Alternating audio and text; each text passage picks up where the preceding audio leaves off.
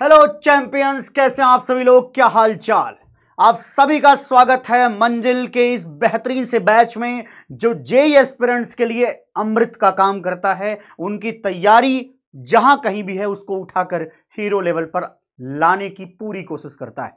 तो ध्यान रखिएगा भैया, हम यहाँ पर आपको केमिस्ट्री में ऑर्गेनिक केमिस्ट्री की शुरुआत करने वाले हैं जहाँ पर मैं आपको आईयूपीएससी नॉमन क्लेचर पढ़ाने वाला हूँ। एक बेसिक सा चैप्टर है।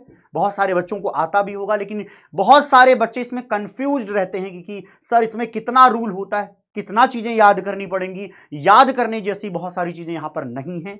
ज़्यादातर चीज़ों को समझ करके किया जाता है और आगे ये बहुत काम आता है ऑर्गेनिक केमिस्ट्री में। जब नाम से पूछा जाता है कि भैया सेकेंडरी ब्यूटाइल करके यूज़ कर देगा अगर किसी कंपाउंड में तो बच्चे को याद नहीं रहता कि ये कैसे बनाया जाता। जब तक बनाना नहीं आएगा आपको, तब तक आप उनके रिएक्शंस को कैसे परफॉर्म करा पाएँगे अपने एग्जामिनेशन के दौरान।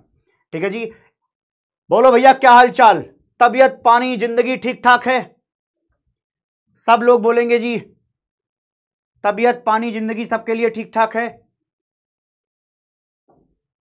वन मिनट लेट नहीं भाई टाइम से आए हैं जी, एकदम करेक्ट टाइम पे हम यहाँ पर आकर खड़े हुए हैं जी, है ना?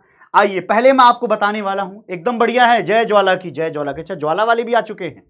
जय ज्वाला की भैया, जिनको ज्वाला नहीं पता उनको बता देता हूँ। थोड़ा सा हिंट ले लो आईआईटी दिल्ली का हमारा हॉस्टल है और ऐसी एक कहानियाँ थोड़ा सा अर्जुना बैच में थोड़ा चल चुकी है तो वो बालक भी हमको लगता आ चुके हैं। मस्त हैं सभी लोग, ज़बरदस्त। चलिए भैया, पढ़ाई करते हैं। मंजिल बैच ऑर्गेनिक केमिस्ट्री में हम आपको देने वाले हैं जी, फोर सी अप्रोच यहाँ पर, बल्कि मैं अपना ही क्या बताऊँ, सारे टीचर्स यही फोर सी अप्रोच अपनाते हैं।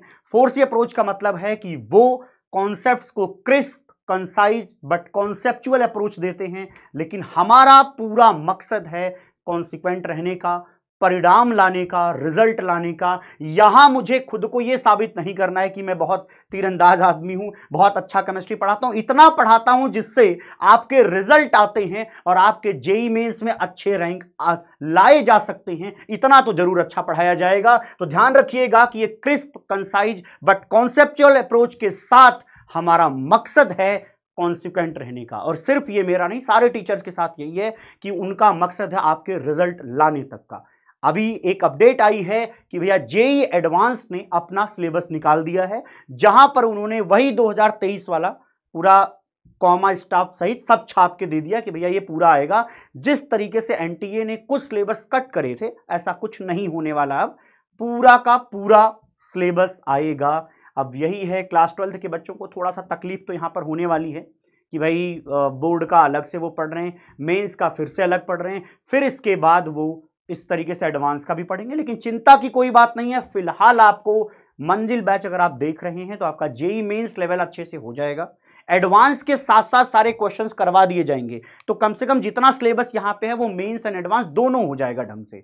हाँ इसके बाद आपको जो बचा हुआ सिलेबस है, आप चाहेंगे तो निश्चित रूप से जेई वाला चैनल पे ही उसको करवा दिया जाएगा। ठीक है? चलिए, बातचीत करते हैं।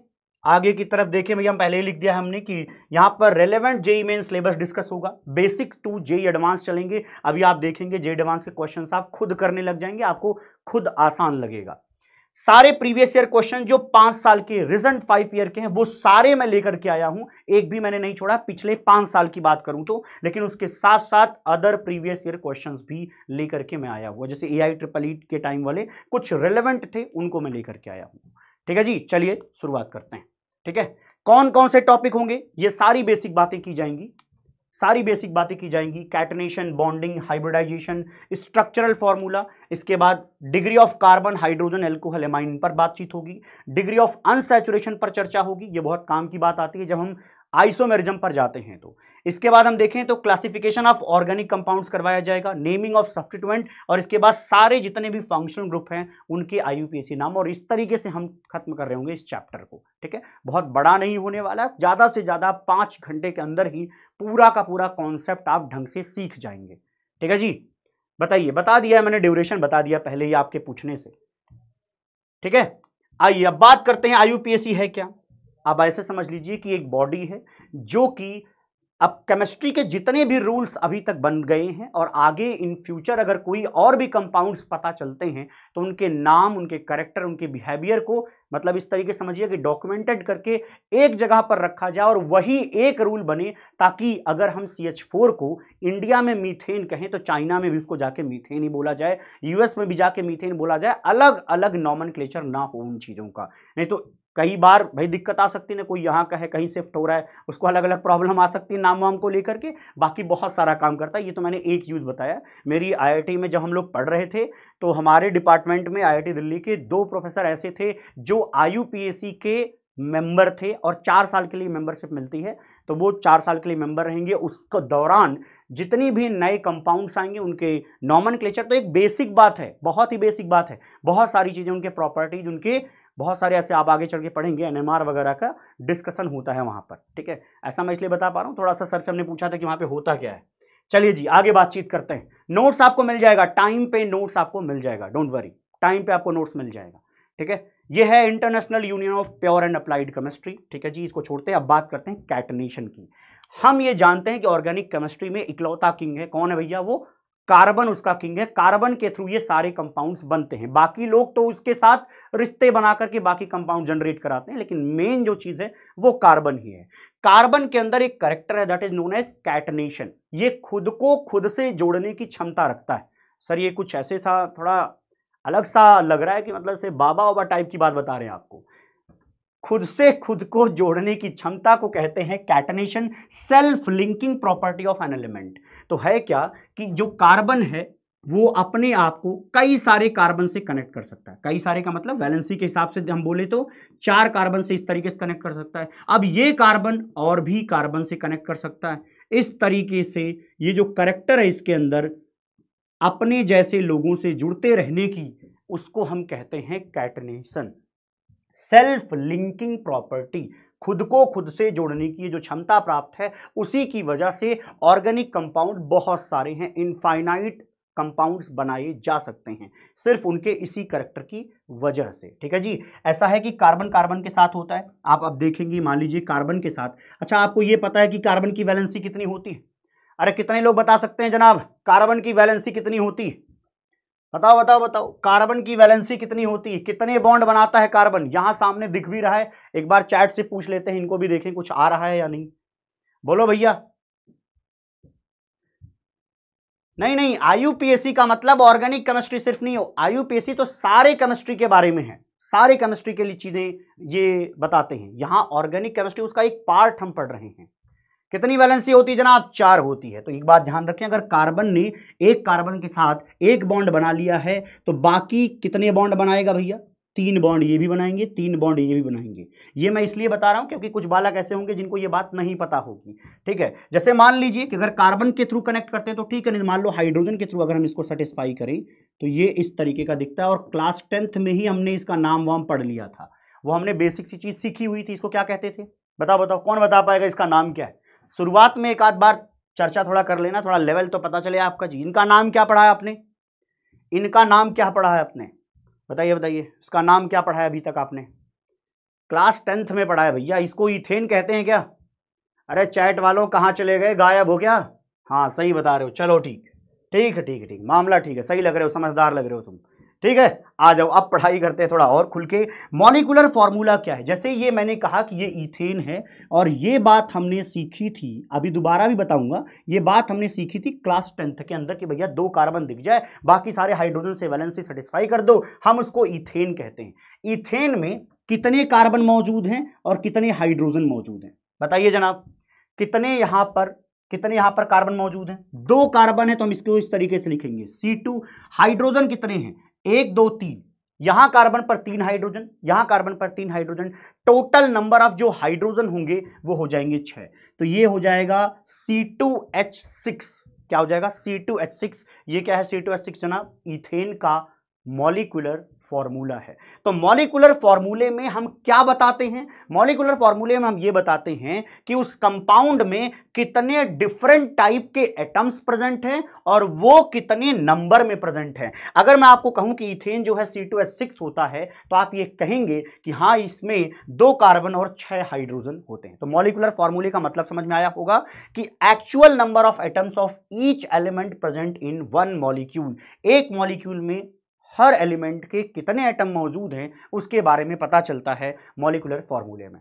ठीक है जी? आइए बेसिक से सीखेंगे, कोई दिक्कत की बात नहीं है। आइए, अगला पढ़ते हैं भैया। बॉन्डिंग इन ऑर्गेनिक कंपाउंड अभी बेसिक सी बात जाननी है, जिन बच्चों को सिग्मा पाई ज़्यादा ना पता हो, ज़्यादा दिक्कत ना लें, आप ऐसे समझ जाइए कि अगर कार्बन कार्बन के बीच में सिंगल बॉन्ड है, अगर कार्बन कार्बन के बीच में सिंगल बॉन्ड है तो इस सिंगल बॉन्ड को हम कहते हैं सिग्मा बॉन्ड क्या? कार्बन कार्बन के बीच में, कार्बन कार्बन के बीच में या कार्बन हाइड्रोजन के बीच में कहीं पर भी एक बॉन्ड है तो उसको हम कह देते हैं उसको सिग्मा बॉन्ड। लेकिन अगर कार्बन और कार्बन के बीच में इस तरीके से देखिएगा, दो बॉन्ड है तो शब्द यूज़ होगा डबल बॉन्ड। एकदम बेसिक से बता रहा हूँ, ताकि अगर कोई बालक ऐसा हो जिसको कुछ भी ना आता हो, वो बाद में समझ पाए, ये क्या है भैया? Double bond. अब डबल बॉन्ड में होता क्या है, वो बता देता हूँ। डबल बॉन्ड में इन दोनों बॉन्ड में से एक बॉन्ड जो होता है वो उसको कहा जाता है कि ये सिग्मा बॉन्ड है, ये क्या है? सिग्मा बॉन्ड है। और दूसरे वाले को कह दिया जाता है कि ये क्या है? ये पाई बॉन्ड है। क्या है? पाई बॉन्ड है। तो डबल बॉन्ड का मतलब दो बॉन्ड, और दो बॉन्ड में से एक क्या होता है? सिग्मा, और दूसरा क्या होता है? पाई बॉन्ड होता है। अच्छा जी, इस तरीके से पाई क्या हो गया जी? पाई को आप इस तरीके से कह सकते हैं कि अदर देन सिंगल बॉन्ड, ये जो इकलौता bond other than sigma bond जो भी होगा, उसको हम पाई बॉन्ड की तरह ट्रीट करेंगे यहाँ पर ऑर्गेनिक केमिस्ट्री में। कार्बन कार्बन के बीच में कितने हैं जी? तीन बॉन्ड अगर है। है ना जी? इसको कहते हैं ट्रिपल बॉन्ड क्या कहते हैं? ट्रिपल बॉन्ड ये आगे शब्द यूज़ होंगे ट्रिपल बॉन्ड अब इस ट्रिपल बॉन्ड में होगा क्या? कि एक बॉन्ड तो इस ट्रिपल बॉन्ड में, आ जाओ भैया, नाराज़ हो गए क्या ये? एक बॉन्ड क्या होगा जी? सिग्मा बॉन्ड होगा। एक इसमें से होगा सिग्मा बॉन्ड। बाकी के जो दो होंगे, वो होंगे पाई बॉन्ड। ठीक है जी? बाकी के क्या होंगे? दो जो बचे हैं, वो होंगे पाई बॉन्ड। तो यहाँ पर एक सिग्मा दो पाई हो जाता है। लेकिन ये देखिए, डबल और ट्रिपल को मिलाकर एक साथ इसको मल्टीपल बॉन्ड बोला जाता है। मल्टीपल शब्द का मतलब ये होता है कि एक से ज़्यादा बॉन्ड जहाँ पर मौजूद हो तो इसको कंबाइंड रूप से मल्टीपल बॉन्ड बोलेंगे। इतनी बात समझ में आ गई है क्या?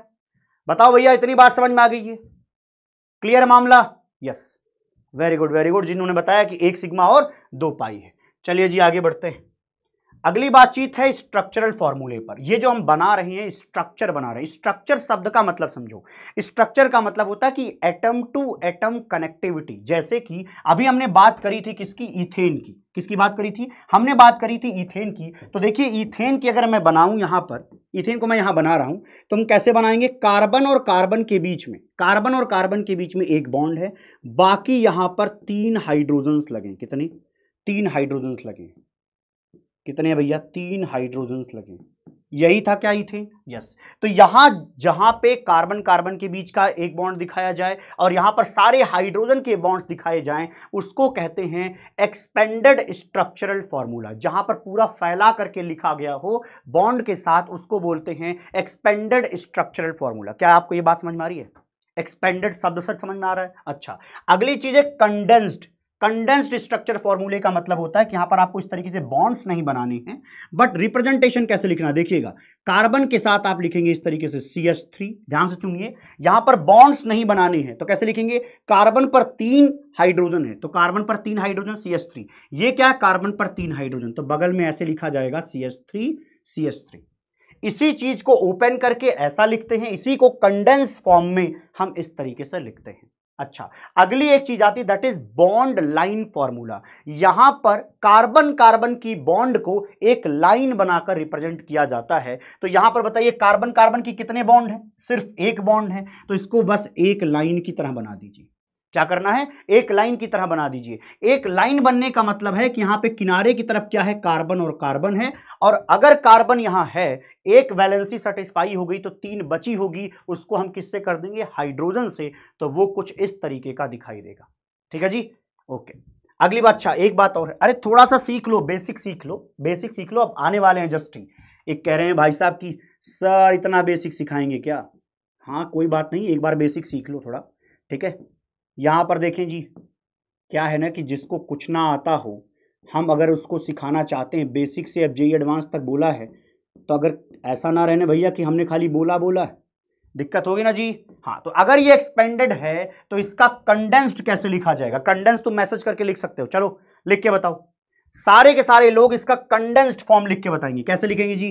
कार्बन पर तीन हाइड्रोजन सी एच थ्री बीच वाले कार्बन पर दो हाइड्रोजन सी एच टू अगले कार्बन पर हम लिख देंगे सी एच थ्री क्या ये सही है? देखो, ये क्या है सी एच थ्री ये बीच में क्या है जी? सी एच टू और ये क्या है सी एच थ्री बोलो भैया, यहाँ तक की बात समझ में आ रही है? ये हम इसको इस तरीके से लिख सकते हैं क्या? अच्छा एक बात और समझो। अगर मैं तुमको कहूँ बॉन्ड लाइन फॉर्मूला बनाओ तो बॉन्ड लाइन में हमें क्या करना है? कार्बन कार्बन के बॉन्ड को एक लाइन से रिप्रेजेंट करना, एक लाइन बना देना है। तो चलिए मान लीजिए यहाँ पे जो कार्बन कार्बन की बॉन्ड है, उसको मैं इस एक लाइन से रिप्रेजेंट कर रहा हूँ, इन दोनों कार्बन कार्बन को। तो अगली जो बॉन्ड है, उसको हमें इस तरीके से जिग जैक फ़ैशन में बनाना होगा। जिग जैक फ़ैशन में बनाएँगे तो उसका फ़ायदा ये है कि हमें पता चलेगा कि यहाँ पर कार्बन है, यहाँ कार्बन है, यहाँ कार्बन है। ठीक है जी, समझ में बात आ गई? और जहाँ कार्बन, जैसे यहाँ जो कार्बन है, उससे तीन हाइड्रोजन जुड़ा होगा। यहाँ जो कार्बन है, बीच में उसकी दो वैलेंसी सेटिस्फाई है तो वहाँ पर दो हाइड्रोजन होगा। क्या यहाँ तक की बात समझ में आई? बोलो रे बालक, यहाँ तक की बात समझ में आई क्या? यस अगली बात देखते हैं। इतना तक समझ जाइए, बाकी आपको धीरे धीरे प्रैक्टिस के थ्रू समझ में आ जाएगा। स्ट्रक्चरल फॉर्मूले सारे क्लियर हो जाएँगे, क्योंकि हम आपको ओपन करके ही समझाएँगे। तो निश्चिंत रहिएगा। अब बात करते हैं हाइब्रिडाइजेशन ऑफ़ कार्बन की। अब क्या आप सभी ने हाइब्रिडाइजेशन पढ़ा है? क्या आप ये जानते हैं SP SP two SP three क्या होता है? नहीं जानते तो उसका भी तरीका है भैया, उसी के थ्रू हम कर लेते हैं। ठीक है जी? नंबर ऑफ़ सिग्मा बॉन्ड आपको निकालना आना चाहिए। नंबर ऑफ़ सिग्मा बॉन्ड को देखकर आपको स्टेट ऑफ़ हाइब्रिडाइजेशन क्या? State of hybridization state of hybridization लिखना आना चाहिए। नहीं आता है तो चलिए लिख के बता देता हूँ, समझा देता हूँ। ठीक है?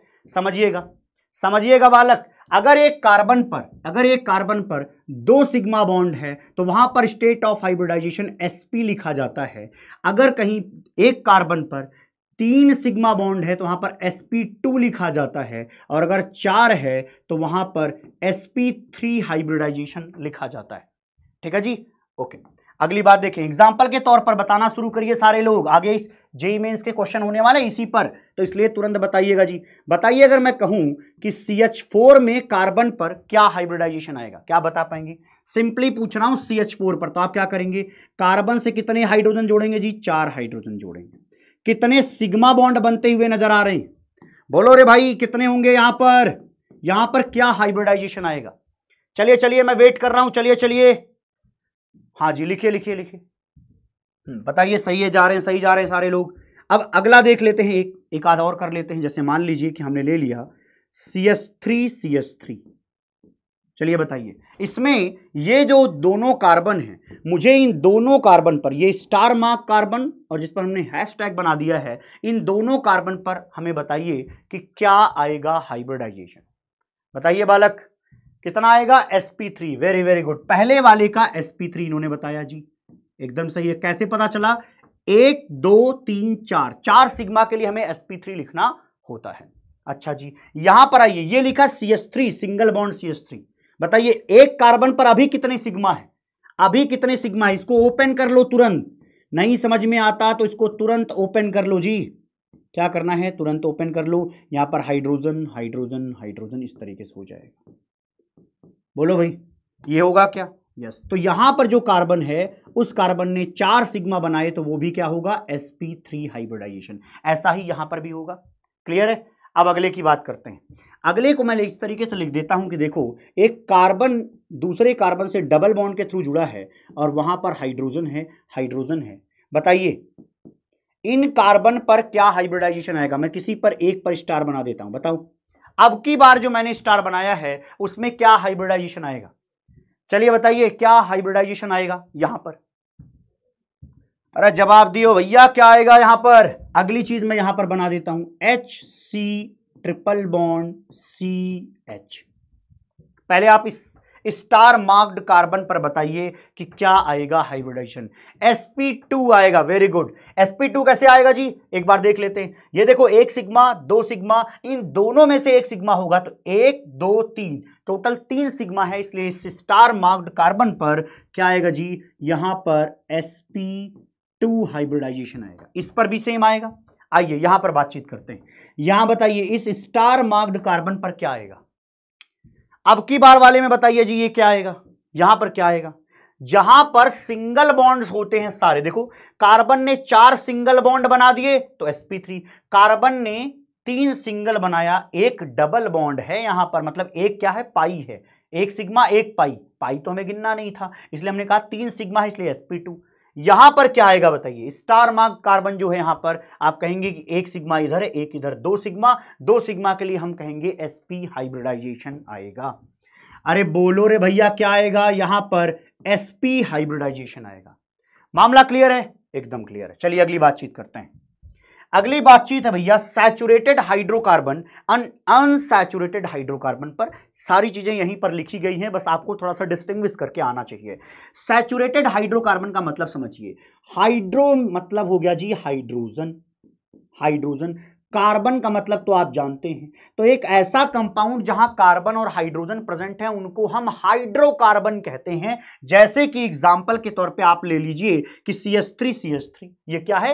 हाइड्रोकार्बन। सी एच फोर क्या है? हाइड्रोकार्बन। क्यों? क्योंकि यहाँ कार्बन और हाइड्रोजन मौजूद हैं। लेकिन वो कह रहे हैं कि सैचुरेटेड है। सैचुरेटेड का मतलब होता है कि वहाँ पर सिर्फ़ सिग्मा बॉन्ड्स प्रेजेंट हैं। ध्यान देना, सैचुरेटेड का मतलब यहाँ पर है कि सिर्फ़ सिग्मा बॉन्ड प्रेजेंट होंगे। तो बताइए, इनमें से एक, यहाँ पर लिख रहा हूँ मैं, एक, ये रहा दो, ये रहा तीन। इनमें से बताइए, वन, टू, थ्री में से इनमें से सैचुरेटेड कौन सा वाला है? इनमें वन टू थ्री गिनती में बताइए, आसानी से आ जाएगा समझ में। बताइए बताइए। अरे बोलो रे भैया, क्या आएगा यहाँ पर? चलिए, अगला देखते हैं। अगला है जहाँ पे बताना शुरू करो तुम। अनसैचुरेटेड का मतलब हुआ कि जहाँ पर भैया कार्बन कार्बन के बीच में पाई बॉन्ड हो या कार्बन नाइट्रोजन ऑक्सीजन किसी के बीच में भी पाई बॉन्ड हो। ये बोलेंगे। लेकिन साथ में अगर इन्होंने हाइड्रोकार्बन कह दिया, इसका मतलब वहाँ पर हाइड्रोजन होगा और कार्बन होगा। तो कार्बन हाइड्रोजन तो है। देखो, यहाँ पर भी कार्बन हाइड्रोजन, यहाँ पर भी कार्बन हाइड्रोजन, ये भी कार्बन हाइड्रोजन। तो ये सारे हाइड्रोकार्बन है। और मैं आपको बताऊँ जेई मेन्स में एक बार क्वेश्चन पूछा गया है कि इनमें से बताइए कौन सा इसमें से हाइड्रोकार्बन है।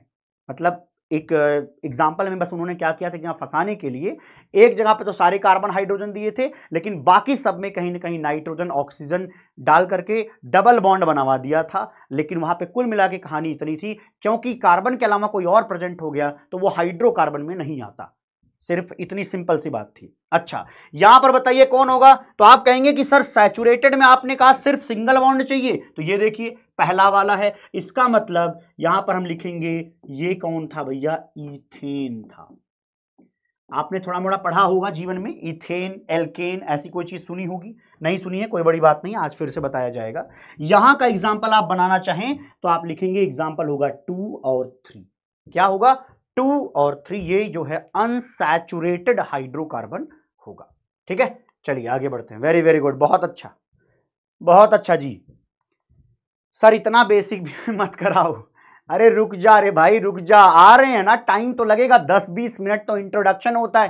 तो अभी तो थोड़ा इंट्रोडक्टरी पार्ट था। थोड़ा समझ में आने दो यार, लोगों को फील तो आने दो। आते हैं उस पर। देखो भैया find the hybridization at star marked carbon चलिए, यहाँ पर जो कार्बन है ये सी डबल बॉन्ड ओ और यहाँ जो स्टार लगा है, उस पर क्या हाइब्रिडाइजेशन आएगा? मैं वेट कर रहा हूँ आप सभी का। मैं आप सभी का वेट कर रहा हूँ।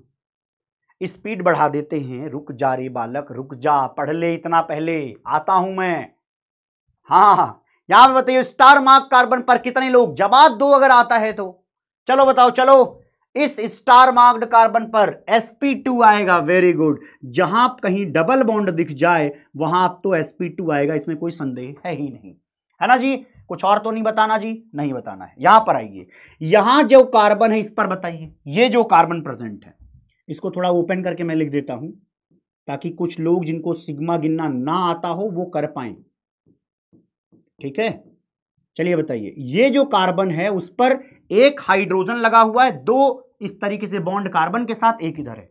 और इस स्टार मार्क्ड कार्बन जो ये वाला है, उनके बारे में बताना। कितने सिग्मा गिनो? सिग्मा गिन के बताइए भाई, कितने आ रहे हैं? आप कहेंगे कि एक हाइड्रोजन के साथ है, एक यहाँ कार्बन के साथ है। तो एक, दो यहाँ पर क्या हो जाएगा? एक तीन। इसका मतलब यहाँ पर तीन यहाँ पर आएगा तो sp2 हाइब्रिडाइजेशन आएगा। सुन लो भैया क्या आएगा? Sp2 हाइब्रिडाइजेशन आएगा। क्लियर मामला? स्टार मार्क्ड पर। अच्छा अगले पर आते हैं भैया। ये बताओ। अगला ये बताओ। चलो चलो वेट कर रहा हूँ मैं जी। अगला इस वाले स्टार मार्क्ड पर बताइए।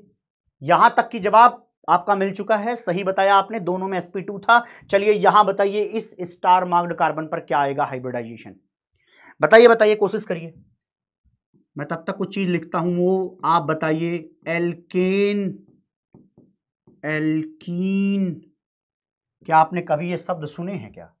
एल्केन और एल्कीन, जहाँ एन आते हैं, अभी पीछे पढ़ाया जैसे ईथेन तो वहाँ पर क्या रहते हैं? सारे सिग्मा बॉन्ड वाले रहेंगे। इन का मतलब होता है कि जहाँ डबल बॉन्ड होगा, carbon double bond, carbon sigma bond का मतलब एक हो जाएगा इस तरीके से। बस, ये काम आएगा आगे, इसलिए बोल रहा हूँ। अभी जस्ट काम आने वाला है। वेरी वेरी गुड यहाँ देखो, इधर की तरफ़ एक सिग्मा है, इधर की तरफ़ एक सिग्मा है। दूसरा वाला तो पाई है ना जनाब? तो यहाँ पर दो सिग्मा, इसका मतलब यहाँ एसपी हाइब्रिडाइजेशन आएगा। यहाँ पर क्या आएगा? एसपी हाइब्रिडाइजेशन आएगा। मामला क्लियर है? अब एक चीज़ जानना है, वो जान लीजिए कि देखो भैया इन का मतलब होता है डबल बॉन्ड अब जब सारे डबल बॉन्ड हो कार्बन कार्बन कितने हैं जी? तीन कार्बन है। तीनों कार्बन के बीच में जब सारे डबल बॉन्ड दिखें तो उसको कहते हैं ऑल इन क्या कहते हैं? ऑल इन सारे के सारे डबल बॉन्ड हालाँकि इसका नाम होता है एलिन क्या बोलते हैं इसको? इसका नाम होता है एलीन और बहुत सारा आगे पढ़ाया जाएगा आपको आइसोमेरिज्म में तो वहाँ पर इन्हीं को थोड़ा सा एक्सटेंडेड फॉर्मेट में पढ़ाया जाता है। फ़िलहाल इसको जानिए कि ये क्या है, ये एलिन है। क्या आपकी खोपड़ी में ये बात गई? कि सारे कार्बन कार्बन जो कनेक्टेड हैं एक दूसरे से, तीनों, वो डबल बॉन्ड से कनेक्टेड हैं तो ऑल डबल बॉन्ड मतलब ऑल इन इसको कहते हैं एलिन। आगे देखें, भैया, पहला क्वेश्चन ही आपके सामने प्रस्तुत हो रहा है जेई 2012 मतलब जेई एडवांस की बात कर रहा हूँ मैं। चलो, जेई एडवांस का ये क्वेश्चन हम सॉल्व करेंगे। हम आपको टाइम दे रहे हैं थर्टी सेकंड, नहीं चलो फोर्टी सेकंड दिया। देखते हैं ये भी भाई साहब काम कर जाए तो। चलिए चलिए चलिए। सेम क्वेश्चन है जी, सेम। क्या लिखा है कि in allene, the types of hybridization of the carbon atom is. जैसे मैंने स्टार मार्क्ड का पूछा था उसी तरीके से बस दूसरे वाले कार्बन का बता दीजिए, ये आपके पेपर में आता है। अरे बोलो रे, एक जो है किसी का नाम लिख रहा है। नहीं भैया, हमने किसी को कुछ नहीं कहा। हमने कहा ऑल इन तुमने मिलाकर के कुछ गलती करी होगी। मैंने सही बताया जनाब। चलिए, बताइए, चलिए। अरे आओ अरे भैया, क्या आएगा जवाब? रिज़ल्ट आ जाएगा क्या? रिज़ल्ट रिज़ल्ट एक काम करता हूँ, एक्सप्लेन करने के बाद बताता हूँ। देखो भैया, क्या आएगा। देखो, यहाँ पर हमने क्या बताया था? Carbon double bond carbon double bond carbon किनारे वाले जो होंगे, वो हाइड्रोजन के थ्रू इस तरीके से कनेक्टेड है। बताओ रे भैया, क्या आएगा आप अभी बताते रहो? इसके चिंता में ज़्यादा मत पड़ो। काम की बात यह है कि इस कार्बन पर आपको क्या दिख रहा है जनाब? आपको दिख रहा है एक, दो, तीन। तीन सिग्मा बॉन्ड sp2 हाइब्रिडाइजेशन और इस वाले पर तो sp आपने बताया ही, ये वाला पहले वाले की तरह ये भी sp2 मतलब sp और sp2 कहीं दिख रहा है जनाब? ये है। Means that B option is correct B को अगर सही मान दिया जाए तो देखिए जी 71 72 परसेंट लोगों ने सही जवाब दिया। बाकी 21 परसेंट लोगों ने ए जवाब दिया। अरे हे गधों, ऐसा कैसे हो सकता है? अरे बोलो रे नालायक प्राणी, ऐसा कैसे हो गया जी? इक्कीस परसेंट अभी बताया कि एलिन क्या होता है। तो एटलीस्ट बनाना तो आना चाहिए था। का भैया, तुमको छापन नहीं आता। छापना तो आना चाहिए जी हाँ। और ये है जेई एडवांस का क्वेश्चन देख लो। इसमें कठिन बात ये, आपको शायद लगे कि सर ये कैसे बता दिया? मैं आगे आपको ये भी बताता हूँ चल के समझाऊँगा आगे कि यहाँ पर डबल बॉन्ड को आपने कैसे गेस किया? अभी तो चलो नाम बता दिया मैंने। आगे कैसे गेस करते हैं? डिग्री ऑफ़ अनसेचुरेशन में ये बात हम सीख जाते हैं। अरे तुम्हारे पास पोल नहीं आता। अरे सुनो रे बालक, तुम जो चैट करते हो, अगर तुम ए बी सी डी डालते रहोगे, वो अपने हिसाब से यहाँ पर कमेंट कर लेगा। समझे जी? हाँ पोल ऐसे आएगा यहाँ वाला। वो वाला क्रिएट हुआ कि नहीं हुआ, मुझे नहीं पता। मुझे जहाँ तक लग रहा है ऐसा रीड करता होगा। ठीक है? कोई बात नहीं, आइए अगला देखते हैं। अरे, आपने जो जवाब यहाँ दिया, उससे काम बन जाएगा। चलिए देखते हैं।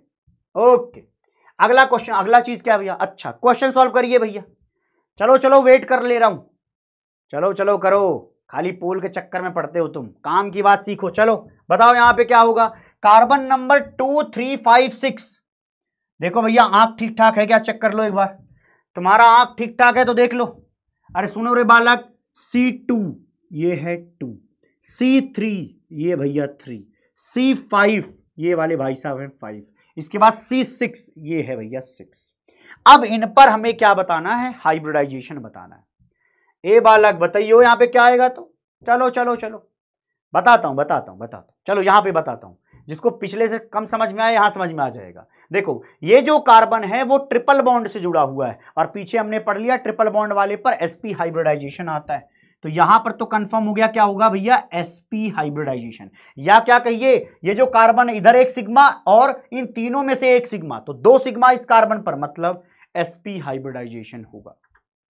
जवाब दो तुम, मैं तो बताऊँगा ही साथ साथ अब देखो, ये जो कार्बन है, तीसरा वाला मैं तीसरे वाले कार्बन को थोड़ा यहाँ पर ओपन करके लिखूँगा। ये देखो, ये जो कार्बन है, इससे एक कार्बन इधर जुड़ा है, इससे एक कार्बन इधर जुड़ा है, इससे एक हाइड्रोजन भी जुड़ा है भैया। यहाँ पर एक हाइड्रोजन भी है, देखो, और एक इस पर सी एस थ्री लगा हुआ है।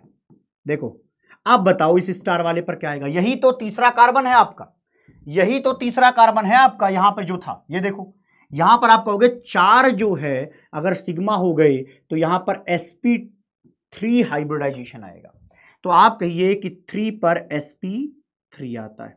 चलिए, फाइव पर बताइए। फाइव पर देखो डबल बॉन्ड, डायरेक्ट भी बोल सकते हो कि एसपी टू आएगा।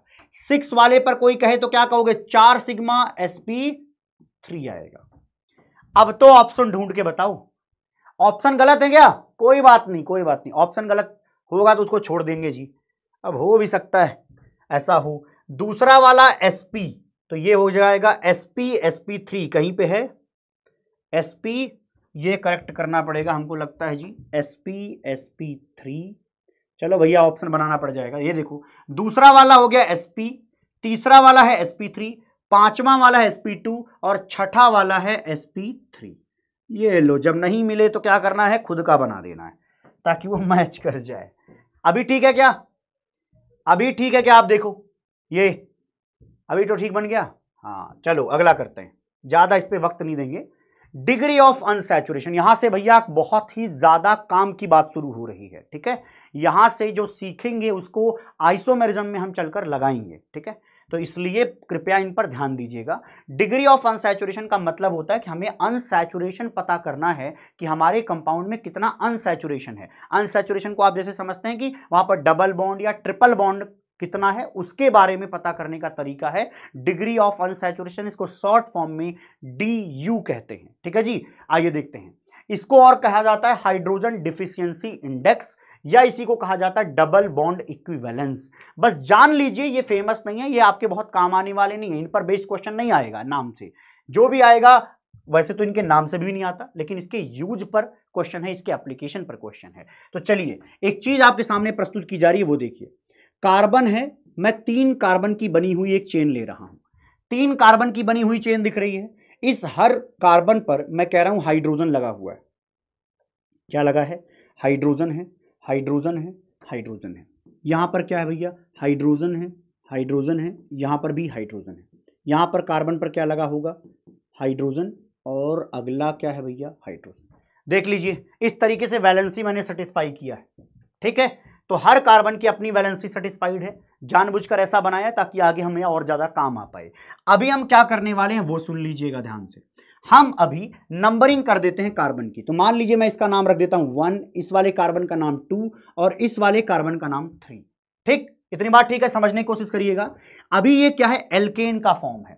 है ना? सैचुरेटेड हाइड्रोकार्बन है। तो सैचुरेटेड हाइड्रोकार्बन का डिग्री ऑफ़ अनसेचुरेशन ज़ीरो होगा, क्योंकि यहाँ पर कोई डबल बॉन्ड, ट्रिपल बॉन्ड जैसी कोई चीज़ नहीं है। डबल बॉन्ड या ट्रिपल बॉन्ड जैसी कोई चीज़ नहीं है तो क्या बोलेंगे जनाब? ये बोला जाएगा कि ये क्या है? इसका डिग्री ऑफ़ अनसेचुरेशन ज़ीरो है। अब सुनिए, अगर मैंने दो हाइड्रोजन हटा दिए, क्या किए मैंने? दो हाइड्रोजन इसमें से डिलीट करने हैं मुझे। कहाँ कहाँ से करना है? कार्बन नंबर टू का एक हाइड्रोजन हटाइए, कार्बन नंबर थ्री का एक हाइड्रोजन हटाइए। तो देखिए यहाँ पर बनता क्या है। तो आप इस तरीके से लिख देंगे, देखिएगा यहाँ पर कैसे लिखेंगे। कार्बन होगा, इस पर देखिए हाइड्रोजन लगे हुए हैं। Hydrogen hydrogen hydrogen. यहाँ पर क्या होगा? कार्बन डबल बॉन्ड, कार्बन क्योंकि हाइड्रोजन हटाने के बाद दोनों हाइड्रोजन हटेंगे, वैलेंसीज खाली होगी कार्बन कार्बन के बीच में, उसको सेटिस्फाई करेगा वो किससे? बोलो भैया, किससे करेगा? पाई बॉन्ड बना करके करेगा। तो देख लो, कोई ऐसी बात हुई जो अभी तक समझ नहीं आई है। एक बार देख लें कृपया। हमने किया क्या? ये वाला हाइड्रोजन और ये वाला हाइड्रोजन हटा दिया। हटाने के बाद दोनों कार्बन के बीच में जो वैलेंसी खाली थी, उसको पाई बाउंड बना करके भर दिया। अब बताइए, जो ये चीज़ बनी है, इसका डिग्री ऑफ़ अनसेचुरेशन कितना है? यहाँ पर कितना पाई बॉन्ड नज़र आ रहा है? वन नज़र आ रहा वेरी वेरी गुड। ये पहले से आप देकर बैठे हैं। समझदार लोग लगते हैं। तो इसका डिग्री ऑफ़ अनसेचुरेशन कितना है जनाब? वन है। वेरी गुड बहुत अच्छी बात है। अब अगली एक चीज़ समझने की कोशिश करें। हमें दोबारा ये समझना है कि दो हाइड्रोजन हटाना है। इसी में से हटाने जा रहा हूँ, लेकिन अब की बार मैं कार्बन नंबर वन और कार्बन नंबर थ्री के बीच में से हटाऊँगा। कार्बन नंबर वन और थ्री के बीच में से हटाऊँगा तो ये कैसा लिखा जाएगा? देखो, बीच वाला तो सी है। ये तो भैया बीच वाला सी लिख दिया मैंने। कार्बन नंबर वन पर भी क्या होगा जी? यहाँ पर इस तरीके से दो हाइड्रोजन होगा। यहाँ पर कार्बन पर दो हाइड्रोजन हुआ। कृपया ध्यान दें, हमने किया क्या? एक हाइड्रोजन ये हटाया, एक ये। अब इनकी आपस में वैलेंसीज खाली हैं तो ये आपस में एक सिग्मा बॉन्ड बना देंगे। अरे क्या करेंगे बालक? आपस में एक सिग्मा बॉन्ड बना देंगे। तो समझना कि जब दो हाइड्रोजन की कमी होती है तो एक डिग्री ऑफ़ अनसेचुरेशन पैदा होता है। जब दो हाइड्रोजन की कमी होती है तो एक डिग्री ऑफ़ अनसैचुरेशन पैदा होता है। इस कॉन्सेप्ट के हिसाब से इसका डिग्री ऑफ़ अनसैचुरेशन कितना आएगा? सुनो भैया, क्या बनेगा? एक रिंग बनेगा। तो इस रिंग में बताइए, बनाते वक्त मैंने यहाँ जो डिग्री ऑफ़ अनसेचुरेशन ज़ीरो था, उससे अगर दो हाइड्रोजन हटाए तो इसका डिग्री ऑफ़ अनसेचुरेशन कितना आएगा? अरे बोलो रे, डिग्री ऑफ़ अनसेचुरेशन कितना आएगा? बताओ बताओ बताओ। आप कहेंगे, सर, यहाँ पर दो हाइड्रोजन की कमी होकर के ये बना है तो इसलिए इसका डिग्री ऑफ़ अनसेचुरेशन भी वन ही आएगा। यहाँ पर दो हाइड्रोजन की कमी से ये बना, दो हाइड्रोजन की कमी से ये भी बना है। अरे, क्लियर हो भैया? हाँ नंबरिंग कर लेते हैं। नंबरिंग जो था, वो वही रखते हैं। वन, टू, थ्री, यहाँ पर भी वही रखेंगे। ये भाई साहब वन थे, ये भाई साहब थ्री और ये टू। समझ में आया क्या? यस, अगला देखते हैं। अगले वाले में अगर मैं फिर से दो हाइड्रोजन गायब करूँ। अगले वाले में अगर मैं फिर से दो हाइड्रोजन गायब करूँ तो क्या होगा बताइए? बताइए दो हाइड्रोजन के गायब करने से क्या होगा? कहाँ गायब करना है वो सुनो। कार्बन नंबर टू और carbon number three. Carbon number two, three से ये दोनों हटा दीजिए तो बचेगा क्या? बताइए। किनारे की तरफ़ ये C S three carbon, triple bond, carbon और यहाँ पर एक हाइड्रोजन। देखो ये बनेगा। अरे बोलो रे बालक। हे बुद्धू बालक, बात ठीक कह रहा हूँ क्या? ये बताओ कार्बन नंबर वन पर सी एस थ्री वन पर सी एस थ्री अगले पर देखो, ये हटा ये हटा, एक पाई बॉन्ड जन्म लेगा टू और थ्री इस तरीके से लिखने में गड़बड़ हो जाता है। है क्या? ये मत समझना कि आईयूपीएससी का नाम है। ध्यान रखो, अगर इसको आईयूपीएससी समझ गए, तब तुम्हारा दिमाग खराब हो जाएगा। ये आईयूपीएससी का नंबरिंग नहीं बता रहा हूँ मैं, ठीक है? उल्टा सीधा नहीं तो लगेगा तुमको। ठीक है, एक काम करता हूँ एबीसी कर देता हूँ। होता क्या है कि, अरे भैया, रुक जाओ रुक जाओ। खुद ही से गायब हो जाता है भाई, जादू आता है इसको, जादू, है ना? क्योंकि आईयूपीएससी में इसका जस्ट उल्टा आएगा तो इसलिए मैं इसको एबीसी करके पुकारूँगा आपसे, ठीक है जी? एबीसी करके पुकारते हैं, ज़्यादा अच्छा लगेगा। देखिएगा भैया, यहाँ पर हम कह देते हैं, यहाँ पर यहाँ पर हम कह देंगे, ये ए है, ये बी है, ये सी है, ठीक है? ये भाई साहब क्या हैं? ये ए हैं ये वाले भाई साहब सी हैं और ये वाले भाई साहब बी हैं। अच्छा यहाँ पर क्या होगा? ये ए है, ये बी है, ये सी है। यहाँ पर ए है, ये बी है, ये सी। कार्बन का नंबरिंग इस तरीके से मैं ए बी सी के टाइप का कर देता हूँ। अच्छा जी, बताइए यहाँ पर। कृपया यहाँ पर बताइए। यहाँ पर डिग्री ऑफ़ अनसेचुरेशन कितना आया है? बोलो बोलो। डिग्री ऑफ़ अनसेचुरेशन कितना आया? तो आप कहेंगे कि भैया दो तो पहले ही निकाल रखा था तो एक डिग्री ऑफ़ अनसेचुरेशन दो दोबारा निकाल दिया तो यहाँ पर डिग्री ऑफ़ अनसेचुरेशन कितना आएगा? टू आएगा। ठीक है जी? तो आप इस तरीके से भी कह सकते हैं कि यहाँ पर दो पाई बॉन्ड है। यहाँ पर डिग्री ऑफ़ अनसेचुरेशन दो क्यों आया? क्योंकि यहाँ पर दो पाई बॉन्ड है। अगर दो पाई बॉन्ड है तो डिग्री ऑफ़ अनसेचुरेशन टू आ रहा है। सिमिलरली अगर मैं यहाँ पर करूँ ए और सी में से, दोबारा मैं एक एक हाइड्रोजन हटा दूँ। अरे सुनो रे बालक, क्या बोला मैंने? अगर मैं यहाँ से दोबारा हटा दूँ कहाँ से? ए और सी में से तो बताइए क्या बनेगा? बी वाले पर तो कोई फ़र्क पड़ा नहीं तो ये ऐसा ही रहेगा। बी वाले पर कोई फ़र्क नहीं पड़ा। अगले वाले में क्या होगा? यहाँ सी एच टू होगा, यहाँ पर सी एच टू होगा। एक बॉन्ड एक sorry sorry C H two कैसे होगा जी? सी एच और सी एच होगा। देखो, हमने क्या किया? ये और ये हटा दिए। तो सी एच और सी एच लिख लिए, लेकिन कार्बन की अभी वैलेंसी अरे बोलो बालक कार्बन की वैलेंसी क्या होगी? अभी बची है तो वहाँ पर बनाने के लिए हमें पाई बॉन्ड बनाना तो इस काम को कैसे किया? दो हाइड्रोजन घटा करके किया। तो मैं अगर ये कहूँ कि यहाँ से मुझे डायरेक्ट यहाँ लैंड करना है तो आपको कहना पड़ेगा कि सर, हमें चार हाइड्रोजन हटाने पड़ते हैं। अगर चार हाइड्रोजन हटाने पड़े तो डिग्री ऑफ़ अनसेचुरेशन क्या होगा? दो होगा। अरे बालक, बोलो क्या लिखेंगे? दो लिखेंगे। बात ठीक है क्या? यस अब एक चीज़ सुनो, क्या मैं ये कह सकता हूँ? बताना कि सही है या गलत कि क्या मैं ये कह सकता हूँ कि भैया number of ring number of ring plus number of number of pi bond number of ring plus number of pi bond अगर जोड़ दिया जाए तो ये कुछ और नहीं, यही तो डिग्री ऑफ़ अनसेचुरेशन है। अगर यही दोनों जोड़ दिया जाए तो ये किसके बराबर है? ये डिग्री ऑफ़ अनसेचुरेशन के बराबर है। यहाँ पर यही नज़र आ रहा है। एक तो रिंग बन गई तो एक रिंग, एक पाई बॉन्ड। क्या? एक रिंग बन गई और एक पाई बॉन्ड आ गया तो इसको हम कहते हैं कि भैया यहाँ पर डिग्री ऑफ़ अनसेचुरेशन टू आ गया। अरे बोलो रे बालक, अरे बालक बोलो रे, बात ठीक कह रहा हूँ क्या? अरे बोलो भाई, बात ठीक कह रहा है। हाँ सब एकदम राज़ी राज़ी खुशी खुशी जी तो क्या कहिएगा कि डिग्री ऑफ़ अनसेचुरेशन कुछ और नहीं, बल्कि number of ring plus number of pi bond होता है। आप देख लीजिए स्ट्रक्चर को, आपको यह मिल जाएगा। समझ में आया? अब इनको हाइड्रोजन डिफिशियंसी इंडेक्स क्यों कहते समझ में आ गया होगा, क्योंकि हम कर क्या रहे हाइड्रोजन की कमी करके इनको पैदा कर रहे हैं जी डिग्री ऑफ़ अनसेचुरेशन को। इसलिए इनका नाम ये है। डबल बॉन्ड इक्विवेलेंस क्यों कहते हैं? एट द हम क्या करें? पाई बॉन्ड को गिन रहे हैं। समझ में आया क्या? यस सर ने डेरिवेशन करा दिया। डेरिवेशन बात सही है, एक तरीके का डेरिवेशन हो गया। एक तरीके से ये डेरिवेशन हो गया आपका कि डिग्री ऑफ़ अनसेचुरेशन जो है number of ring plus number of pi bond के बराबर होता है। अरे समझे? मुझे खुद उस लाइन को मैंने पहली बार सुना है कि सर ने डराइव करा दिया। आगे देखते हैं। आइए देखते हैं और काम की बात सीखेंगे। Find the degree of unsaturation चलो बताओ। अब भैया तुम्हारा काम शुरू होता, सारा काम मुझसे थोड़ी करवाओगे, सारी मजदूरी मेरी थोड़ी थे पेपर तुम्हें देना जी। हाँ हम तो हो आए हमें आईआईटी जाना था, हो आए हमें ठीक लगा वहाँ पे। रह के मौज मौज मस्ती हुई, आप कृपया जाएँ और वहाँ पहुँचने के बाद मुझे बुलाएँ। क्या पता कॉलेज रिव्यूज़ में आपसे भेंट मुलाकात हो जाए, है ना? मैं तो ये चाहूँगा कि आप जाएँ। बताइए बताइए डिग्री ऑफ़ अनसेचुरेशन तुरंत बताने की कोशिश करें। पीछे वाले में लिख लेना भैया हैंस हैंस प्रूव्ड पीछे वाले में लिख लेना हैंस प्रूव्ड यहाँ वेरी गुड बहुत अच्छे। बता चुका है कोई भैया बालक कह रहा है कि सर देखो यहाँ पर एक रिंग है। यहाँ पर कितने रिंग है भैया? नंबर ऑफ़ रिंग्स कितने हैं जी? एक। सिर्फ़ एक रिंग है, देखो, एक रिंग है।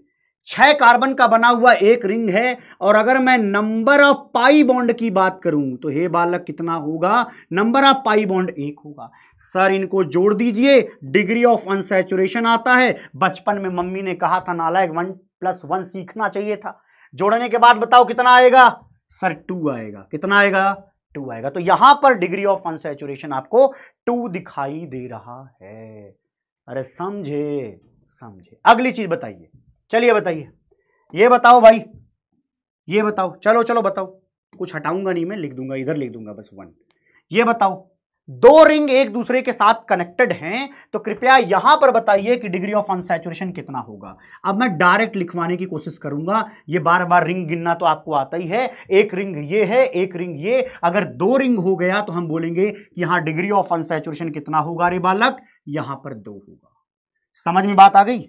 यस। अगला बताइए, यहाँ पर बताइए कितना होगा? चलिए चलिए, शुरू हो जाइए, बताइए कितना होगा। इस वाले में बताइए, तीसरे वाले में। तो आप कहेंगे, देखो सर, एक तो रिंग है तो नंबर ऑफ़ रिंग हो गया वन। नंबर ऑफ़ रिंग कितना जी? वन।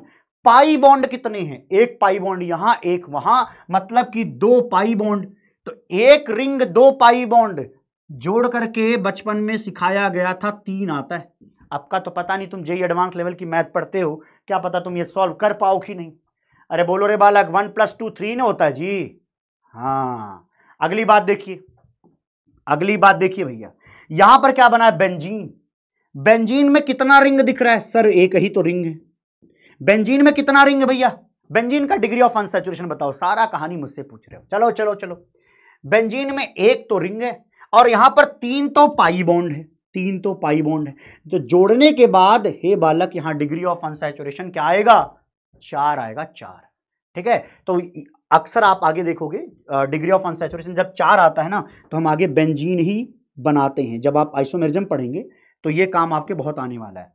है ना? आपको दिया जाता है फॉर्मूला कौन सा? मॉलिकुलर फॉर्मूला वहाँ से कैलकुलेट करके निकालना होता, जैसे पता चलता है अरे डिग्री ऑफ़ अनसेचुरेशन चार आ गया मतलब कहीं कहीं बेंजीन तो प्रेजेंट है। चलिए अगला बताइए।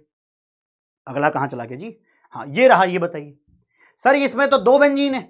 हाँ कोई पूछ रहा है कि ये बता दीजिए। जी, ज़रूर बताऊँगा। जनाब, यहाँ देखिए, यहाँ पर क्या देखो, छह कार्बन की एक रिंग है। छह कार्बन की एक रिंग है। रिंग समझते हो ना, ये जो बंद है, डब्बा, इसी को रिंग कहते हैं। जी हाँ। तो डिब्बा कितना एक और उसमें कितने पाई bond?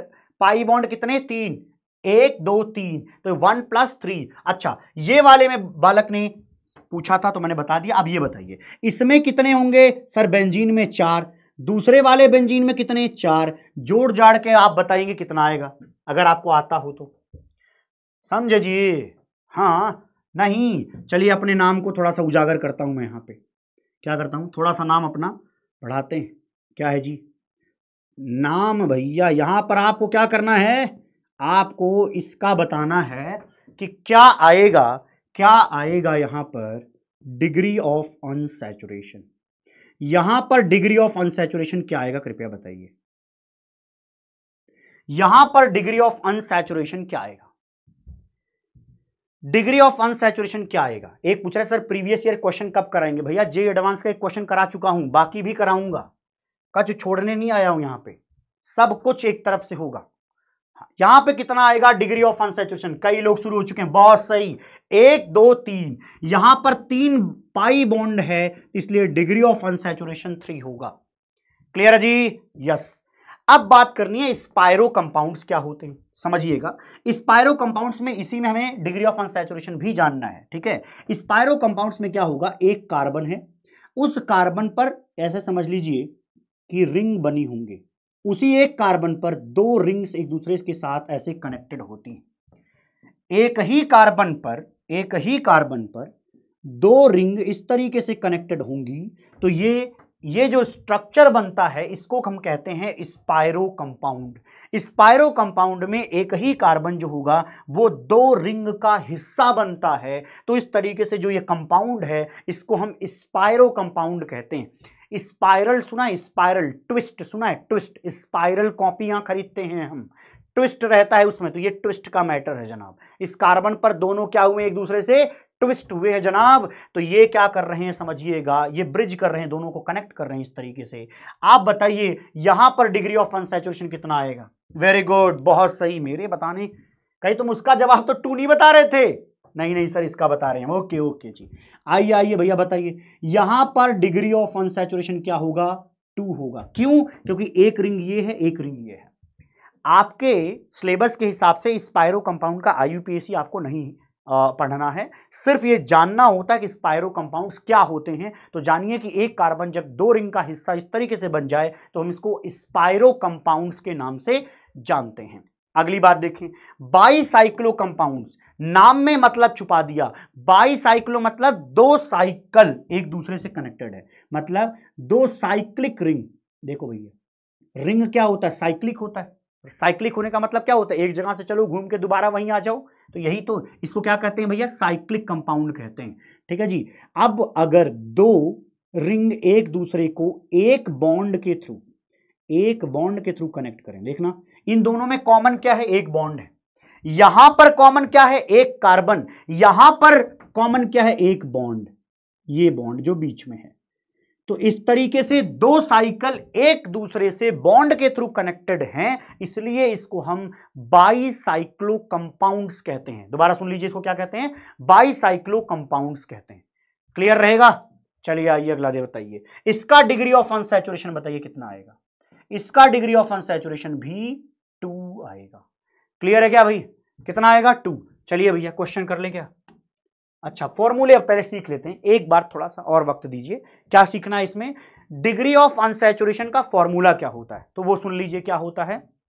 Number of carbon NC का मतलब है number of carbon plus one minus number of hydrogen NH का मतलब number of hydrogen N X अब ये बता देता हूँ एक्स क्या होता है। एक्स होता है भैया जैसे हाइड्रोजन है fluorine chlorine bromine iodine fluorine, chlorine, bromine, iodine minus number of nitrogen divide by two. ये फॉर्मूला है। आपको दिया जाएगा मॉलिकुलर फॉर्मूला। मॉलिकुलर फॉर्मूले से पता चल जाएगा कितना कार्बन प्रेजेंट है और कितना हाइड्रोजन प्रेजेंट है, कितना हेलोजन प्रेजेंट है, कितना नाइट्रोजन प्रेजेंट है। इस फॉर्मूले में रख देना। काम एकदम धड़ल्ले से बन जाएगा। कोई दुख तकलीफ़ समस्या नहीं आने वाली है। आइए यहाँ पर लिखते हैं। चलिए बताइए, अब ये फॉर्मूला अप्लाई करके आपको इनका स्ट्रक्चर बनाना है। अभी तक मैंने आपको स्ट्रक्चर देख करके क्या देखना बताया? डिग्री ऑफ़ अनसेचुरेशन अब आपको मॉलिकुलर फॉर्मूले को देखकर स्ट्रक्चर बनवाना है with the help of degree of unsaturation याद हो जाएगा, यही याद करा देंगे भैया। ये फॉर्मूला यही याद हो जाएगा। अरे, चिंता मत लो, ये देखने में भारी लग रहा है। सुनो रे बालक, क्या है? यहाँ पर बताओ क्या होगा? डिग्री ऑफ़ अनसेचुरेशन का फॉर्मूला नंबर ऑफ़ कार्बन कितने? छह कार्बन छह कार्बन में एक जोड़ दीजिए, कितना हो जाएगा जी? सात। तो number of carbon plus one minus number of hydrogen कितने हैं जी? नंबर ऑफ़ हाइड्रोजन कितने हैं? अरे बोलो भाई नंबर ऑफ़ हाइड्रोजन कितने हैं जी? देखो देखो, छह। ऑक्सीजन के लिए कुछ भी नहीं लिखा गया तो ऑक्सीजन यहाँ लिखना ही नहीं है। लिखने नहीं है डिवाइड बाई टू इसीलिए कह रहा हूँ, देखने में भारी लग रहा है, लेकिन है बड़ा आसान। क्योंकि चाहे ऑक्सीजन आता है, चाहे नाइट्रोजन आता है, चाहे क्लोरीन आता है, सब मिला के भी आया तो बी आसान ही है। बताइए कितना आएगा? Seven minus three is equal to four क्या आएगा जी? फोर बोलो भैया, यहाँ पर डिग्री ऑफ़ अनसेचुरेशन फोर आया और मैंने क्या बोला था? और जब डिग्री ऑफ़ अनसेचुरेशन फोर मिल जाए और इस तरीके से देखो सी सिक्स एच सिक्स जैसी चीज़ मिले तो आप तुरंत बेंजीन का प्रोडिक्शन कर सकते हैं। आप ये कह सकते हैं कि निश्चित रूप से वहाँ पर बेंजीन बन रहा होगा और वहाँ पर ओ और एच इस तरीके से लगे होंगे। देखो, ये देखो भाई, समझ में आया क्या? अरे बोलो रे बालक, बोलो रे बालक, भैया, समझ में आया क्या? बेंजीन की खोपड़ी पर क्या लगा हुआ है? ओ OH लगा हुआ है। कैसे पता चला? हमें पता चला कि जो छह कार्बन और छह हाइड्रोजन है, ये कुछ इस तरीके से लगे होंगे। हाइड्रोजन भी देखना है क्या? हर कार्बन पर एक एक हाइड्रोजन भी है। जोड़ करके देखें तो फॉर्मूला आपको यह मिलेगा। समझ में आया? समझ में आया जी? बेंजीन पर क्या लगाना है? ओ OH इस तरीके से लगाना है। फिनॉल कहते हैं, आगे चल के आप देखेंगे। बीएमडब्ल्यू की पार्टी। अरे, अभी तो पढ़ लो बालक। बीएमडब्ल्यू की पार्टी ऐसे कैसे करेंगे? आप सेलेक्ट होइए रिज़ल्ट के दिन मुलाकात करिए, मैं आपका ड्राइवर बनने को तैयार हूँ। लेकिन अगर ये बात भी मोटिवेट नहीं करती तो मैं कुछ नहीं कर सकता। फ़िलहाल पढ़ लीजिए, उस पर ध्यान दीजिए, ठीक है? क्योंकि बाद में जो बच्चे इसको रिकॉर्डेड फॉर्मेट में देखें, उनको लगना चाहिए कि हाँ क्वालिटी का कॉन्टेंट डिलीवर हुआ था इस पर्टिकुलर टाइम फ्रेम में। तो हे नालायक प्राणियों, कृपया पढ़ने पर ध्यान दें। चलिए, अगला बताइए। यहाँ बताइए, चलिए वेट करता हूँ मैं आपका। चलो बताओ। ये बताओ भैया C six H five C L इसका डिग्री ऑफ़ अनसेचुरेशन कितना आएगा? इसका डिग्री ऑफ़ अनसेचुरेशन कितना आएगा? आप कहेंगे छह तो छह तो कार्बन है। छह कार्बन तो भैया छह कार्बन हो गए प्लस वन अच्छा माइनस फॉर्मूले में आगे क्या लिखा है वो सुनो। कह रहे हैं कि नंबर ऑफ़ हाइड्रोजन कितने हैं जी? नंबर ऑफ़ हाइड्रोजन है पाँच। क्लोरीन क्या होता है? हेलोजन तो उसको क्या करना जोड़ना है। तो एक डिवाइड बाई क्या करना है? टू डिग्री ऑफ़ अनसेचुरेशन यहाँ से क्या निकल के आएगा? यहाँ से भी फोर निकल के आएगा। किसी ने नालायक ने थ्री जवाब दिया है। अरे भैया, क्या कर रहे हो तुम? तुम्हारा नहीं बैठाएँगे हम अपने में बी एमडब्ल्यू में। तुम काम की बात तो कर नहीं रहे हो। जो काम की बात है वो करो। कहो कि भैया, यहाँ पे जवाब डिग्री ऑफ़ अनसेचुरेशन फोर आया तो आप बेंजीन बना दीजिए। क्या करिए? बेंजीन बना दीजिए। समझे, उस पर क्या करना पड़ेगा? क्लोरीन लगा दीजिए। बाकी हर कार्बन पर एक एक हाइड्रोजन लगा हुआ है। चलिए अगला देखते हैं। C3H7N चलो बताओ, इसका डिग्री ऑफ़ अनसेचुरेशन निकाल के बताओ। Degree of unsaturation is equal to क्या होता है बालक? Number of carbon plus one carbon कितना? तीन। तो three plus one four minus number of hydrogen कितने भैया? सात। सात हाइड्रोजन है, लेकिन नाइट्रोजन का नंबर कितना? एक। तो माइनस नाइट्रोजन रहता है तो सेवन माइनस वन। अरे बोल देना भैया, seven minus one divide by two. कितना आएगा जी? अरे भैया, ये तो दिख रहा है कि थ्री आएगा, ये फोर। जोड़ना घटाना नहीं सीखा, क्या कर रही अरे जोड़ना घटाना नहीं सीखा, क्या कर रही अभी कुछ तो समझ में आया होगा कि यहाँ पर डिग्री ऑफ़ अनसेचुरेशन कितना आया? वन आएगा जनाब, वन। क्लियर है? चलिए अगली चीज़ बताइए। क्यूब में बताना है। अच्छा जी, क्यूब क्या होता है सर? क्यूब यहाँ बना के देख लीजिए। क्यूब को आप ऐसे समझिए कि हर कॉर्नर जो है कार्बन है। हर कॉर्नर कार्बन है और जो भी वैलेंसी बच रही है उसको हाइड्रोजन सेटिस्फाई करेगा। उसको हाइड्रोजन सेटिस्फाई करेगा। इसमें बताइए, क्यूब में बताइए। क्यूबेन बोलते हैं इसको, क्यूबेन बोलते हैं। फ़िलहाल आपको यह बताना है बालक कि यहाँ पर कितना आएगा। यहाँ पर आप सिर्फ़ और सिर्फ़ फॉर्मूले के भरोसे रहिए, ठीक है? कार्बन बताइए कितने हैं यहाँ पर? सर, एक रूम को ही तो क्यूब कहते हैं। रूम में कितने कॉर्नर हैं? सर, आठ ही तो होते हैं। तो इसका मतलब आठ तो कार्बन लगेंगे। हाइड्रोजन कितने होंगे?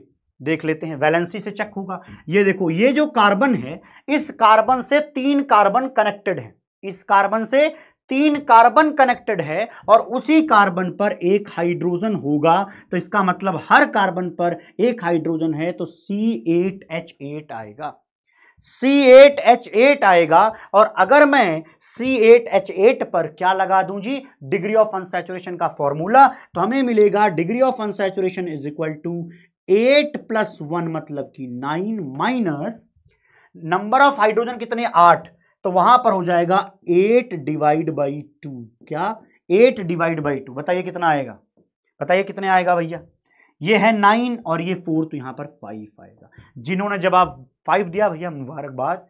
आप निश्चित रूप से सही चल रहे हैं। एकदम सही है। मामला क्लियर है?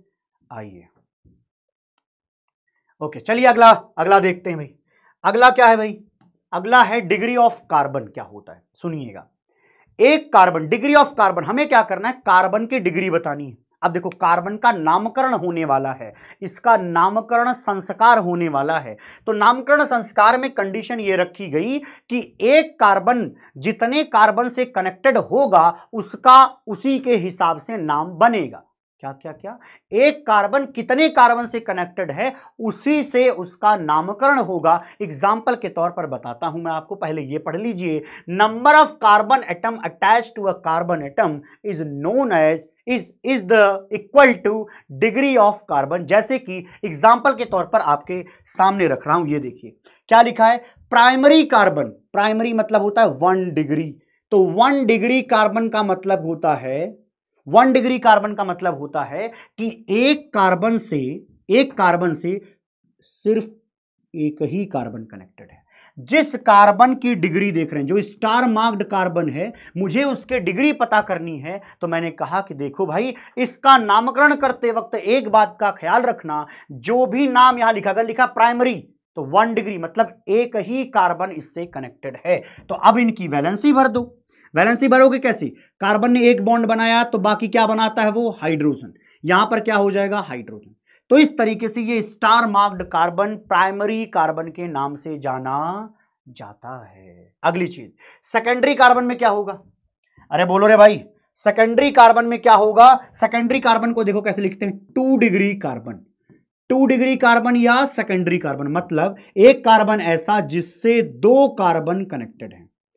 एक कार्बन ऐसा जिससे दो कार्बन कनेक्टेड हैं, उसको हम सेकेंडरी कार्बन कहते हैं। तो ये जो स्टार मार्क्ड कार्बन है, वो सेकेंडरी कार्बन कहलाएगा। बाकियों की वैलेंसी भर देता हूँ। यहाँ पर मैं लिख दूँगा सी एच थ्री यहाँ पर सी एच थ्री और यहाँ पर क्या लिख देता हूँ? सी एच टू है ना जी? ओके तो ये स्टार मार्क्ड कार्बन क्या है? सेकेंडरी कार्बन है। सिमिलरली टॉर्सरी कार्बन का मतलब होता है थ्री डिग्री कार्बन अब बताइए क्या कंडीशन कही गई है कि एक कार्बन जिससे तीन कार्बन कनेक्टेड है। एक कार्बन जिससे तीन कार्बन कनेक्टेड है तो एक क्या होगा? निश्चित रूप से यहाँ पर हाइड्रोजन होगा। तो जो ये स्टार मार्क्ड कार्बन है, इसको हम क्या कहते हैं? टर्सरी कार्बन कहते हैं। क्लियर है क्या? अरे बोलो रे!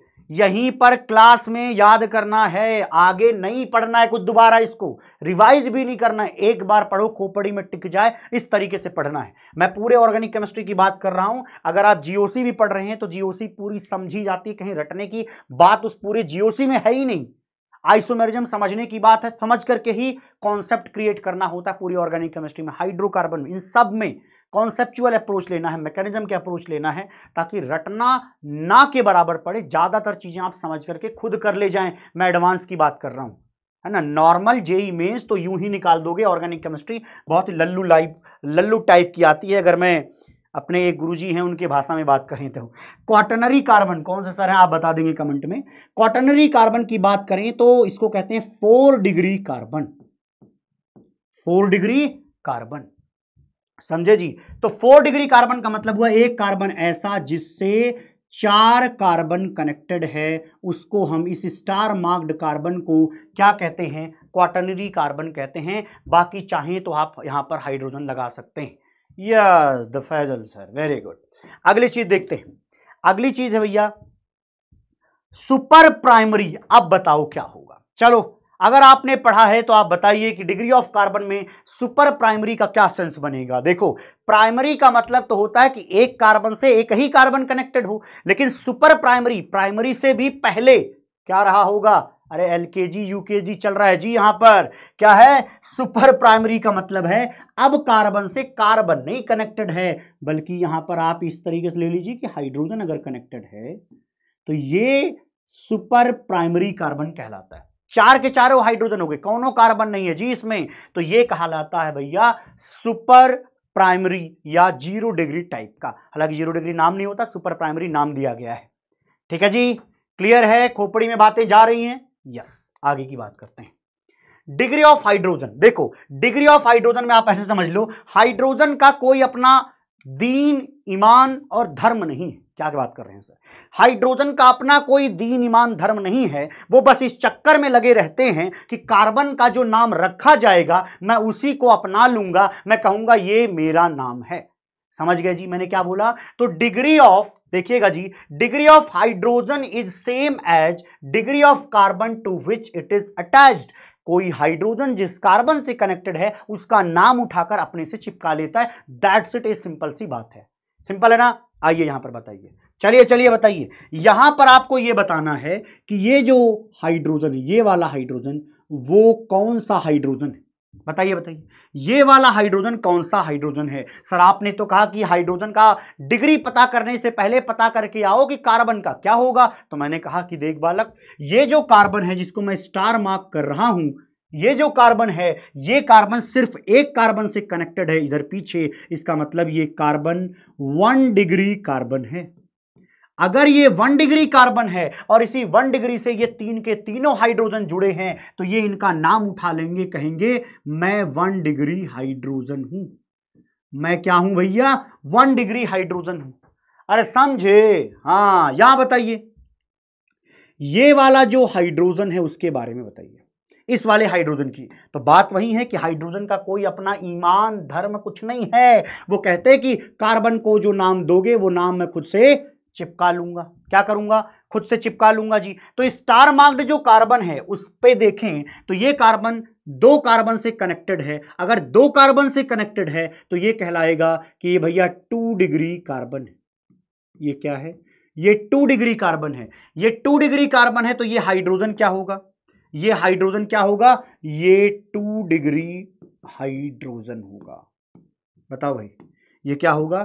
टू डिग्री हाइड्रोजन होगा। ये क्या होगा भैया? ये टू डिग्री हाइड्रोजन होगा। क्लियर है जी? आइए अगला बताइए। चलिए, ये क्वेश्चन आप बताइए कि यहाँ पर जो ये वाला हाइड्रोजन है, उसकी डिग्री क्या होगी? मैं वेट कर रहा हूँ, आप बताइए। बताइए भैया, यहाँ पर क्या होगा? ये जो हाइड्रोजन है, उसकी डिग्री क्या होगी? सब लोग सब लोग सब लोग। अरे बोलो रे बालक, ये जो हाइड्रोजन है, उस पर क्या बोलेंगे आप? आप कहेंगे, देखो भैया, ये जो कार्बन है, ये जो कार्बन है, वो कार्बन तीन कार्बन से कनेक्टेड है। ये जो कार्बन है, वो तीन कार्बन से कनेक्टेड है। तो ये हाइड्रोजन जिस, उसी के नंबर पे क्या कहलाएगा? थ्री डिग्री हाइड्रोजन कहलाएगा। तो ये थ्री डिग्री हाइड्रोजन है। क्यों? क्योंकि वो थ्री डिग्री कार्बन से कनेक्टेड है। सिंपल बात है। अगली बात करते हैं। अगली बातचीत है डिग्री ऑफ़ एल्कोहल पर। जैसी कहानी हाइड्रोजन की, वैसी कहानी इन लोगों की। आपको सिर्फ़ डिग्री ऑफ़ कार्बन निकालना आ जाए तो बाकी बड़ा आसान होता। है अच्छा एल्कोहल जानते हो क्या? एल्कोहल एक फंक्शनल ग्रुप है जिसको हम ओ एच आगे मैं वो भी बताऊँगा क्या होता है। फ़िलहाल जान लीजिए कि एल्कोहल को हम ओ एच से लिख करके रिप्रेजेंट करते हैं। चलिए यहाँ पर बताइए। यहाँ पर जो ये ओ एच है, ये कौन सा एल्कोहल है? One degree two degree three degree primary secondary tertiary ये कौन सा एल्कोहल है? तो आप कहेंगे कि ये जो ओ एच है ये जो ओ एच है ये जुड़ा हुआ है इस वन डिग्री इस वन डिग्री कार्बन से। अगर ये वन डिग्री कार्बन से कनेक्टेड है अगर ये वन डिग्री कार्बन से कनेक्टेड है ओ OH, तो ये एल्कोहल होगा वन डिग्री एल्कोहल या हम इसको कहते हैं प्राइमरी एल्कोहल इसको हम क्या कहते हैं जनाब? Primary alcohol very very good बहुत शानदार। अगली चीज़ बताइए। चलिए। ये वाला ओ OH बताइए। कहाँ जुड़ा हुआ है? किस कार्बन से जुड़ा है? इनका आप एक बार कृपया डिग्री बता दें। चलिए चलिए बताइए। ये जो ओ OH है, वो इस स्टार मार्क्ड कार्बन से कनेक्टेड है। ये होगा two degree alcohol two degree alcohol कृपया ध्यान दें। तो ये हो जाएगा टू डिग्री एल्कोहल समझ में आया क्या? बोलो बालक बोलो बालक, समझ में आया क्या? टू डिग्री एल्कोहल क्यों? क्योंकि ये कार्बन खुद कैसा था? दो कार्बन से कनेक्टेड तो खुद था। टू डिग्री कार्बन इसलिए टू डिग्री एल्कोहल यहाँ पर बताइए, ये क्या कहलाएगा? आप कहेंगे ये ओ OH जो है, जिस स्टार मार्क्ड कार्बन से जुड़ा है, वो थ्री डिग्री कार्बन है। इसीलिए ये जो है थ्री डिग्री एल्कोहल बोला जाएगा। इसको क्या बोलेंगे? थ्री डिग्री एल्कोहल बोला जाएगा। बात समझ में आई? यस अगली बातचीत करते हैं डिग्री ऑफ़ एमाइन पर। डिग्री ऑफ़ एमाइन की दुनिया थोड़ी अलग है। एमाइन जो भी जनरेट होते हैं, वो सारे जो हैं अमोनिया नाम की स्पीसीज से डेवलप होते हैं, बनाए जाते हैं। तो उसी हिसाब से इनका नामकरण होगा और उसी हिसाब से इनकी डिग्रीज आती हैं। ठीक है? देखते हैं। तो number of carbon attach to nitrogen अब की बार कहानी दूसरी है। अब की बार क्या कहा जा रहा है एमाइन में? देखो एमाइन में क्या होता है? नाइट्रोजन अवेलेबल होता है। उस नाइट्रोजन से कितने कार्बन कनेक्टेड हैं उसको गिन लीजिए, वो डिग्री ऑफ़ एमाइन बोला जाता है। समझाता हूँ। एग्ज़ाम्पल में पहला जो चीज़ आती है दैट इज़ अमोनिया इसको क्या बोलते हैं जी? ये है अमोनिया बस इसका नाम जान लीजिए एक बार, ये क्या है? अमोनिया अमोनिया से ही सारे एमाइन डराइव किए जाते हैं, बनाए जाते हैं।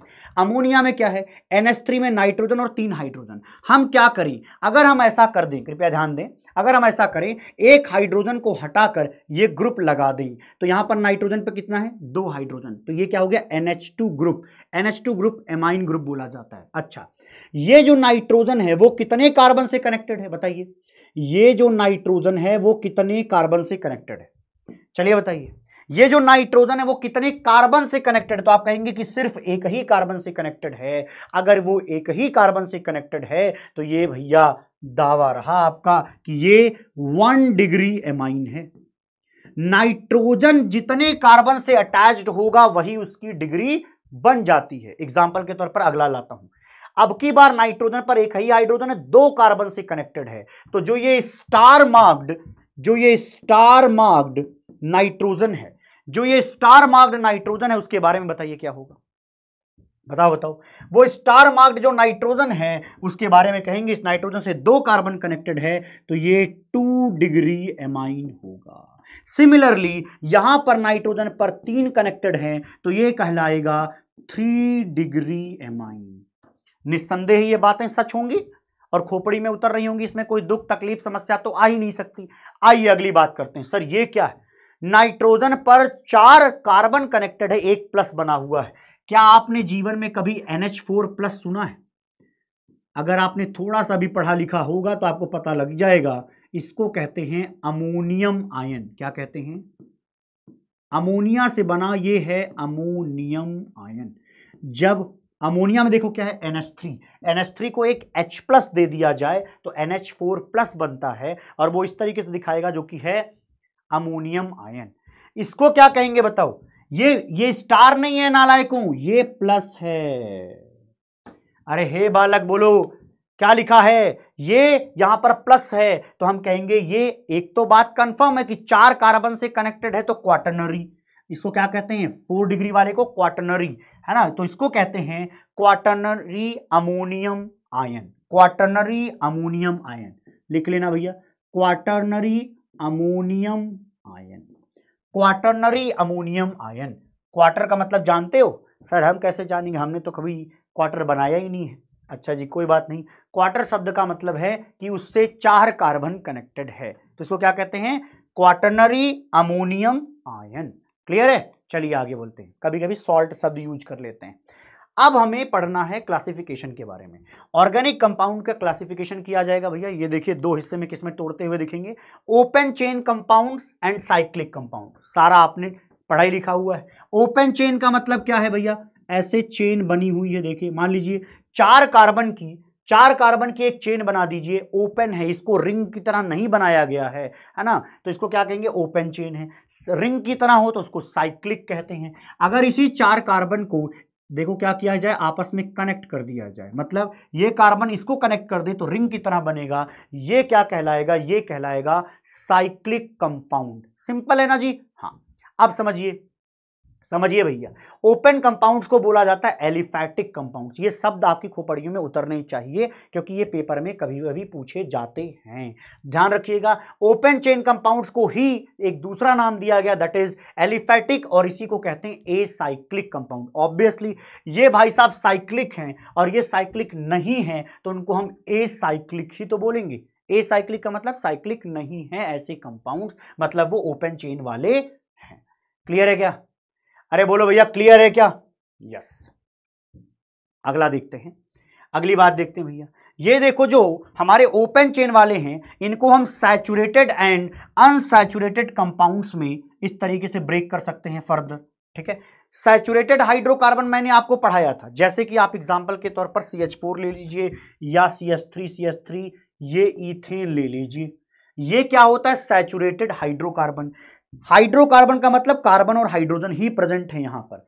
अनसेचुरेटेड का मतलब हो गया कि C H two double bond C H two double bond या क्या प्रेजेंट हो गया जी? ट्रिपल बॉन्ड और यहाँ पर है क्या? कार्बन और हाइड्रोजन तो ये कहलाते हैं अनसैचुरेटेड हाइड्रोकार्बन, क्योंकि यहाँ पर क्या है? कार्बन और हाइड्रोजन है। अगली चीज़ देखिएगा।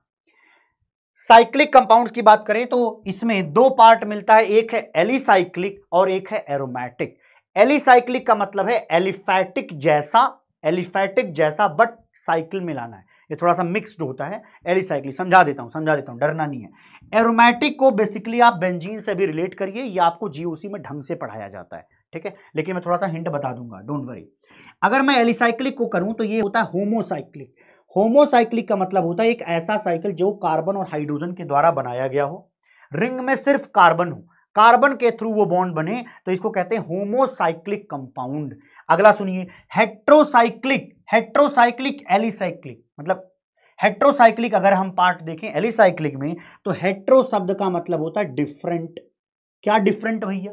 कार्बन से अलग। कार्बन से अलग क्या क्या हो सकता है रिंग में? ऑक्सीजन हो सकता है, नाइट्रोजन हो सकता है, सल्फ़र हो सकता है। ठीक है? ये लोग अगर रिंग में प्रेजेंट होंगे तो उनको नाम दिया जाता है हेट्रोसाइक्लिक कंपाउंड। दोबारा सुनते हैं। दोबारा सुनो रे भाई, मैंने क्या बोला? अगर मैं यहाँ ऑक्सीजन लगा दूँ ऐसे, देखो, मैंने यहाँ जो कार्बन हाइड्रोजन थे उसको हटाकर ऑक्सीजन लगा दिए तो ये हेट्रोसाइक्लिक है। क्या बोला जा रहा है? अगर कार्बन प्रेजेंट है रिंग में, रिंग के थ्रू, रिंग जो है कार्बन के थ्रू बना है तो होमोसाइक्लिक है, हेट्रोसाइक्लिक का मतलब होता है, वहाँ पर क्या प्रेजेंट है? ऑक्सीजन, नाइट्रोजन या सल्फ़र प्रेजेंट है। तो इस तरीके की चीज़ों को एलिसाइक्लिक में गिना जाता है। सिंपली ये बात समझ में आ गई? आप समझिए, हम एरोमेटिक को इसी तरीके से दो हिस्से में तोड़ सकते हैं। एक है होमोसाइक्लिक जैसे कि एग्ज़ाम्पल के तौर पर आप बेंजीन ले लीजिए। यहाँ पर सिर्फ़ क्या है, कार्बन हाइड्रोजन से मिला हुआ है। अभी फ़िलहाल ये जान लीजिए कि बेंजीन एरोमेटिक है, आगे समझाऊँगा जीओसी पढ़ाते वक्त कि ये क्या है, क्यों जो है ये एरोमेटिक और ये क्यों स्टेबल होता है, इन सारी बातों को। ठीक है जी? ओके, आगे देख लेते हैं एक चीज़ है दैट इज़ हेट्रोसाइक्लिक जैसे यहाँ पर हेट्रोसाइक्लिक होता है, उसी तरीके से एरोमेटिक में हेट्रोसाइक्लिक होता है, और वो देखिए एक कंपाउंड है फ्यूरेन वो मैं आपको बना के यहाँ बता देता हूँ। Double bond double bond oxygen पर प्रेजेंट होते हैं लोन पेयर्स फ़िलहाल एक एग्ज़ाम्पल ले लीजिए, आगे ये समझाया जाएगा। फ़िलहाल बस इतना जानना होता है, ठीक है? थोड़ा सा अंतर जानना है। डिफरेंस क्या है? ये यहाँ पर हेट्रोसाइक्लिक में ऑक्सीजन रहेगा होमोसाइक्लिक में क्या होता है भैया? कार्बन कार्बन रहेगा। क्लियर है? एरोमेटिक कंपाउंड्स आगे समझाया जाता है कि स्टेबल होते हैं, क्यों स्टेबल होते हैं, उसका भी रीजन बताया जाता है। तो वो पार्ट हम बाद में पढ़ेंगे। फ़िलहाल आपको इतना जान करके खाली भर अभी शांति बरतनी है, ठीक है? ये मैं जानबूझ करके बोल रहा हूँ क्योंकि ये क्या है कि सही से एक्सप्लेन कहाँ पर होता है? जब हम आपको जनरल ऑर्गेनिक केमिस्ट्री जीओसी पढ़ाएँगे, उसमें ये सब कुछ एक्सप्लेन होता है रटने वटने ज़रूरत एकदम जीओसी को नहीं पड़ती, कभी भी नहीं। ये क्वेश्चन सॉल्व करिए। जो लोग कह रहे थे, भैया क्वेश्चन चाहिए लो। जेई में 2022 का क्वेश्चन है। करके बताइए। जेई मेंस 2022 का ये क्वेश्चन है, करके बताइए। चलिए। चलिए बताइए भैया, क्या है ये, क्या कहना चाह रहे हैं? वो कहना चाह रहे हैं कि इनमें क्या कराइए, इनका मैचिंग करा दीजिए और इसका जवाब दीजिए भैया। चलिए देखते हैं कितने लोग सक्षम है ये काम करने में। देखो, ये समझ में आ रहा है ये क्या है? ये देखो, ये दो रिंग्स हैं, दो रिंग्स जो है, एक बॉन्ड के थ्रू कनेक्टेड हैं। तो एक रिंग इधर, एक रिंग इधर, एक साइकिल इधर, एक साइकिल इधर। अगर इस तरीके से तो इसको क्या कहेंगे बोलो? इसको क्या कहेंगे? इसको बाई बाईसाइक्लो कंपाउंड्स कहेंगे। लेकिन यहाँ देखो, एक कार्बन से कनेक्टेड है, ये वाला रिंग और ये वाला रिंग तो इसको क्या कहेंगे भैया? इसको हम स्पायरो कंपाउंड्स कहेंगे। इसमें कोई संदेह नहीं है। बोलो भैया, कोई संदेह तो नहीं है? ओके तो फ़िलहाल इसी से काम बन जाता है। लेकिन ये देखो, यहाँ पर अभी देखो, क्या है? यहाँ पर पाई बॉन्ड होते तो एरोमेटिक हो जाता। है ना, ये एरोमेटिक नहीं है। ये है non planar heterocyclic compound non planar ऐसे बोला जाता है जब कार्बन यहाँ पर sp3 हाइब्रिडाइज्ड है। प्लेनर आपने पढ़ा होगा sp2 कार्बन प्लेनर होता है है ना? क्यों? आपने स्ट्रक्चर अगर पढ़ा हो तो आप जानते होंगे कि sp3 हो जाएगा तो वो नॉन प्लेनर हो जाएगा। और यहाँ पर देखिए, ये जो कार्बन है या जितने भी यहाँ कार्बन है, सब पर क्या मौजूद है? हाइड्रोजन्स मौजूद हैं। दो दो हाइड्रोजन मौजूद हैं। इस तरीके से हर कार्बन चार सिंगल बॉन्ड से जुड़ा है तो sp3 है sp3 है तो नॉन प्लेनर होगा टेट्राहेड्रल फ़ैशन में अरेंजमेंट होता है। लेकिन ये देखिए, इसके बारे में मैंने बताया कि जो फ्यूरेन है, वो एरोमेटिक है। इसको रटना नहीं है, ये जीओसी में समझाया जाता है। कृपया इसको रट्टेबाजी में मत लीजिए, बस दो आपको जानना था स्पायरो एंड बाईसाइक्लो बाकी की कोई सरदर्द नहीं लेना है। मैंने मैच करा दिया है, अब इतनी बुद्धि शायद है आप में कि सी लोग जवाब ज़्यादा दे रहे हैं तो शायद वही सही होगा। ठीक है? देख लेते हैं। अगले देखते भैया। हाँ अब आते हैं यहाँ से आई यूपीएससी नॉमन क्लेचर यहाँ से सही तरीके से उनका नॉमन क्लेचर शुरू हो चुका है। अब बढ़िया समझिएगा। जब भी किसी कंपाउंड का नाम लिखा जाता है तो उसके लिए ज़रूरत है भैया वर्ड रूट की। क्या? उसके लिए वर्ड रूट की ज़रूरत होती है। यही मेन चीज़ है जी। वर्ड रूट वर्ड रूट के पीछे जो लोग लगते हैं, उनको हम सफिक्स कहते हैं। क्या कहते हैं? सफिक्स पीछे लगने वाले, नाम के पीछे लिखे जाने वाले सफिक्स कहलाते हैं और वर्ड रूट के पीछे दो सफिक्स होंगे, ठीक है? वर्ड रूट से सटा हुआ पहला जो सफिक्स होगा that is known as primary suffix, और वर्ड रूट से दूसरे नंबर पर जो सफिक्स होगा that is secondary suffix.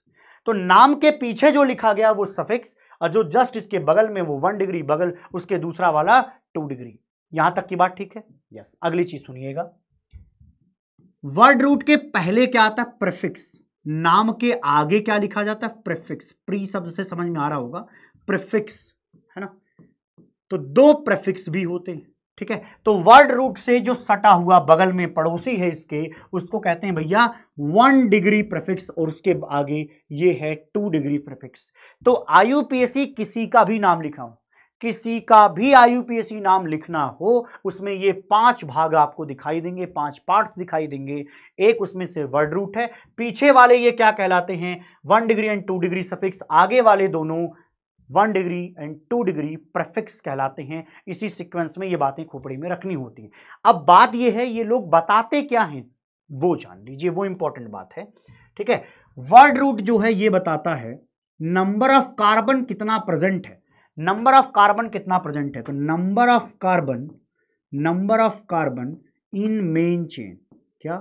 In main chain समझाता हूँ ये क्या होता है मेन चेन आगे और अच्छे से डिस्कस होगा। आप समझिए कि जो कंपाउंड्स होंगे, उन कंपाउंड्स में कुछ कार्बन की मतलब एक उसमें से कार्बन की चेन सेलेक्ट कर ली जाएगी मेन चेन के रूप में और उस मेन चेन में कितने कार्बन होते हैं, वो वर्ड रूट बताता है। क्या बताता है? वो वर्ड रूट बताता है। कैसे बताता है? उन पर आगे चर्चा है, लेकिन अभी जानना है कि ये इस तरीके से है। अच्छा अब बात कर लेते हैं one degree one degree suffix की। अगर हम वन डिग्री सफिक्स की बात करें, इसी के जस्ट पीछे है वन डिग्री सफिक्स ये बताता है कि वो कंपाउंड सैचुरेटेड है सैचुरेटेड है या अनसैचुरेटेड है। वो कंपाउंड सैचुरेटेड है या अनसेचुरेटेड है, इसके बारे में कौन बताता है जी? वन डिग्री सफिक्स बताता है। ये मेरे साथ बोलना पड़ेगा, तब जाके धीरे धीरे याद होगा, ठीक है? इसी के जस्ट पीछे वन डिग्री सफिक्स जो कि क्या बताता है कि कंपाउंड में पाई बॉन्ड है या नहीं है, उसके बारे में बताता है कार्बन कार्बन डबल बॉन्ड है ट्रिपल बॉन्ड है या नहीं है, कौन बताएगा भैया? वन डिग्री सफिक्स अब टू डिग्री जो सफिक्स होता है, वो बारह फंक्शनल ग्रुप होते हैं, उनके बारे में बताता है। तो कुल मिला के क्या लिखना है? प्रिंसिपल फंक्शनल ग्रुप ये सब क्या होते हैं? सब बताया जाएगा। अभी बस आपको एक बार नाम सुनना है, इन सबको एक्सप्लेन किया जाएगा। तो principal quant principal quantum number नहीं प्रिंसिपल फंक्शनल ग्रुप के बारे में टू डिग्री सफिक्स बताता है। ठीक है? अब देखिए भैया। इस नाम के आगे जो लोग लगाए गए, उनको बोला गया कि भैया तुम क्या हो? वन डिग्री प्रफिक्स हो। वन डिग्री प्रफिक्स बताता है कि कंपाउंड जो है साइक्लिक है या ए साइक्लिक है। कंपाउंड जो है साइक्लिक है या कंपाउंड ए साइक्लिक है यह बताता है वन डिग्री प्रफिक्स और टू डिग्री प्रफिक्स बताता है सफ्टिट्वेंट्स के बारे में। मुझे पता है कि अभी आप बहुत अच्छे तरीके से इनको नहीं जानते होंगे कुछ शब्दों को। आगे और अच्छे से समझ जाएँगे। डोंट वरी इन सब का एक्सप्लेनेशन आगे है। लेकिन फ़िलहाल ये बात जाननी है। अरे बोलो भैया। ओम प्रकाश कुमार जी, क्या कह रहे हैं आप? वन कहाँ से जवाब आया समझा नहीं मैं? वन डिग्री प्रफिक्स क्या बताता है? साइक्लिक या ए साइक्लिक के बारे में बताता है। ठीक है? टू डिग्री प्रफिक्स किसके बारे में बताता है? सब्सटीट्यूमेंट के बारे में बताता है। अभी कृपया इसको इसी तरीके से याद करने की कोशिश करिए। चलिए, ठीक है? आगे देखते हैं। आगे इसको और कायदे से, इत्मीनान से, प्यार से सीखेंगे। ठीक है? आइए अगला देखते हैं भैया। वर्ड रूट क्या बताता है? Number of carbon atom present in the main chain ये मैं पहले बता चुका हूँ। आइए लिखकर इसको देख लेते हैं। अगर एक कार्बन प्रेजेंट होगा तो बताओ क्या कहते हैं? चलो चलो, बताओ, तुम्हारा काम आ चुका है। ये काम तुम्हें आता होगा। कब सीखा था? बचपन में नाइन्थ टेंथ में ये सब बातें सीखते हैं। वर्ड रूट क्या लिखते हैं? मैथ टू के टाइम पे क्या लिखते हैं भैया? एथ अगर दो कार्बन है तो एथ लिखेंगे। तीन कार्बन है तो क्या लिखेंगे जी? प्रोप लिखेंगे। अच्छा। फोर के टाइम पे बट नहीं लिखेंगे जी ब्यूट लिखेंगे। ब्यूट ये अब की बार ब्यूट है। अच्छा।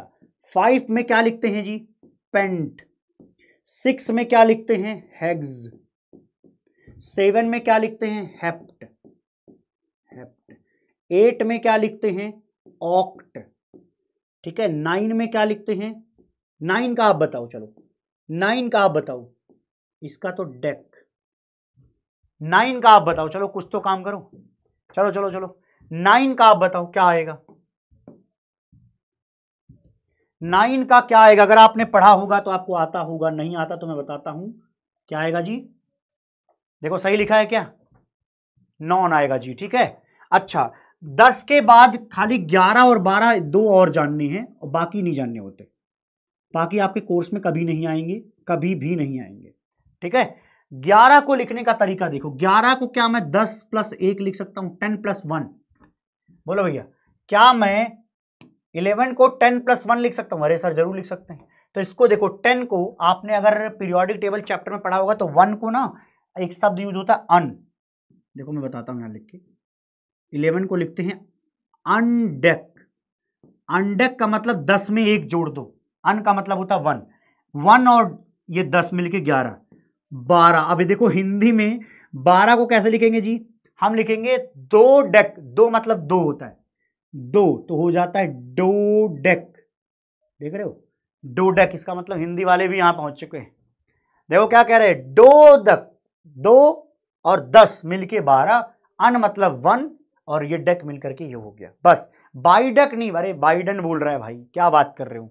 ये कह रहे हैं, भाई साहब, बाइडन होंगे यहाँ पे। नहीं भैया, उनको लाने की यहाँ ज़रूरत नहीं है, ये सिंपल सा यही काम है। अच्छा जी, अब बात करते हैं प्राइमरी सफिक्स के बारे में, प्राइमरी सफिक्स जो नाम के जस्ट पीछे लगता है, वो क्या बताता था? वो बताता था सैचुरेशन है या अनसैचुरेशन है।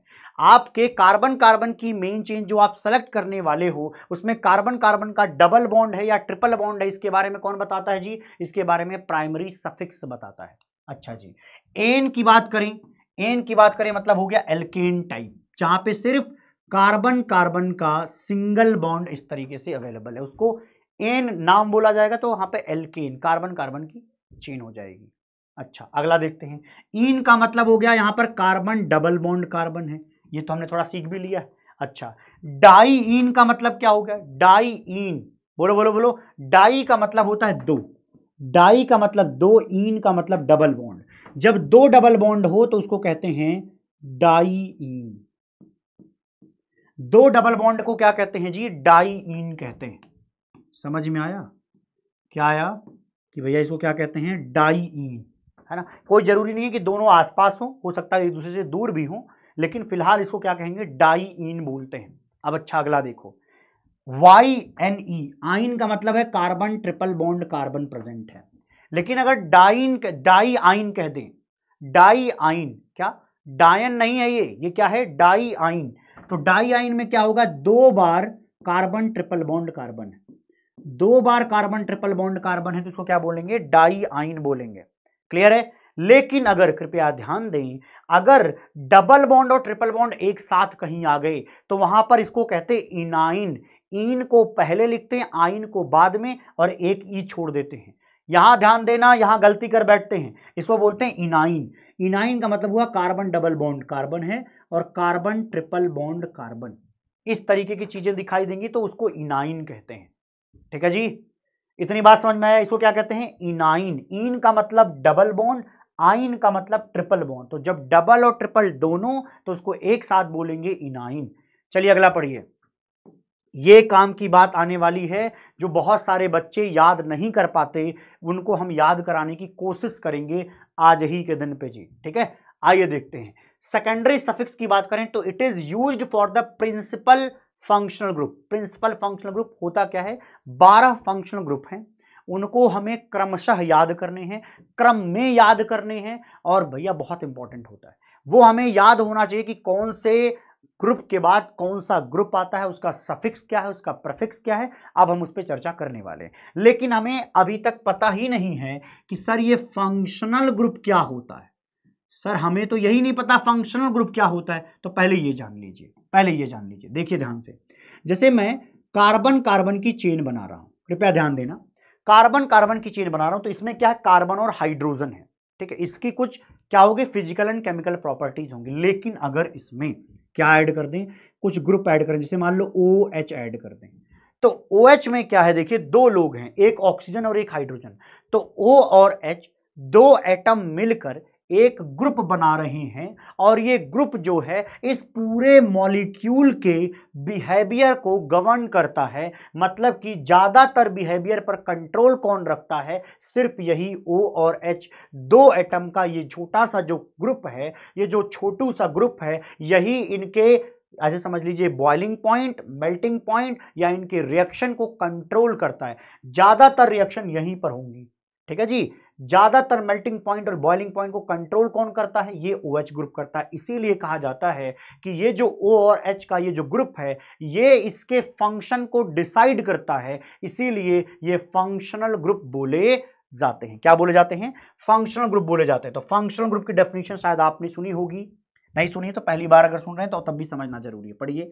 Group of atoms that is responsible for the most of the functions functions का मतलब behaviour most of the behaviour of the molecule उसको हम कहते हैं, क्या कहते हैं भैया? फंक्शनल ग्रुप इसी तरीके से अगर मान लीजिए कि लिख दिया जाए ऐसे सी डबल बॉन्ड ओ और ओ एच ठीक है? इसको तो एल्कोहल कहते हैं, ये बात हमें पता है। इसको हम क्या कहते हैं? एल्कोहल कहते हैं। ये क्या भैया? ये कार्बोक्सलिक एसिड है। तो कार्बोक्सिलिक एसिड का जो ये पार्ट है कार्बोक्सिलिक एसिड का ये पार्ट इसी पर ज़्यादातर रिएक्शन होंगी अगर ये पूरा मॉलिक्यूल रिएक्शन करे। तो इसीलिए कहा जाएगा, इस पूरे मॉलिक्यूल का बिहेवियर यहाँ पर डिपेंड करता है। इसीलिए ये क्या है? ग्रुप ऑफ़ एटम्स जो है, वो फंक्शनल ग्रुप है। आई होप आपकी खोपड़ी में ये बात उतर गई हो। अरे, उतर गई क्या? हाँ अब अगला देखते हैं। नेमिंग ऑफ़ फंक्शनल ग्रुप कितने हैं भैया? बारह फंक्शनल ग्रुप हैं। बारह फंक्शनल ग्रुप को चलिए सीक्वेंस वाइज याद करते हैं। इसको थोड़ा ब्रेक ब्रेक करके देखेंगे तब मज़ा आएगा। ठीक है जी? आइए फंक्शनल ग्रुप में फिर सफिक्स और प्रेफिक्स हमें याद करना होता है। चलिए जी, शुरुआत करते हैं। पहला है, इसको कहते हैं carboxylic acid C double O H क्या कहते हैं?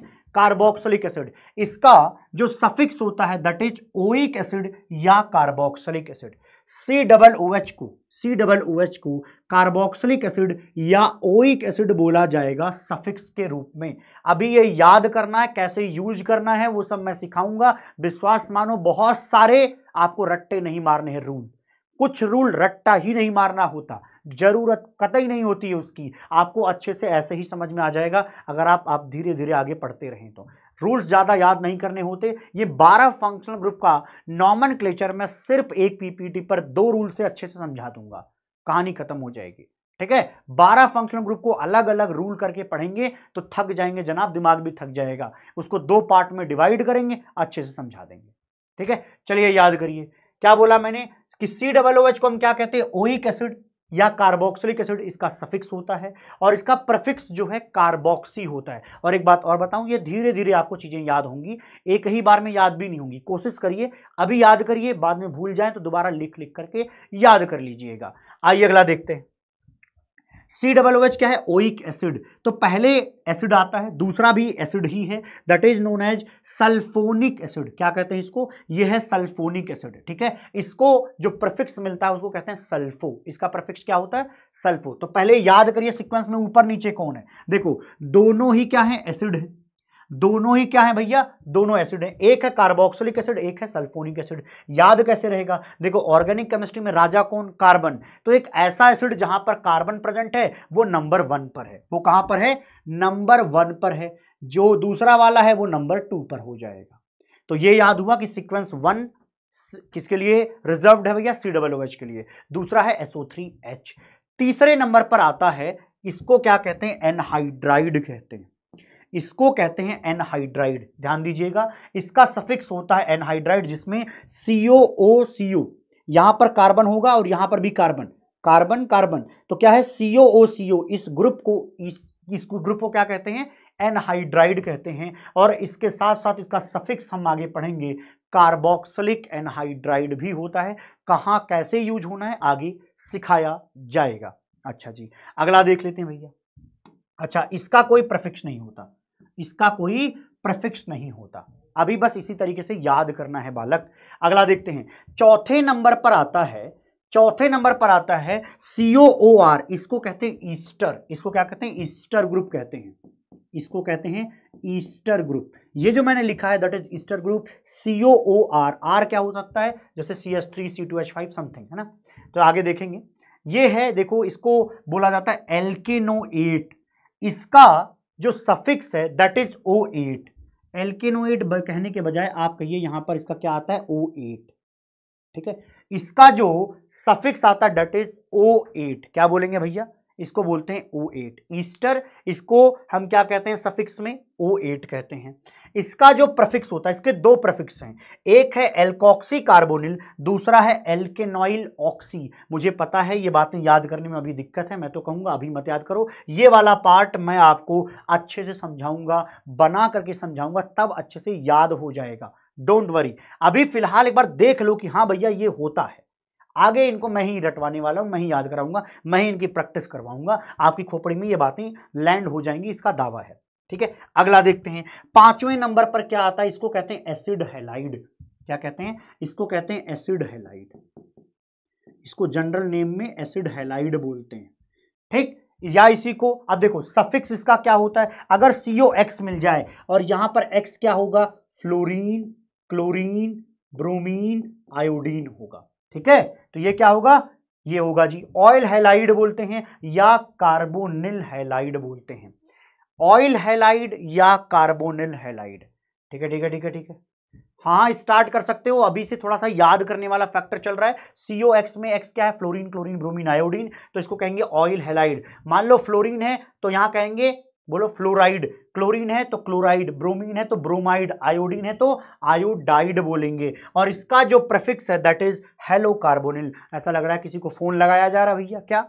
हेलो कार्बोनिल कैसे हैं आप? ठीक है जी? तो ये याद रखना पड़ता है। अब आपको ये सिक्वेंस थोड़ा खोपड़ी में डालता हूँ मैं। देखो, ये है, ये समझो मम्मी और ये समझो पापा। मम्मी, पापा दोनों क्या है? एसिड है, देख लो। मम्मी, पापा और देखो, जो ऊपर हैं, वो मान लो मम्मी का राज चलता है घर में तो ये कार्बन वहाँ है, ठीक है जी? हाँ तो ये है आपके पापा। आप समझो, आपके नहीं जी, ये कार्बन फैमिली के ऑब्वियसली ठीक है जी? यहाँ समझना, इनकी शक्लें देखकर बताओ।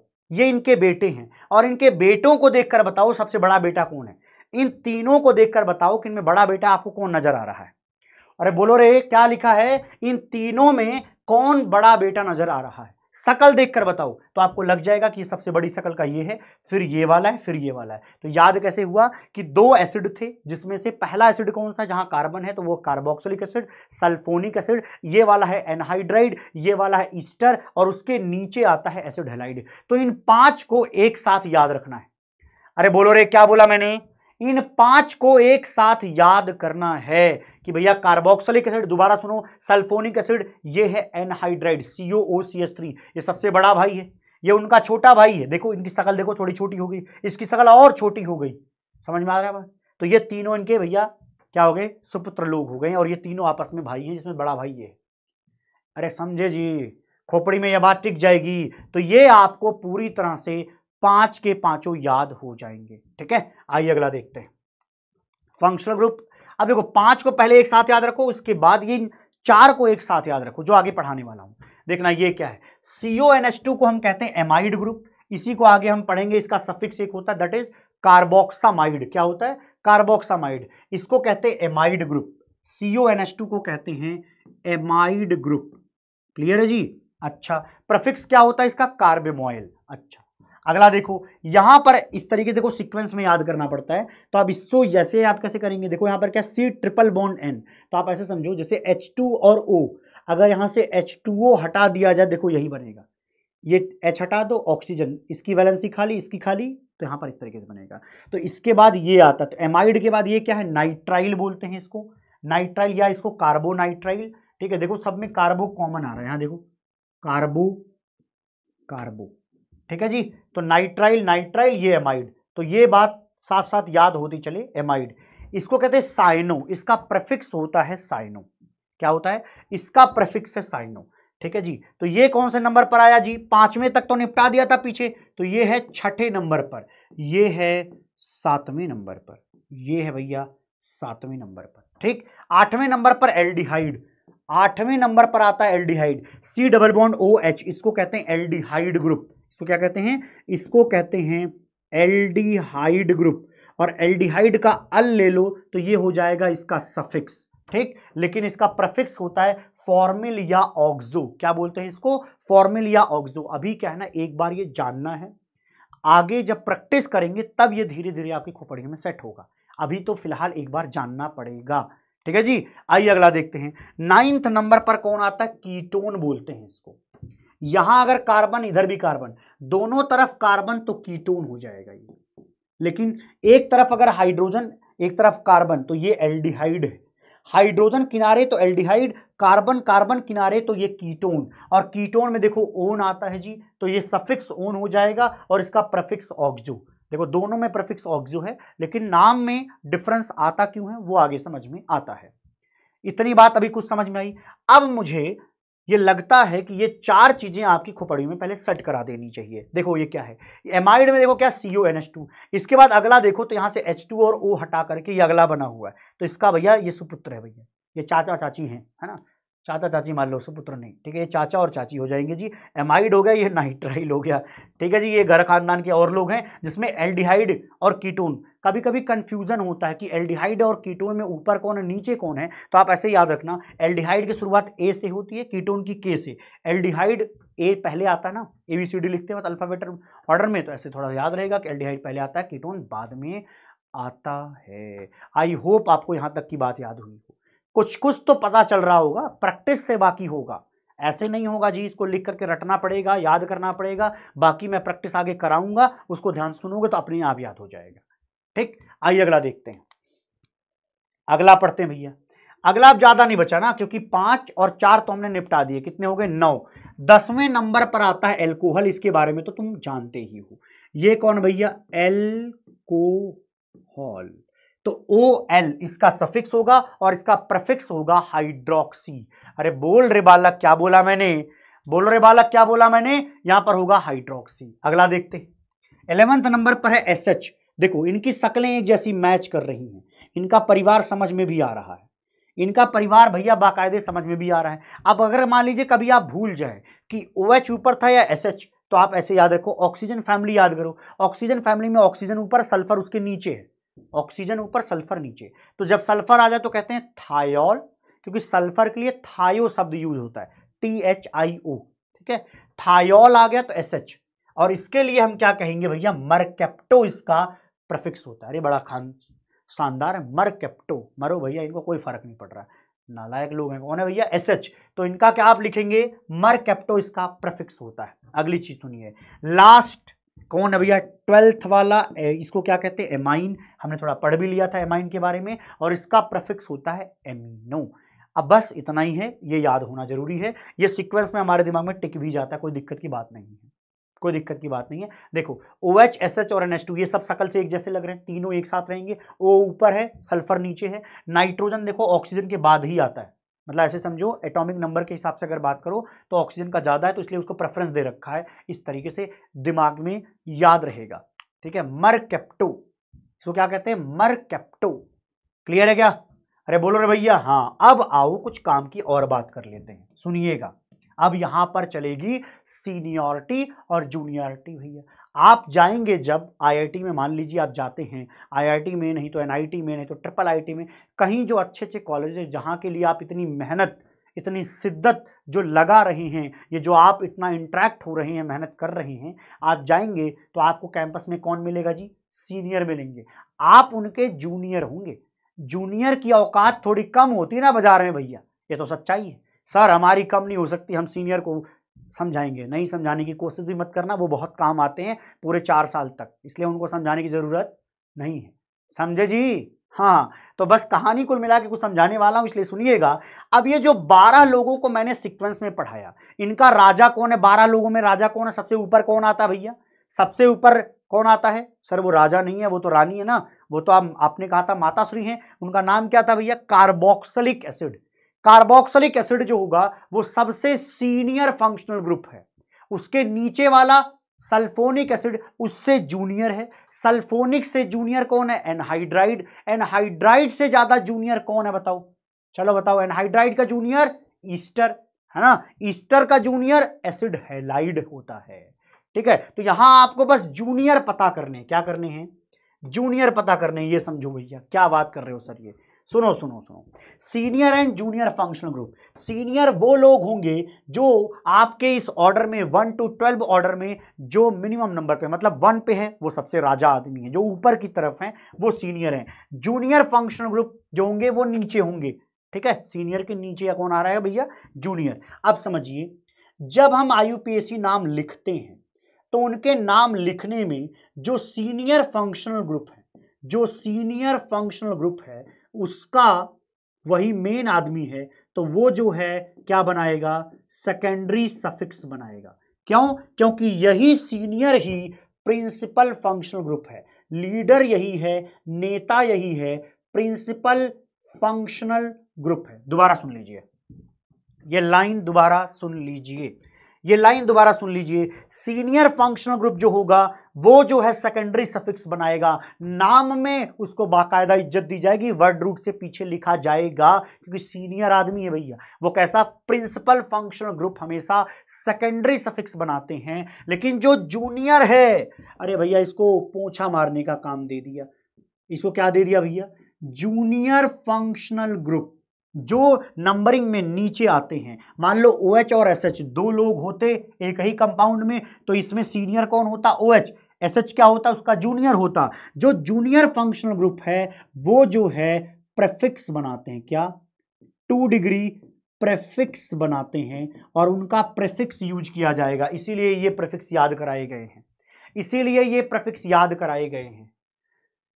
सुन लो भाई, क्या बोला? जूनियर क्या करेगा भैया? नाम के आगे लगेगा, लेकिन सीनियर क्या होगा? नाम के पीछे लगेगा जी। सीनियर आदमी है जी, सीनियर आदमी। ठीक है जी? खोपड़ी में कुछ बात टिकी? अच्छा नहीं टिकी, कोई बात नहीं। ये एग्ज़ाम्पल बताएगा आपको। एग्ज़ाम्पल बताएगा कि ये बात खोपड़ी में टिक ही जाएगी। आइए आइए आइए। सुन रे।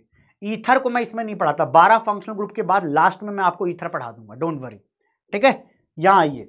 इनमें बताइए इनमें बताइए कि ये कौन भैया ये कौन सा ग्रुप है? चलो ग्रुप पहचान के बताओ। इस ग्रुप का नाम बताइए। कौन बताएगा? इस ग्रुप का नाम क्या है? सीओ ये ग्रुप कौन सा है? ये ओ OH, ये ग्रुप कौन सा है?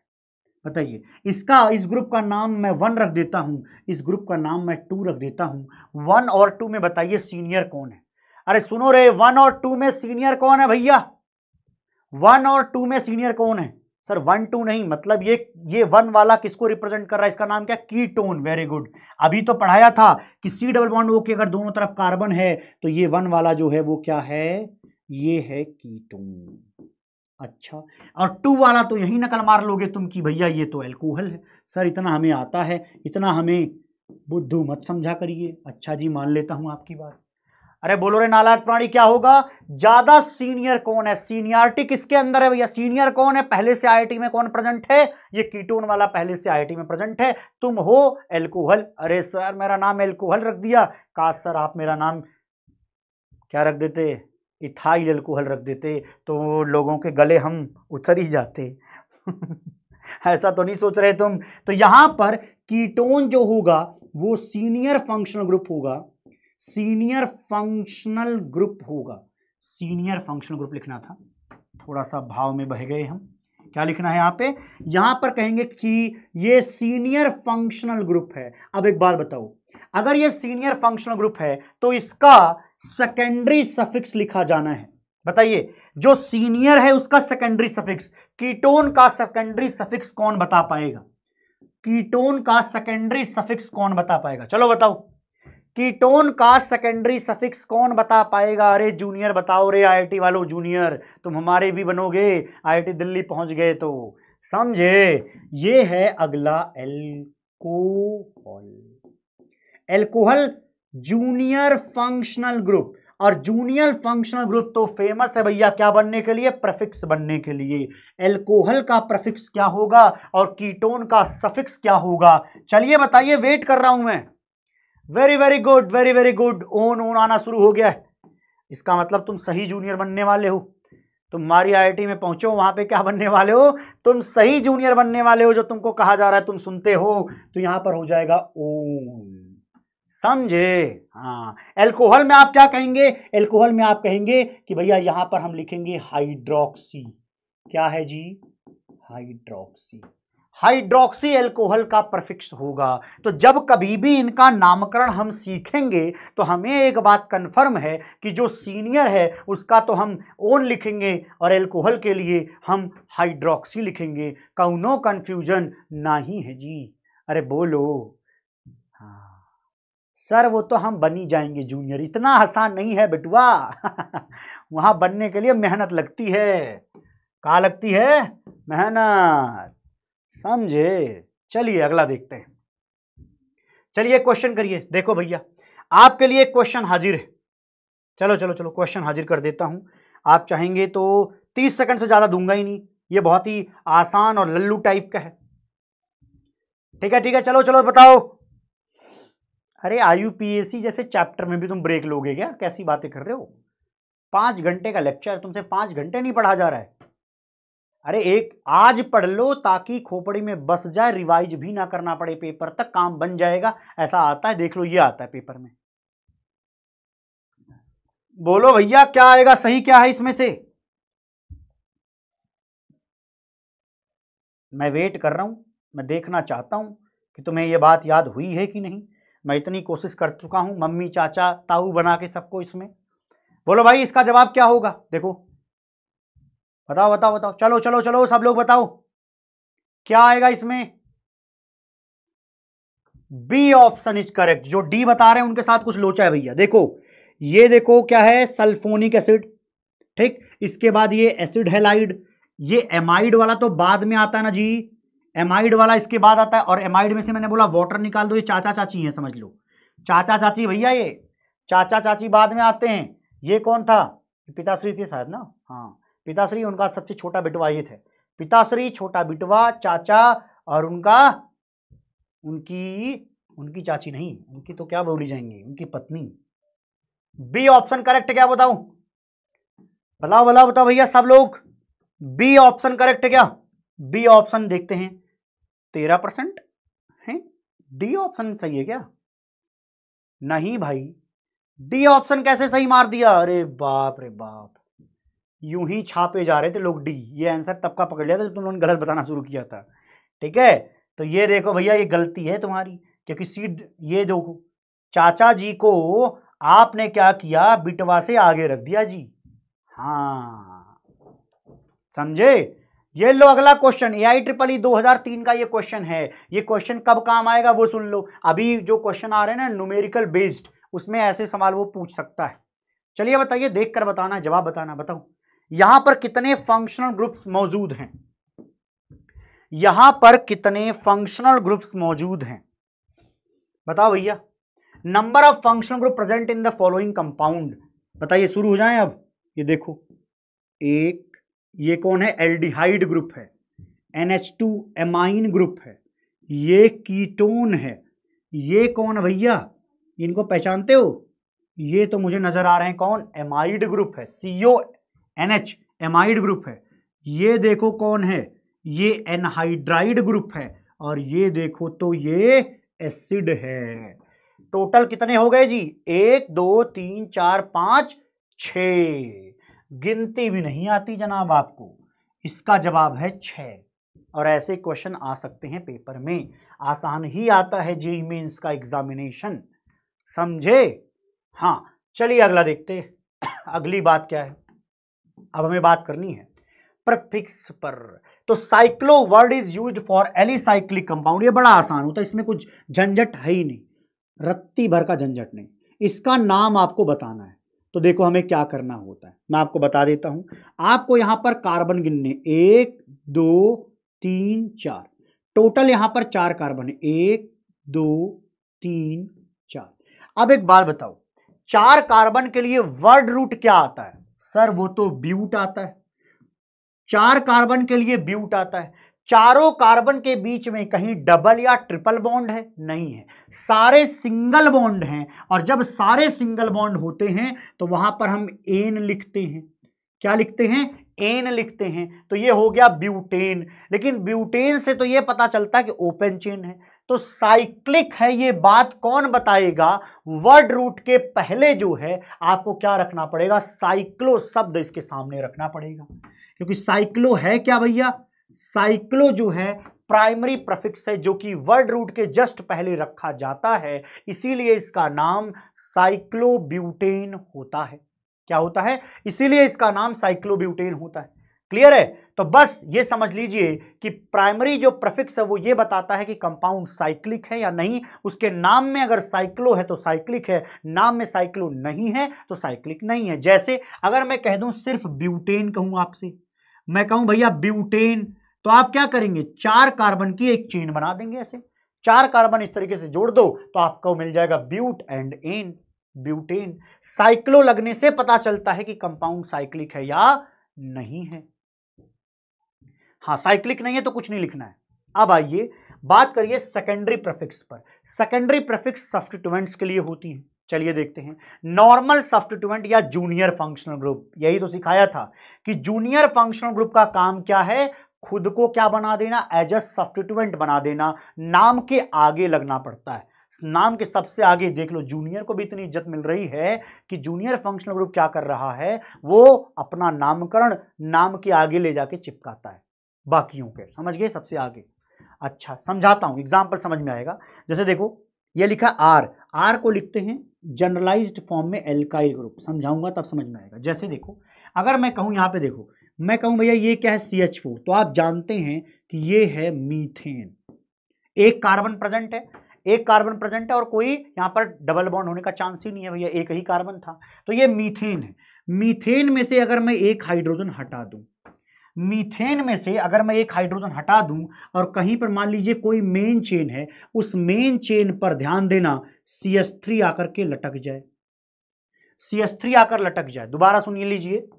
C S three C H four में से एक हाइड्रोजन हटा दोगे तो ये क्या बन जाएगा? C S three C S three को जो एक बॉन्ड बनाकर बताया जाता है, इसका मतलब है कि ये किसी चेन से कनेक्टेड है। ठीक है? तो इस सी एच थ्री ग्रुप को हम कहते हैं मिथाइल। कि देखो भैया मेन चेन से कौन लटका हुआ है? इस मेन चेन से कौन लटका हुआ है? मेन चेन से कौन लटका है भैया? मिथाइल ग्रुप लटका हुआ है, लगा हुआ है। इतनी बात समझा जी? हाँ तो ये यही है एल्काइल मिथाइल इथाइल प्रोपाइल ऐसे लिखा जाएगा। समझाऊं? और लिख दूँ क्या? बोलो बोलो बोलो। लिख दे। चलो भैया, लिख देते हैं। C S three C S three इसको कहते हैं इथेन इसको क्या कहते हैं भैया? इसको कहते हैं इथेन इथेन में से अगर मैं एक हाइड्रोजन हटा दूँ, अगर मैं एक हाइड्रोजन हटा दूँ तो ये हो जाएगा C H two C H three तो इथेन से ये क्या हो जाएगा? इथाइल। इथेन से क्या हो जाएगा जनाब? ये हो जाएगा इथाइल। इथेन से क्या हो जाएगा जनाब? ये हो जाएगा इथाइल। ठीक है जी? बोलो बोलो। और ये ये वाला बॉन्ड बनाने का मतलब है कि ये कहीं पर लटक गया है। यहाँ पर कोई मेन चेन लगा हुआ है। क्या? यहाँ पर कोई मेन चेन लग गया। समझे? हाँ समझे। ओ आर को क्या बोलते हैं? इसको बोलते हैं एलकॉक्सी ये आसान है जी। एलकॉक्सी समझाता हूँ एलकॉक्सी क्या होता है। देखो, कहीं जब ऑक्सीजन ना इस तरीके से लगा ऑक्सीजन जब सिंगल सिंगल बॉन्ड हो ना इस तरीके से तो इसको जनरलाइज फॉर्म में ऑक्सी बोलते हैं। और यहाँ पर ऐसा ही है, समझा देता हूँ, समझा देता हूँ, डरने की बात नहीं है। ऑक्सीजन, और अगर ये ग्रुप यहाँ लग जाए, क्या लिखा है? सी एच टू और सी एच थ्री तो बताइए इसका क्या नाम होगा? ऑक्सीजन के इधर एक कहीं से जुड़ाव है, यहाँ पर मेन चेन है। ऐसा समझो, ये जो है किसी मेन चेन से जुड़ा हुआ है। कोई मेन चेन है, जिस मेन चेन से ये O C H two C H three जुड़ा हुआ है तो इसका क्या नाम होगा? बताइए बताइए, नाम बताइए, चलिए चलिए चलिए सब लोग नाम बताइए, ये क्या होगा? इनका देख करके नाम बताइए। इसको अगर एल्कॉक्सी कहते हैं जनरलाइज फॉर्म में, और यहाँ पर ये इथाइल बना था तो ये क्या हो जाएगा जी? समझो, एथ आएगा, एथ। तो इथॉक्सी होगा, इथॉक्सी। हमने क्या बताया? जहाँ कहीं पर इस तरीके से, सिंगल बॉन्ड, ऑक्सीजन और सिंगल बॉन्ड हो। सिंगल बॉन्ड ऑक्सीजन और सिंगल बॉन्ड हो तो इसको ऑक्सी कहते हैं। ये है एथ तो ये है मिलाकर इथॉक्सी क्या कहते हैं? इथॉक्सी कहते हैं। समझ में आया? यस, अगला देखेंगे। ये है हेलोजन इसको कहते हैं हेलो है ना? इसको क्या कहते हैं? हेलो जनरलाइज फॉर्म में। जैसे मैं कहता हूँ क्लोरीन बताओ। अगर क्लोरीन कहीं मेन चेन से लटका हो तो उसको क्या बोलेंगे? क्लोरो बोलेंगे। फ्लोरीन हो तो उसको क्या बोलेंगे? फ्लोरो बोलेंगे। और ब्रोमीन हो तो ब्रोमो बोलेंगे। है ना जी तो बस ये लोग सेकेंडरी प्रफिक्स के नाम पे जाने, जाते हैं, ये सब्सटीट्यूएंट का काम करते हैं। अब हम इनके नामकरण शुरू करते हैं। सारा रूल वूल थोड़ा सा निपटा दिया है, तरीके हैं जानने के। अब आइए हम पढ़ते हैं कि अगर एल्केन में, अगर एल अभी पढ़ा भी दिया है, लेकिन एल्केन में अगर हम लिखें तो हम मान लो लिख देते हैं, अभी हालाँकि जो बताया था वही लिखना पड़ेगा कि सी एच फोर में से हाइड्रोजन हटा दो तो ये बन जाता है सी एस थ्री हमने किया क्या पता है? हमने कहा कि इसका नाम है मीथेन। हमने मीथेन में से एन हटाकर इसको वाई एल लगा दिया तो ये मिथाइल बन जाता है। नाम लिखने का तरीका बता रहा हूँ कि वाई एल ऐड करने पर यह सब्सटीट्यूएंट का काम करता है। ये किसी मेन चेन से अगर जुड़ा है, लटका है तो ये नाम बनेगा। इसी तरीके से सुनना। एल्कीन की बात करें तो एल्कीन को आप लिख सकते हैं C H two double bond C H two चलो, यहाँ से अगर मैं हाइड्रोजन हटा दूँ, क्या आपको याद है कि एल्कीन के लिए हम इन शब्द यूज़ करते हैं? अभी पीछे भी बताया था। बोलो बोलो बोलो सब लोग। बोलो, इसका नाम क्या आएगा? यहाँ से हाइड्रोजन हटा दिया तो क्या नाम आएगा जी? सी एच यहाँ पर हो जाएगा double bond C H two बोलो इसका नाम क्या लिखा जाए? पहले इसका नाम तो आया आपको। इनका नाम क्या है? क्या हम इसको, इसके लिए वर्ड रूट एथ लिख सकते हैं? यस वर्ड रूट एथ लिख दिया क्यों? क्योंकि दो कार्बन है। अरे सुनो भैया, दो कार्बन के लिए हमने एथ लिखा। अच्छा जी, और सुनो भाई, दोनों कार्बन के बीच में डबल बॉन्ड है, और जब डबल बॉन्ड है तो क्या लिखते हैं? ईन लिखते हैं। तो इनका नाम क्या होगा? इथीन नाम होगा। ठीक? अब देखो, इनका नाम इथीन है और इसी में से हाइड्रोजन को हटा करके इसको कहीं मेन चेन पर आपने लटका दिया तो इसका नाम देखिए क्या लिखेंगे। हम लिखेंगे इसका नाम इथइन लास्ट का जो ये ई है, ये हटाना पड़ता है ई और यहाँ पर लग जाएगा वाई एल देखो, यहाँ पर भी कनेक्ट क्या हुआ है? वाई एल यहाँ पर भी आएगा तो वाई एल तो इसका क्या नाम बनेगा? बोलो बोलो, नाम पढ़ के बता सकते हो क्या? हाँ लिख के बहुत सारे लोग बता चुके हैं वेरी वेरी गुड जिन्होंने बताया। इसको आईयूपीएससी में इथीन कहते हैं हाइड्रोजन हटाते ही इसका नाम होगा एथेन वाई एल ऑब्वियसली जो भी आप पढ़ सकते हो। अगला देखिएगा। अगले में हम कहेंगे कि भैया ये है C H triple bond C H अगर मैं यहाँ से एक हाइड्रोजन हटा देता तो इनका नामकरण क्या होता भाई? बोलो बोलो बोलो। इनका नामकरण क्या किया जाएगा? बता सकते हो? इनको क्या कहेंगे? सर, इनके लिए तो आप लिखेंगे एथ, क्योंकि दो कार्बन है। और ट्रिपल बॉन्ड के लिए हमको लोग क्या लिखते थे? Y N E ethyne. Ethyne में से लास्ट में क्या करो भाई? अरे बोलो बोलो बोलो भाई, क्या करो? यहाँ से ई e हटाकर वाई एल लटका दो। तो यहाँ पे हो जाएगा ये। ठीक है? एक बार देख लो। सब लोग एक बार देख लो। कृपया सब लोग एक बार ये चीज़ देख लीजिए। देखो, सही है क्या? समझ में आ रहा? कुल मिला के हमें क्या करना है? एक हाइड्रोजन हटाते ही यहाँ पर ई e हटाकर वाई एल लगाना है। यहाँ पर एन हटाकर वाई एल लगाना है। अब सुनिए benzene. Benzene as a substituent. Benzene है, अगर किसी मेन चेन से जुड़ा है, ये मान लीजिए कोई main chain main chain sir sir ये है क्या? आगे बताया जाएगा। कोई मेन चेन है, उस पर ये बेंजीन इस तरीके से लटका हुआ है तो इस लटके हुए बेंजीन को हम फेनाइल कहते हैं। क्या? फेनाइल कहते हैं। ध्यान दीजिएगा, इसको क्या कहते हैं? लटके हुए बेंजीन को phenyl. Benzene as a substituent is known as phenyl group. अरे बोलो रे भाई, बात समझ में आ रही है क्या? ये सारी बातें समझ में आ रही है क्या? क्या कहना चाह रहा हूँ? बेंजीन अगर कहीं जाकर मेन चेन पे लटक गया तो उसका नाम फिनाइल होता है। अच्छा अगली बात करते हैं। लेकिन अगर ये C H two C H three अगर इस तरीके से हो, एक कार्बन हो बीच में तो इसके लिए शब्द यूज़ होता है बेंजाइल। क्या? बेंजाइल शब्द यूज़ होता है, ठीक है? बीच में एक सी एच टू ग्रुप आ जाए तो ये शब्द है बेंजाइल। इस कार्बन को कहते हैं बेंजाइलिक कार्बन। क्या कहते हैं? Benzylic carbon. तो बेंजीन जो है, बेंजीन से जुड़ा हुआ कोई कार्बन, ठीक है? इस तरीके से मान लो जो सी एच थ्री ही लिख देता हूँ मैं।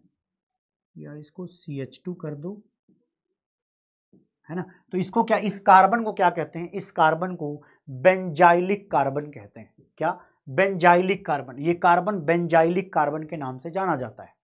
ठीक? चलिए, शायद याद हो गया होगा। अगला देखते हैं। अब आते हैं भैया। वो जो मेन चेन सिलेक्शन की बात है, जो मेन चेन को पता करने की बात है, वो यहाँ से शुरुआत होती है और यहीं से आपका थोड़ा सा इन्वॉल्वमेंट अब चैट में लगेगा भैया। क्या इन्वॉल्वमेंट लगेगा है ना? देखिए क्या है सैचुरेटेड हाइड्रोकार्बन का नाम लिखते वक्त रूल सिंपल सा है। हमें क्या करना है? हमें मेन चेन का सिलेक्शन करना है और उसकी नंबरिंग करनी है और उसी के हिसाब से उसका नाम लिखना है। तो ये जो तरीका है, वो सिर्फ़ भैया सिंपल सा है कि पहले आपको क्या करना है? पहला प्राथमिकता ये है, पहला काम है कि ये हम मेन चेन उसको बोलेंगे।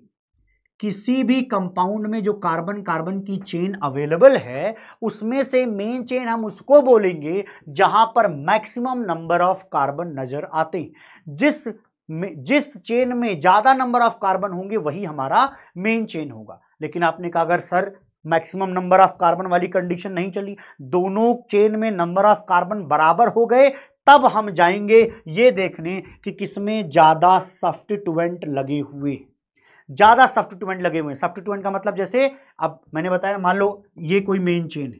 ये मान लो ये कोई मेन चेन है। समझाने की कोशिश कर रहा हूँ। सब्सटीट्यूएंट का मतलब होता है कि कार्बन कार्बन की चेन के अलावा इसमें कितना क्लोरीन या कोई ऐसे सी एस थ्री इतना ब्रोमीन या ऐसे। तो अगर कोई कहे कि मान लो ये मेन चेन है और एक ये, इनमें से कौन सा सेलेक्ट करोगे? तो तुम कहोगे, देखो, अगर दोनों में कार्बन कार्बन नंबर सेम है तो इस तरीके से जहाँ पर ज़्यादा नंबर ऑफ़ सब्सटीट्यूएंट लटके होंगे उससे, हम उसी को जा, क्या मान लेंगे, अपना मेन चेन मान लेंगे। आगे समझाया जाएगा, लेकिन फ़िलहाल पहली चीज़ क्या है? अरे सुनियो रे बालक, पहला चीज़ हमें मैक्सिमम नंबर ऑफ़ कार्बन देखना है, दूसरे नंबर पर हमें ज़्यादा नंबर ऑफ़ सब्स्टिट्यूएंट देखना है। ज़्यादा सब्स्टिट्यूएंट कितने लटके पड़े वो देखना है।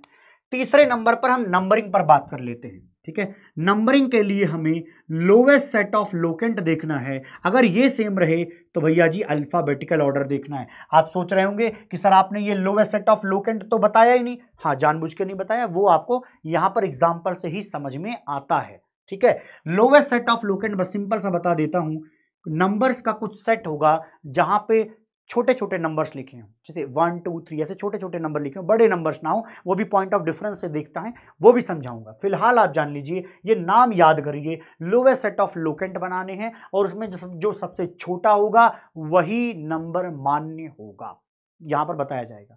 इसके बाद जो आपके सब्स्टिट्यूमेंट हैं, उनके अल्फ़ाबेटिकल ऑर्डर के हिसाब से भी नंबरिंग की जाती है। तो ये दोनों नंबरिंग के लिए यूज़ होते हैं और ये दोनों रूल मेन चेन के सिलेक्शन के लिए यूज़ होते हैं। नहीं भैया ब्रेक की ज़रूरत नहीं है अभी। ब्रेक की कोई ज़रूरत नहीं होती आई जैसे छोटे से चैप्टर को पढ़ने, लिखने और समझने में। ठीक है? चलिए, हम यहाँ पर बात करते हैं कि भैया ये देखिए, ये जो चेन है इसमें बताइए मेन चेन कौन सा है? मैं आपके सामने ऐसा करता हूँ, दो बना लेता हूँ। देखो, मैं कहता हूँ कि क्या ये मेन चेन है? आप बताइएगा कि कौन सा इसमें से मेन चेन है? सही वाला कौन सा मैंने सेलेक्ट किया है? मैं इसको कहता हूँ, ये ए है। चलो, इसको मैं ए कहता हूँ। जिसमें मैंने मेन चेन ये सेलेक्ट किया है, एक मैं यहाँ सेलेक्ट कर देता हूँ, ये यहाँ से। बताइए, पहले और दूसरे ए और बी में से सही मेन चेन का सिलेक्शन कहाँ हुआ है? ए और बी में से ज़्यादा अच्छे मेन चेन सिलेक्शन को आप कहाँ देख पा रहे हैं? बोलो बोलो बोलो। हमने क्या बोलना भैया जी? कि ज़्यादा नंबर ऑफ़ कार्बन कहाँ है? तो चलो गिन लेते हैं। यहाँ देखो one two three four five वही चीज़ ये भी है, लेकिन यहाँ देखो वन टू थ्री फोर यहाँ पर तो चार ही कार्बन है। अगर मेन चेन बनाए तो भैया इसका मतलब ये चीज़ ठीक नहीं है। ये मेन चेन बनाने लायक नहीं है, ये मेन चेन बनाने लायक है, एकदम सही है। तो हमने यहाँ पर सही मेन चेन का सिलेक्शन कर लिया है। एकदम सही है ना ए वाला? यस अब आइए दूसरा देखिए। चलिए, यहाँ पर बताइए कौन सा होगा? वो मैं बना देता हूँ, आप बताइएगा।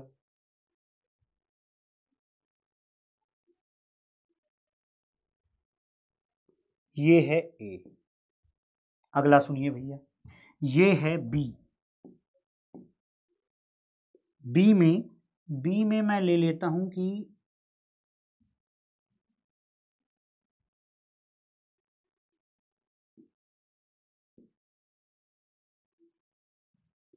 ये है बी और ये है सी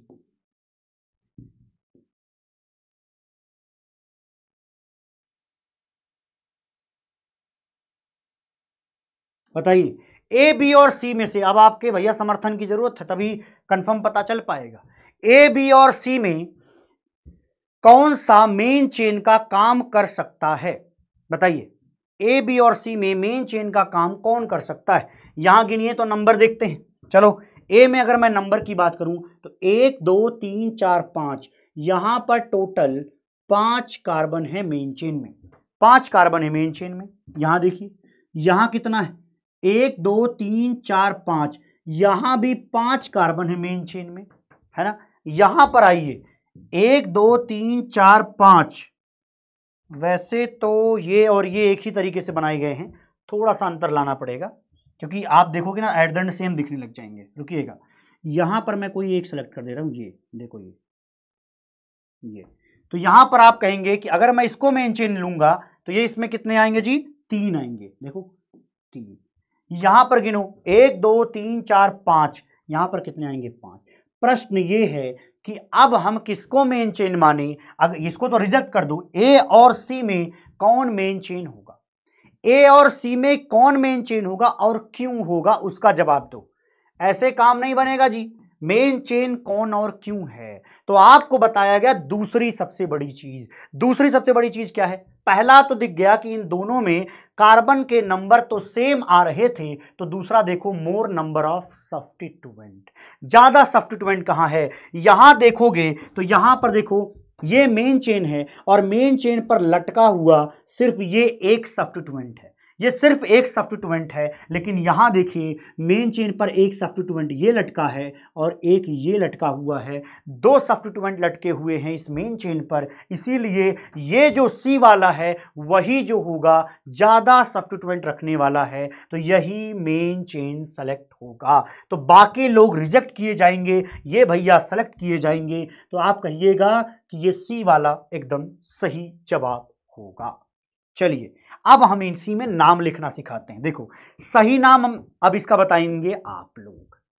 हमें मेन चेन आ गया भैया। अब हमें करना है नंबरिंग अच्छा नंबरिंग कैसे करें? नंबरिंग इस तरीके से करो। जब नंबरिंग आप यहाँ पे कहीं भी कर सकते हो, देखो, यहाँ से करोगे तो वन टू थ्री यहाँ से करो वन टू थ्री तो कोई अंतर नहीं है।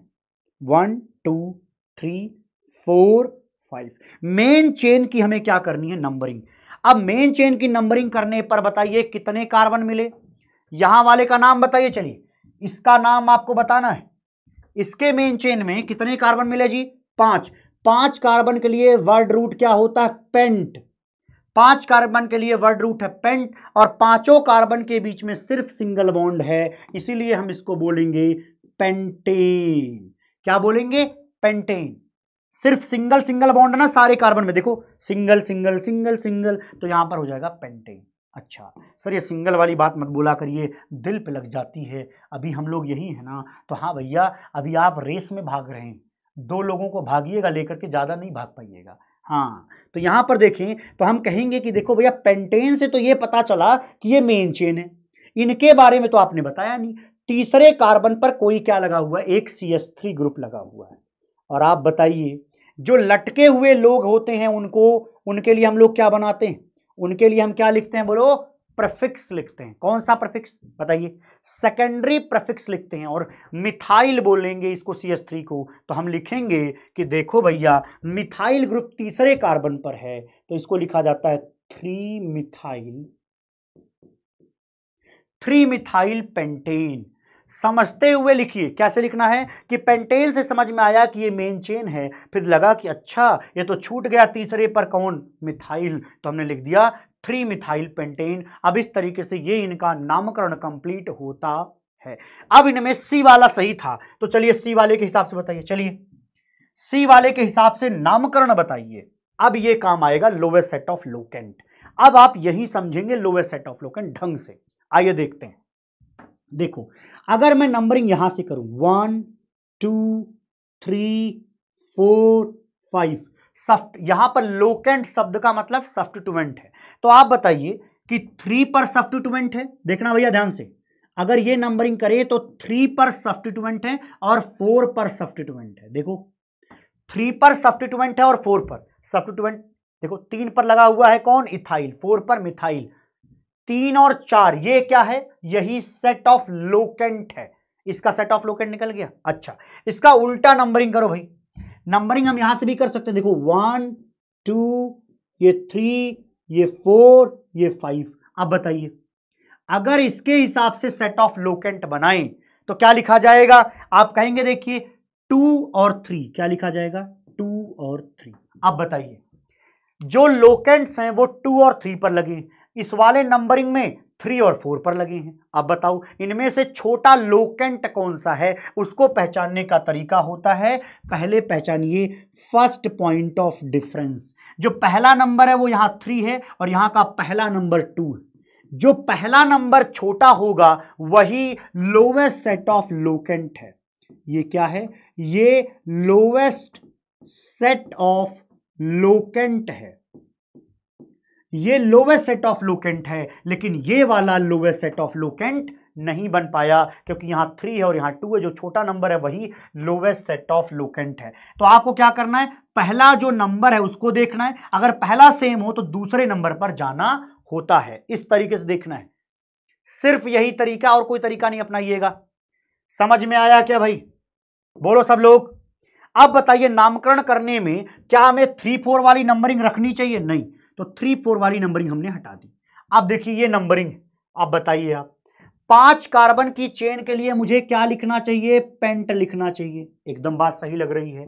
पाँचों कार्बन के बीच में कहीं पर डबल या ट्रिपल तो नहीं है? नहीं है। इसका मतलब यहाँ हमें एन लिखना चाहिए तो ये पेंटेन हो जाएगा। पेंटेन से तो ये मेन चेन लिखा गया। अभी टू और थ्री पर जो लोग मौजूद हैं, उनका हमें हिसाब किताब करना है, लिखना है।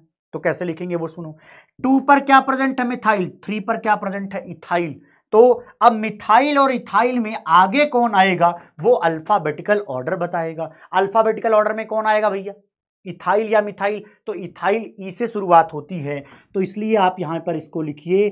Three ethyl three ethyl. तीन पर इथाइल, दो पर methyl. Two methyl. Three ethyl two methyl pentane. अरे बोलो भाई, एक बार ये चीज़ समझ जाइए, आगे बहुत जल्दी जल्दी हो जाएगा। बस एक बार सेट ऑफ़ लोकेंट समझना ज़रूरी है। है ना? बहुत जल्दबाजी में मत पड़िए, सीख जाइए, ये इंपॉर्टेंट है। ठीक? क्या ये सही लिखा गया है? कुछ गड़बड़ है? यस वेरी वेरी गुड बहुत सही। बहुत सही भैया, बहुत सही जा रहे हैं। आइए अगला देखते हैं। अब ये बात क्या लिखी है भैया, देखो पहले। अगर दो अगर दो सब्सटीट्यूमेंट सेम हो गए तो डाई शब्द लिखेंगे।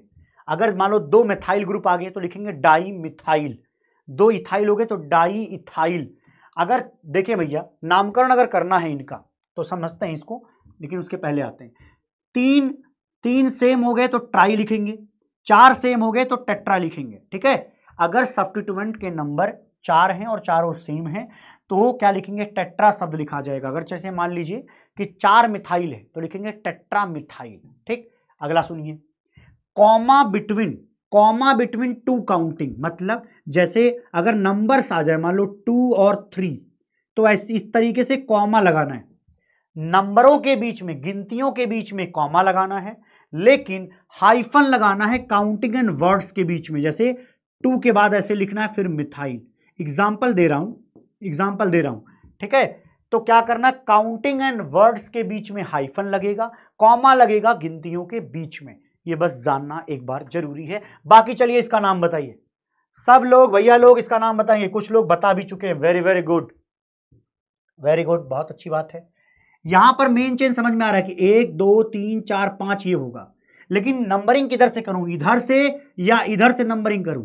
बोलो भैया लोवेस्ट सेट ऑफ़ लोकेंट कहाँ से बनेगा? तो आप कहेंगे, सर, इधर से बनेगा अगर आप यहाँ से करोगे तो ये कार्बन नंबर टू पे आएगा, ये कार्बन नंबर थ्री ये फोर ये देखिए फाइव तो सेट ऑफ़ लोकेंट कहाँ कहाँ पर आया? कार्बन नंबर टू पर आया और कार्बन नंबर थ्री पर आया। कार्बन नंबर टू पर मिथाइल है और थ्री पर मिथाइल है। लेकिन अगर नंबरिंग इधर से करते तो थ्री और फोर आता। तो हमने इसलिए सही सेलेक्ट किया है टू और थ्री बोलो भैया सब लोग, चलिए बताइए। पाँच कार्बन के लिए हमने क्या लिखना होता भाई? पेंट लिखना होता है। बल्कि हम इसको पेंटेन लिख दें तो ज़्यादा सही है। क्या लिखेंगे? पेंटेन लिखेंगे तो ज़्यादा सही। पाँच कार्बन की एक चेन में हम इसको पेंटेन लिख देंगे। अब देखो, टू और थ्री पर क्या प्रेजेंट है? मिथाइल प्रेजेंट है। क्या लिखेंगे? मिथाइल। अगर दोनों ही C S three C S three हैं तो देखो, अभी बताया था। अगर दो सी एस थ्री एक साथ हों तो क्या लिखा जाता है? डाई मिथाइल ये देखो, दो सेम सब्सटीट्यूएंट के लिए डाई लिखते हैं। तो हम क्या लिखेंगे यहाँ पर? यहाँ पर लिख देंगे कि टू पोजीशन पर और थ्री पोजीशन पर। थोड़ा सा आगे लिखना पड़ेगा ये चीज़। ठीक है? कार्बन नंबर टू और carbon number three carbon number two और कार्बन नंबर थ्री पर क्या प्रेजेंट है? दो मिथाइल प्रेजेंट है। देखो, ये लिखने का तरीका क्या है? टू थ्री डाई मिथाइल अगर आप डाई लिख रहे हैं तो दो गिनतियाँ लिखनी पड़ेंगी आपको, है ना? अगर एक ही जगह पर दो सी थ्री होते, तब भी दो बार लिखते हैं हम, ठीक है? तो ये इस तरीके से आएगा।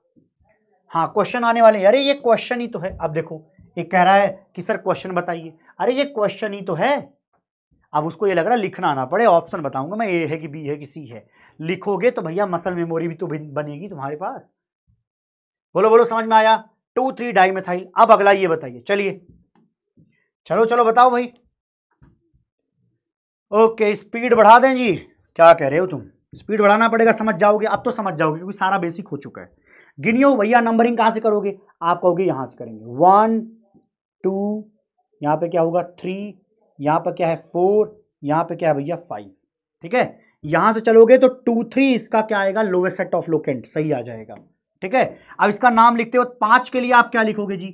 पेंट लिखोगे। यहाँ पर कोई डबल ट्रिपल बॉन्ड है नहीं तो इसलिए पेंटेन लिखोगे।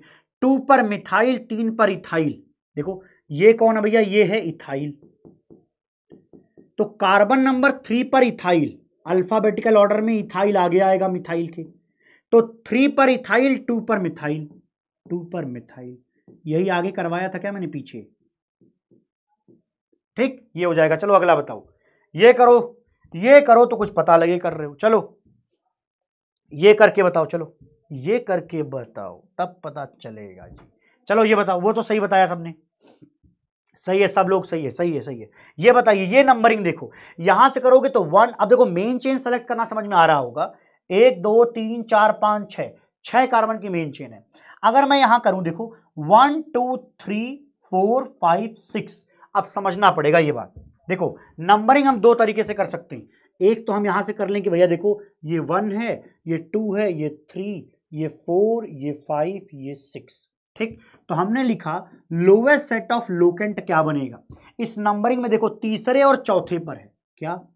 तीसरे और चौथे पर सेट ऑफ़ लोकेंट इस तरीके से बन रहा है। लेकिन ध्यान रखना, यहाँ तीसरे नंबर पर मिथाइल है, इस वाले नंबर में तीसरे पर मिथाइल है, और चौथे नंबर पर इथाइल है।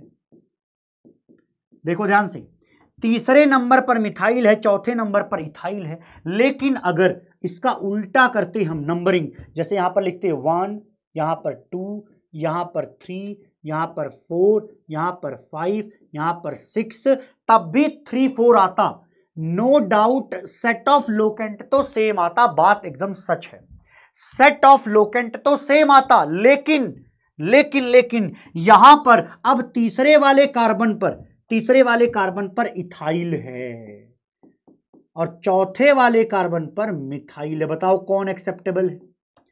आप कहेंगे कि अल्फाबेटिकल ऑर्डर ये कहता है नंबरिंग करते वक्त कि जो अल्फाबेटिकल ऑर्डर में आगे आता है, उसकी बात मानी जाएगी और उसी को लोअर नंबर दिया जाएगा। मतलब ये वाला सही है और ये वाला गड़बड़ है। बोलो भैया, ये वाला सही है और ये वाला गड़बड़ है तो व्हाइट वाला मैं हटा रहा हूँ, क्योंकि इसमें गड़बड़ी है जी। तो अब इसका नाम अब आप खुद लिख ले जाएँगे। समझ में आया क्या? क्यों ऐसा बोला गया? अरे क्यों? कह रहा कोई प्रीवियस ईयर क्वेश्चन नहीं है। अरे आगे है भाई। खाली प्रीवियस ईयर क्वेश्चन ही करवाऊँगा तो फिर गड़बड़ रहेगा ना जी। ये प्रैक्टिस तो हो पहले, समझ में तो आए क्या है जी, जो चल रहा है।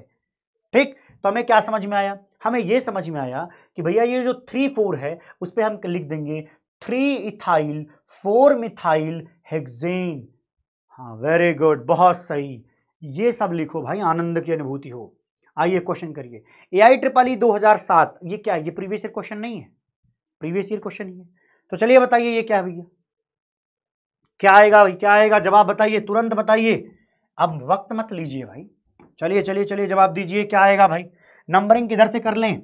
इधर से करेंगे तो सेट ऑफ़ लोकेंट छोटा बनेगा। इधर से करेंगे तो बड़ा बनेगा, क्योंकि एक, दो, तीन, चार आ रहा है। एक, दो, तीन पर ही आ रहा है। तो निश्चित रूप से यही करना चाहिए। तो देखो, यहाँ से शुरुआत करें। वन यहाँ पर टू, यहाँ पर थ्री, यहाँ पर चार, यहाँ पाँच, यहाँ छ और यहाँ सात। सात कार्बन का मतलब हेप्टेन समझ में तो आता है। हेप्टेन समझ में आता है। कार्बन नंबर चार पर मिथाइल है तो four di, four four di methyl होगा कहीं। फोर फोर डाई मिथाइल गड़बड़ है क्या? ये डाई अच्छा ये रहा, तीसरा। है ना, देखूँ कितने लोग तीसरा बोल रहे थे। तीसरा नहीं मतलब तीसरा नहीं बी वाला obviously B option is correct very good बहुत अच्छा लगा। समझ में आया? देखो, तीसरे पर क्या है? इथाइल फोर फोर दो क्या लगा हुआ? सी एस थ्री समझ में आया? बोलो। समझ में ये बातें आ रही हैं क्या? शायद आ रही होंगी। आगे देखते हैं। चलिए इनका नामकरण करिए। इनका नाम बताइए भाई, थोड़ा सा प्रैक्टिस और कर लेते हैं। यहाँ देखो नंबरिंग करना है अल्फाबेटिकल ऑर्डर पे। यहाँ से करो तो वन टू थ्री फोर से करो वन टू थ्री हमें पता है क्लोरीन में क्लोरो शब्द आता है और मिथाइल आता है सी एस थ्री के लिए। तो क्लोरो अल्फाबेटिकल ऑर्डर में आगे आएगा, इसलिए नंबरिंग इधर से चलेगी। One two three four five six है ना? अब बताइए नाम क्या होगा जी? छह कार्बन के लिए हम लिखेंगे हेक्सेन नोट करिए। छह कार्बन के लिए hexane three chloro four methyl. Three chloro four methyl hexane क्या क्या क्या? थ्री क्लोरो देखो, थ्री पर क्लोरो, फोर पर मिथाइल हेक्सेन आई होप आप लिख ले जाएँगे। अगला देखिए अगला देखिए भैया नंबरिंग। यहाँ देखो ब्रोमो है और ये क्लोरो है। बताओ नंबरिंग में आगे कौन आएगा। यहाँ से चले तो one, two, three, one, two, three. दोनों तरफ़ से सेट ऑफ़ लोकेंट सेम आएगा, लेकिन अल्फाबेटिकल ऑर्डर का अंतर है तो हम ब्रोमो को प्रेफरेंस देंगे three four five six bromo लिखेंगे ना तो हम क्या लिखेंगे बोलो? थ्री ब्रोमो और फोर पर क्या है? क्लोरो बोलो, छह कार्बन के लिए हम लिखते हैं हेग्स और कोई डबल या ट्रिपल नहीं है तो एन लगाएँगे हेक्सेन हो जाएगा। आइए अगला करते हैं।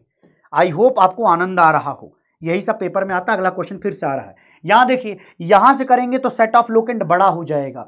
ना, किनारे से इधर से करिए फ़ायदा क्या है कि सेट ऑफ़ लोकेंट छोटा रहेगा? One two three four five six इसका सिर्फ़ मैं बोलूँगा, आप सुनेंगे जी, इसको क्योंकि आप लिख सकते हैं। छह कार्बन के लिए आप हेक्सेन ही कहेंगे। और वन इसको लिखने का तरीका देखो नंबर लिखना पड़ता है। वन कार्बन नंबर वन पर एक क्लोरीन है कार्बन नंबर टू पर एक क्लोरीन है कार्बन नंबर पाँच पर भी क्या है? क्लोरीन है। तीन क्लोरीन के लिए हम क्या शब्द यूज़ करेंगे? ट्राई क्लोरो यूज़ करेंगे। ट्राई क्लोरो तो one three five tri chloro इसके बाद हेक्सेन हो जाएगा। इसके बाद हेक्सेन हो जाएगा। देखो एक बार। वेरी गुड वेरी गुड बहुत सही। आइए कॉम्प्लेक्स एल्काइल रेडिकल ये थोड़ा परेशान करता है बच्चों को तो उसकी परेशानी हम दूर करे देते हैं भैया। ठीक है? आइए देखते हैं। आगे ये देखते हैं। ये क्या है, इनको देख लो। ये थोड़ा सा देखने में भीषण लग रहा है। हमें क्या करना है? पहले ज़्यादा नंबर ऑफ़ कार्बन वाले मेन चेन ढूँढने चलो ढूंढते हैं। अगर मैं यहाँ से शुरू करूँ तो एक, दो, तीन, चार, पाँच छ सात, आठ आठ ही हुए। लेकिन अगर मैं यहाँ से चलूँ, देखो, अगर मैं यहाँ गिनूं one two three four five six seven eight nine अगर इधर से नंबरिंग करी तो मैंने देखो नाइन मिल गया जी। इसका मतलब ये मानना चाहिए। अच्छा अब नाइन से तो समझ में आता है कि नाइन का क्या होता है भाई? नॉन लिख देंगे।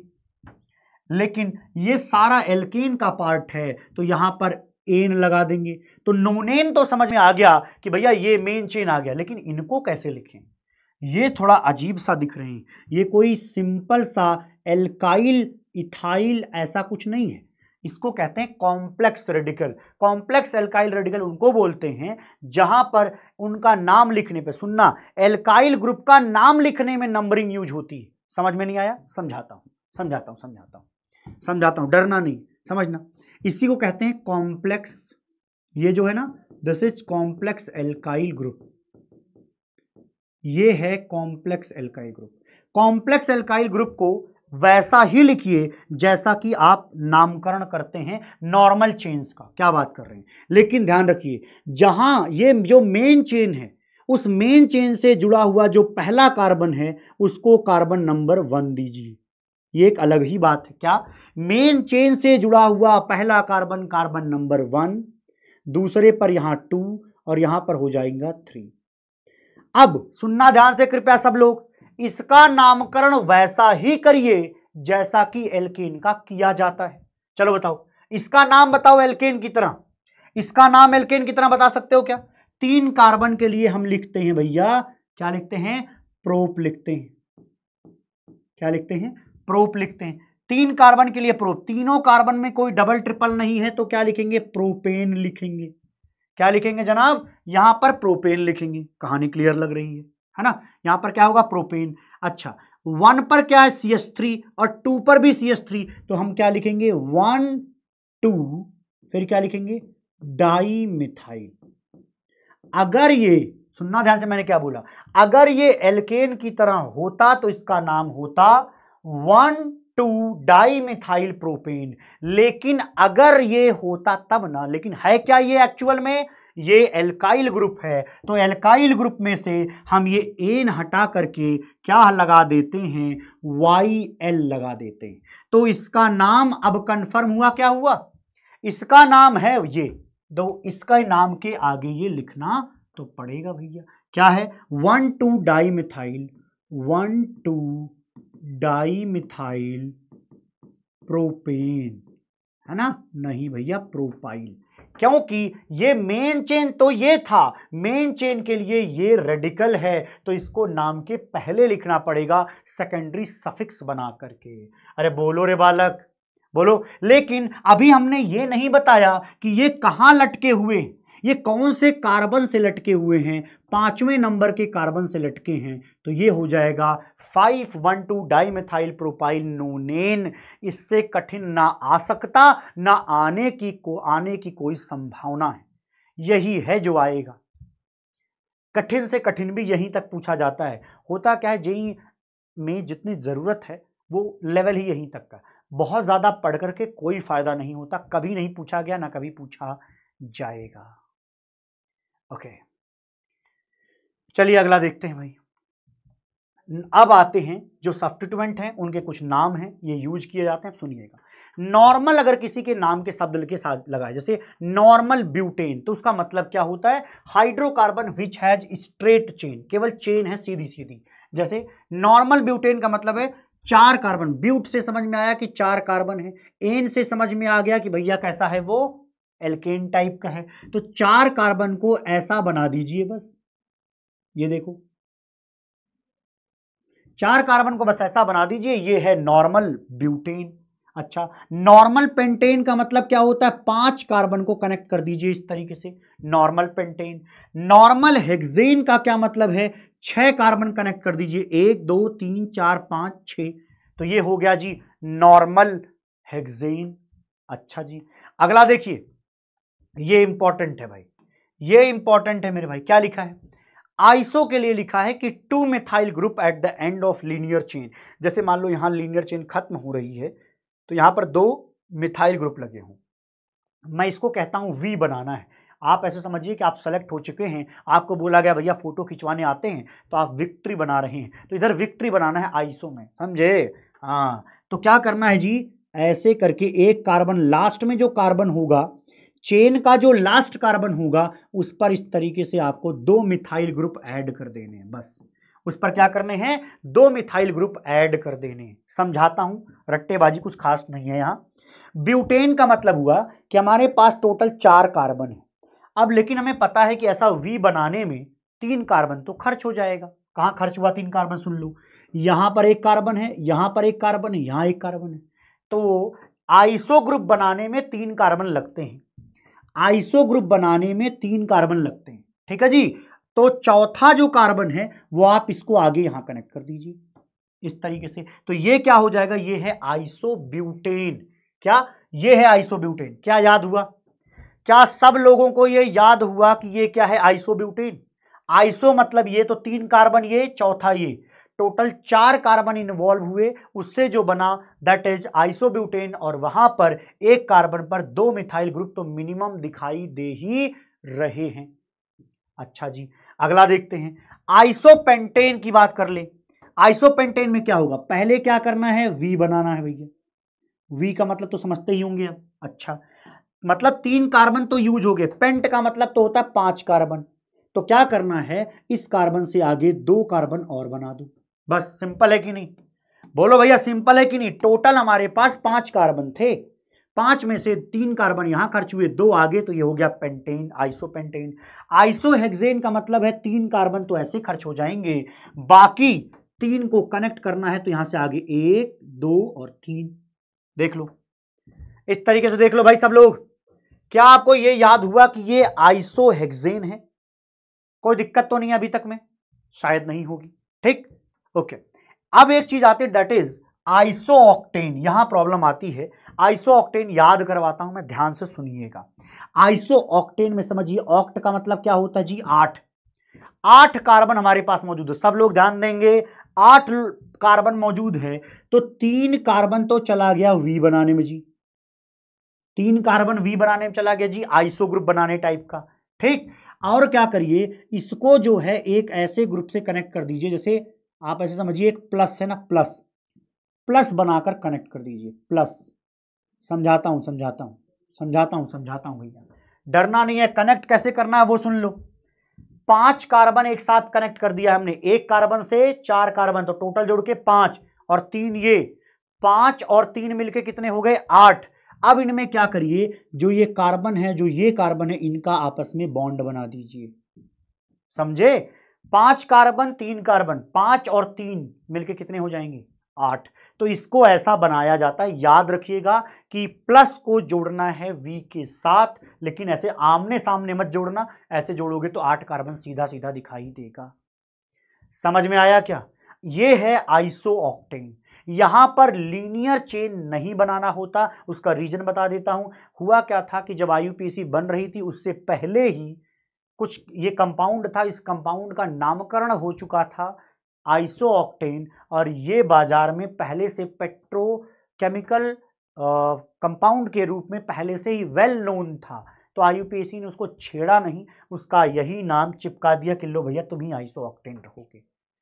याद करना है, जी, उसका रीजन मैंने बता दिया कि ये रीजन क्या है? इनका नाम पहले से ही फ़ेमस हो चुका था जब तक आईयूपीएसी बनाते, उससे पहले। याद रहेगा खोपड़ियों में? बोलो भैया। ओके, अगला देखते हैं। नियो क्या होता है? नियो में आप समझेंगे। नियो का पहला आता है दैट इज़ नियो पेंटेन। तो पहले जान लीजिए। नियो पेंटेन में क्या करना है? पेंटेन में पाँच कार्बन कनेक्ट करना है। कैसे करना है? वो देखिए। प्लस बना करके, बस। ये प्लस बना दिया तो पाँच कार्बन हो गए। कैसी बात कर रहे हैं, सर? यस। देखिए कैसे। देखना, बीच में एक कार्बन एक कार्बन यहाँ पर है, एक कार्बन यहाँ पर, एक कार्बन यहाँ पर, एक कार्बन यहाँ पर, एक कार्बन यहाँ पर। तो टोटल पाँच कार्बन अगर इस तरीके से कनेक्टेड हैं और हर जगह पर सिंगल सिंगल बॉन्ड है, बाकी हाइड्रोजन आप कनेक्ट कर सकते हो। ये नियोपेंटेन बोला जाता है। ये क्या है? ये क्या है? ये नियोपेंटेन है। अगला देखो। अगला देखो भैया। अगला आता है नियो तो नियो हेक्सेन में नियो शब्द का मतलब होता है प्लस बनाना पड़ेगा। नियो का मतलब है भैया प्लस बनाना पड़ेगा। नियो का मतलब तो है प्लस बनाना पड़ेगा और प्लस बनाने में पाँच कार्बन खर्च हुए, लेकिन हेक्सेन में तो छह होते हैं, इसीलिए इनमें से किसी एक कार्बन को पकड़िए, उसके बाद एक कार्बन और कनेक्ट कर दीजिए। पहले पाँच थे, उसमें से एक और कनेक्ट कर दीजिए किसी एक कार्बन पर तो वो क्या कहलाएगा? नियो हेक्सेन कहलाएगा। कोई दिक्कत तो नहीं है, नहीं होनी चाहिए। अगला देखते हैं। Secondary butyl. अब देखो, अगर कोई कहे, चलो मान लो ये तुमसे पूछता हूँ, चलो बताओ। अगर मैं कहूँ, बताओ, नियोपेंटाइल कैसे लिखा जाएगा? अब यार ये आपको आना चाहिए। लेकिन आप बताएँगे कैसे? ये भी दिक्कत है है ना? तो हमें क्या करना है बताइए? नियोपेंटाइल में जो किनारे वाला कार्बन है, वहाँ से आगे कनेक्ट करना है। तो आप ऐसे लिख दीजिए कि देखो भैया, ये बीच वाला कार्बन है। देख लीजिए, इस पर क्या लिखा है? सी एस थ्री यहाँ क्या लिखा है? सी एस थ्री यहाँ क्या लिखा है? सी एस थ्री यहाँ भी होता सी एस थ्री तो ये क्या कहलाता? नियोपेंटेन कहलाता। लेकिन मैं इस सी एस थ्री को ये थ्री हटाकर टू लिख दूँगा और इसको कनेक्ट कर दूँगा किसी मेन चेन से तो ये भाई साहब क्या कहलाएँगे? Neopentyl group कहलाएँगे। जय ज्वाला की भैया, जय ज्वाला की जय ज्वाला की ठीक है? चलिए, समझ में आया? आइसो ऑक्टेन वाली बात तो मैंने याद करा दी, वो रटना है, याद करना है, क्योंकि आईयूपीएससी ने उस बात को खुद ही मान लिया था तो इसलिए वो याद करवा दिया था। हाँ इलेवंथ वाले बच्चे आराम से कर सकते हैं, कोई दिक्कत नहीं, सब बेसिक से चल रहा है यहाँ पे। तो ये क्या है? नियोपेंटाइल। अब आइए सेकेंडरी ब्यूटाइल पर। अब समझिए भैया, ब्यूटेन हमें समझ में आता है कि ब्यूटेन ये है। अब बताइए, इस ब्यूटेन में सेकेंडरी कार्बन कौन है? ये है या ये है? अगर ये सेकेंडरी कार्बन, ध्यान देना, ये सेकेंडरी कार्बन किसी मेन चेन से कनेक्टेड होगी, किसी मेन चेन से कनेक्टेड होगी तो इसको बोला जाएगा सेकेंडरी ब्यूटाइल ध्यान दो, अगर ब्यूटेन का सेकेंडरी कार्बन मेन चेन से इस तरीके से कनेक्टेड है तो इसको बोलते हैं सेकेंडरी ब्यूटाइल अच्छा जी, अब इसी तरीके से बताइए टर्सरी ब्यूटाइल क्या होगा? समझ में आ चुका होगा कि भैया एक कार्बन है जिससे तीन कार्बन कनेक्टेड हैं। एक कार्बन जिससे तीन कार्बन कनेक्टेड हैं तो ये कुल जोड़ करके देखो कितना हो गया। बोलो बोलो बोलो। एक, दो, तीन, चार। चार कार्बन तो ब्यूट शब्द सही है। टर्सरी तो ये कार्बन देखो थ्री डिग्री है। ये कार्बन कैसा है? ये कार्बन थ्री डिग्री कार्बन है। और अगर ये थ्री डिग्री कार्बन वाला, ध्यान देना बालक, अगर ये थ्री डिग्री कार्बन वाला किसी मेन चेन से, किसी मेन चेन से कनेक्टेड है किसी क्या है? मेन चेन से कनेक्टेड है। एम ए आई एन किसी मेन चेन से कनेक्टेड है तो भैया इसको क्या बोलोगे? टर्सरी ब्यूटाइल और याद रखना, ये पेपर में बहुत ज़्यादा आते हैं। ये दोनों पेपर में बहुत ज़्यादा आते हैं। ठीक है? तो मेन चेन से जब एक कार्बन कनेक्टेड हो, जो कि थ्री डिग्री है तो उसको टर्सरी ब्यूटाइल क्यों? क्योंकि एक, दो, तीन, चार टोटल नंबर ऑफ़ कार्बन चार। तो ब्यूटाइल लेकिन टर्सरी सेकेंडरी क्योंकि टू डिग्री से जुड़ा हुआ है। आइए अगला देखते हैं। अब अगला देखो क्या है। शब्द पकड़ना। Tertiary pentyl. अब शब्द लिखा टर्सरी। तो टर्सरी शब्द का मतलब है कि एक कार्बन से कितने कार्बन कनेक्टेड हैं?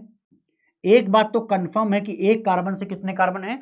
तीन कार्बन कनेक्टेड हैं। आपने कहा कि ये टर्सरी पेंटाइल है तो भैया जी, आप ये वाला जो कार्बन है, टर्सरी वाला, वो किसी मेन चेन से जोड़ रहे होंगे। ये किसी मेन चेन पर लटका हुआ होगा जी। ये, लेकिन ये क्या है? ये तो टर्सरी ब्यूटाइल है। तो ये टर्सरी ब्यूटाइल है। देखो, ये तो टर्सरी ब्यूटाइल है।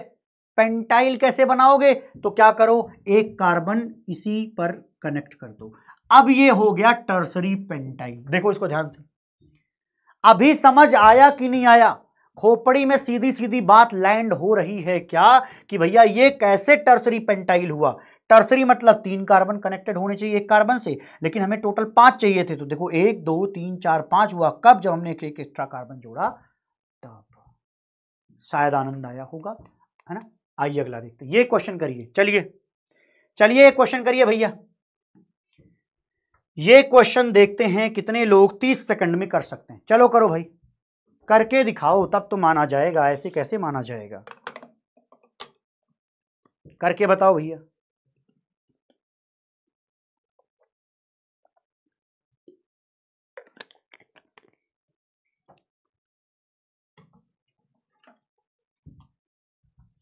बताओ बताओ बताओ। The structure of isobutyl isobutyl समझाया था आइसोब्यूटेन कैसे बनता है? समझ जाओ आइसोब्यूटेन कैसे बनता है? आइसो में क्या बताया था? वी टाइप का बनाना है, एक कार्बन पर दो सी एस थ्री होने चाहिए। ब्यूटाइल का मतलब टोटल ही चार कार्बन टोटल चार कार्बन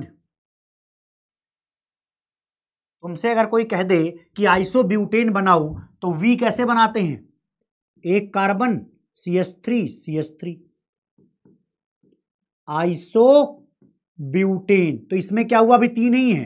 तो इसके आगे हमें क्या करना पड़ेगा? एक सी एस थ्री और लगा देते। तो ये क्या हो जाता? ये हो जाता आइसो ब्यूटेन लेकिन मेरे को तो ब्यूटाइल बनाना है। तो ये यहाँ से थ्री हटाइए। यहाँ टू लगाइए। ये कहीं देखो दिख रहा है? ये कहीं दिख रहा है? ये देखो। कहीं दिख रहा है क्या? ये तो पहले का बताएगा नालायकों तुम अभी छाप के बता रहे हो जब मैंने बता दिया है। कैसे कैसे नालायक प्राणी हो भाई? अरे वाह वाह भैया, वाह। अब तो नाम लेना ही पड़ जाएगा। Nitin Kushwaha ji very very good dream IIT साहब, अंशुल यादव जी। चारमी चारमी पांडे, शायद, या पांड्या। उड़ीसा में होते हैं, पांड्या, है ना? ये हो सकता है। अरे, देख रहे हो? ये होते हैं। थोड़ा स्पेलिंग गलत लिख दिया, बाकी सब सही लिखा है इसने। बहुत सही बालक, बहुत सही। सही जा रहे भैया। हाँ तो ये समझ में आया? चलिए अगला करते हैं। अगला देखें भैया, अगला क्या है? अगला भी एक क्वेश्चन आया, देखते हैं कितने लोग कर पाते हैं। अब कई लोगों को जनरल फॉर्मूला नहीं पता होगा तो उसको मैं जानबूझकर के यहाँ लेकर के आया हूँ, ताकि मैं यही समझाऊँगा कि जनरल फॉर्मूला क्या होता है। समझे जी? हाँ। जनरल फॉर्मूला जैसे देखो, एल्केन का general formula C N H two N plus two ठीक है? ये है एल्केन का जनरल फॉर्मूला, ठीक है? क्यों? अगर हम एन की वैल्यू वन पुट करें एन की वैल्यू वन पुट करें तो ये क्या बन जाएगा? सी एच फोर जिसको कहते हैं मीथेन, और मीथेन क्या होता है? एक एल्केन तो है ही। इसी तरीके से आप टू पुट कर लीजिए N is equal to two तो ये क्या हो जाएगा? सी टू एच सिक्स जिसको कहते हैं इथेन ठीक है? अब अगर एल्केन हमें लिखना आ गया तो क्या आप एल्कीन लिख सकते हैं इसी तरीके से? C N H two N this is alkene अच्छा। C N H two N minus two this is alkyne आप पुट करके देखते जाइए, आपको मिलता जाएगा। देखो two N plus two alkane two घटा दिया टू और घटा दिया। सिंपल है। सिंपल है बाबा सिंपल ठीक है? चलिए बताइए। सबसे आसान चीज़ बताऊँ, कैसे देखना होता है? सबसे सिंपलेस्ट वर्जन बनाइए। सबके सबसे सिंपलेस्ट वर्जन बनाइए और यहाँ पर भर के देख लीजिए। समझा देता हूँ। डाई कीटोन का मतलब होता है कि डाई कीटोन में समझना, जैसे होगा C double bond O di का मतलब दो। दो कीटोन एक साथ। तो दो कीटोन एक साथ, लेकिन यहाँ पर इसके लिए हमें क्या रखना पड़ेगा? सी एस थ्री और यहाँ क्या रखना पड़ेगा? सी एस थ्री अब इसका केमि अब इसका फॉर्मूला निकालिए। क्या होगा बताइए? चार है तो यहाँ पर हो जाएगा C four C four hydrogen कितने? छह ऑक्सीजन कितने? दो। देखो सेट नहीं बैठ रहा है, क्योंकि एन के बाद टू एन ये एट होता, तब ये सेट बैठता। इसका मतलब ये मामला ठीक नहीं समझ गए? यस अब अगला देखिए। कार्बोक्सिलिक एसिड, सबसे सिंपल कार्बोक्सिलिक एसिड है C S three C double O O H मान लीजिए। C S three C double O H तो यहाँ की अगर मैं बात करूँ तो आप कैसे लिखेंगे? कार्बन कितने हैं? दो। हाइड्रोजन कितने हैं? देखो, हाइड्रोजन कितने हैं? चार। ऑक्सीजन कितने हैं भैया? दो। तो देखो, ये सबसे सही सेट बैठेगा। अगर मैं एन की वैल्यू वन पुट करूँ तो यही आएगा। निस्संदेह बी ऑप्शन सही है। कभी भी डरना नहीं है। सबसे छोटा वाला निकाल लो, वहाँ से जनरल फॉर्मूले तक आप पहुँच जाएँगे। है ना? बोलो भैया। अगर मैं टू पुट करूँ तो देखो ये बन रहा है। हाँ सर, बन रहा है। आप देखो, डाई ऑल्स का मतलब बताता हूँ क्या है। मतलब हमें क्या करना है? दो ओ OH जोड़ना है। ये देखो। दो ओ OH जोड़ना है। मान लो दो कार्बन लिए, हमने दो ओ OH जोड़ दिए। तो डाई ऑल हो गया। देखो ये मैच नहीं होगा वहाँ पर। डाई एल्डिहाइड है। तो ये देखो, ये होता है डाई एल्डिहाइड। मैच करके देखो, नहीं मैच होगा। B option is correct. शायद आपको मज़ा आया होगा, आनंद की भरपूर। हाँ तो सबसे छोटा अगर चाहो तो हाइड्रोजन भी लिख सकते हो यहाँ पे। हाइड्रोजन लिखोगे तब भी सेटिस्फाई करेगा। हमेशा सेटिस्फाई करेगा भाई। Okay? Okay. Naming of unsaturated compound देखो, मैं आपको सच बताऊँ तो आईयूपीएससी के जितने कॉम्प्लेक्स चीज़ें होती हैं, सब निपट चुकी हैं। अब सिर्फ़ सिंपल सिंपल बातें होने वाली हैं, लेकिन यहाँ से थोड़ा ध्यान देंगे तो जल्दी से हो पाएगा, ठीक है? अब देखिए, जो मैंने रूल पढ़ाए थे, उसमें बस एक चीज़ ऐड हो जाएगी, मैक्सिमम नंबर ऑफ़ कार्बन तक तो ठीक है, लेकिन अब साथ में आपको लिखना होगा, विथ मल्टीपल बॉन्ड, अगर आप अनसैचुरेटेड कंपाउंड की बात कर रहे हो मतलब हमें मेन चेन ऐसा सेलेक्ट करना है, जहाँ पर डबल या ट्रिपल बॉन्ड मेन चेन के अंदर ही आ जाएँ।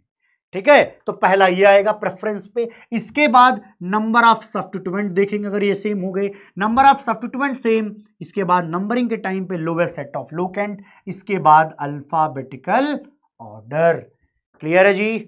बोलो भैया डबल बॉन्ड को प्रेफरेंस देंगे, ध्यान दीजिएगा। अगर मान लो कहीं सब्सटीट्यूएंट हो और डबल बॉन्ड हो तो नंबरिंग किसकी वजह से होगी? डबल बॉन्ड की वजह से, क्योंकि डबल बॉन्ड को प्रेफरेंस देते हैं। ठीक है? आइए देखते हैं। नामकरण करना शुरू करिए, बहुत आसान है। हमने पढ़ लिया, लेकिन एक बार और देखें। यहाँ बताइए। डबल या ट्रिपल बॉन्ड के हिसाब से आपको क्या करना है? मेन चेन सेलेक्ट करना। तो मेन चेन तो एक ही है। नंबरिंग करते वक्त हमें क्या करना है? नंबरिंग देना है यहाँ ताकि मिनिमम नंबर मिले। यहाँ से दोगे तो वन और यहाँ टू मिल जाएगा। टू मत दीजिए, वन दीजिए तो वन, टू, थ्री। तीन कार्बन के लिए बताइए क्या लिखते हैं वर्ड रूट? इसका नाम बताइए। तीन कार्बन के लिए क्या वर्ड रूट होगा? अरे सर प्रोप होगा। अरे क्यों दर्द ले रहे हो यार? ब्रेक मत करो भैया, तुम ब्रेक की ज़रूरत नहीं है। मिस्टर नालायक प्राणी, मम्मी से बोलो कि मम्मी, थाली में खाना दे दो, पानी दे दो, आज मैं पढ़ रहा हूँ, मैं देखता हूँ, तुम्हें मना करे तो वीडियो बना के बताना, मैं मम्मी से बात करूँगा। मैं कह रहा हूँ, मैं जानता हूँ कि मम्मी सपोर्ट करेंगी कि बेटा पढ़ रहा है। अब तुम ही स्वयं नालायक हो, तुम्हें कुछ और करना है। तो भैया अलग बात है। ठीक है? ओके, आइए देखते हैं। तीन कार्बन के लिए हम प्रोप लिखेंगे, लेकिन अब प्रोपेन नहीं लिख सकते। क्यों? क्योंकि डबल बॉन्ड मौजूद है। डबल बॉन्ड में ईन लिखते हैं। तो वन पर, कार्बन नंबर वन पर ईन है। कई बच्चे कंफ्यूज रहते हैं। सर, देखो, दो पर भी तो डबल बॉन्ड है। जो कम नंबर वाला है, जिधर से गिनती शुरू करी, वो लिखना है। तो हम लिखेंगे प्रोप वन ईन। ठीक है? या डायरेक्ट इसको प्रोपीन भी कहा जाता है, कोई दिक्कत नहीं है। ये बताइए, इनका नंबरिंग तुरंत बताना है आपको, चलिए। वन टू थ्री फोर चार कार्बन की चेन के लिए आप क्या लिखेंगे? आप ब्यूट लिखेंगे। चार कार्बन की चेन के लिए ब्यूट वन पर डबल बॉन्ड तो ब्यूट वन इन लिखेंगे। आसान है क्या? बोलो भाई, आसान है क्या? यस अगला देखिए। ये देखो भाई। सर मैंने तो नंबर मैंने तो उसको टाइम दिया था। मेरे को उससे मिलना था। ऐसा तो लिख रहा है कोई। अच्छा रे, हैं? शीशा ले आओ रे भाई। शीशा ले आओ। अब ये फ़ोन ले जाओ, मम्मी को दो, मैं बात करूँ थोड़ा। दो दो दो। माता जी इनको एक शीशा दीजिए, इनकी शक्ल दिखाइए। थोड़ा टॉर्च वॉर्च जला देना चेहरे पे। थोड़ा दिखे कि कैसी है शक्ल। तब इनको कंफर्म हो रहेगा कि अभी नहीं होने वाला है कुछ। अभी फ़िलहाल पढ़ाई पे ध्यान देना है। हैं? पढ़ ले भाई, पढ़ ले। आसान है, कुछ कठिन है ही नहीं। हाँ पूरी ऑर्गेनिक केमिस्ट्री आसान है, सच बताऊँ तो। पूरी ऑर्गेनिक केमिस्ट्री पूरी जीओसी समझी जाती, कुछ रट्टा नहीं है वहाँ। सब कुछ लॉजिकल है। वहाँ पर बड़े बड़े ऑर्डर्स को रट्टा नहीं मारा जाता।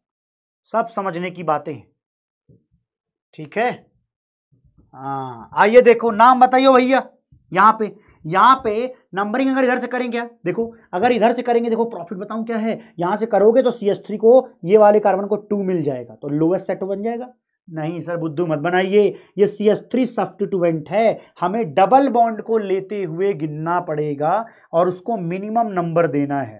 तो ये वन ये टू मैं बता रहा हूँ, ध्यान रखना मिनिमम नंबर देने की कोशिश करिए तो one two three four five तो पाँच कार्बन के लिए आप क्या लिखेंगे? आप कहेंगे पाँच कार्बन के लिए तो पेंट होता है और दूसरे कार्बन पर डबल बॉन्ड है तो टू पर तो इन होता है, लेकिन कार्बन नंबर चार पर सी एस थ्री है तो फोर पर मिथाइल होता है। फोर पर मिथाइल होता है। समझ में आया क्या? यहाँ तक की बात समझ में आई क्या? बोलो। सारे लोग बोलेंगे? ओके। क्लियर है? ओके अगली बात देखते हैं. Maximum number of maximum number of carbon वो ये चीज़ है जो मैंने पीछे बताया ये अलग नहीं है. इसका नामकरण बताइए. इसका नामकरण बताइए. बताइए. बोलो बोलो बोलो. इसका नामकरण बताइए. यहाँ पर क्या होगा? वन यहाँ टू यहाँ पर थ्री यहाँ पर फोर यहाँ पर फाइव सही लिख रहा हूँ या गलत है? सही है, क्योंकि हमें क्या करना है? मल्टीपल बॉन्ड को मिनिमम नंबर प्रोवाइड कर देना है। ठीक है? तो इसके लिए हम क्या बोलेंगे?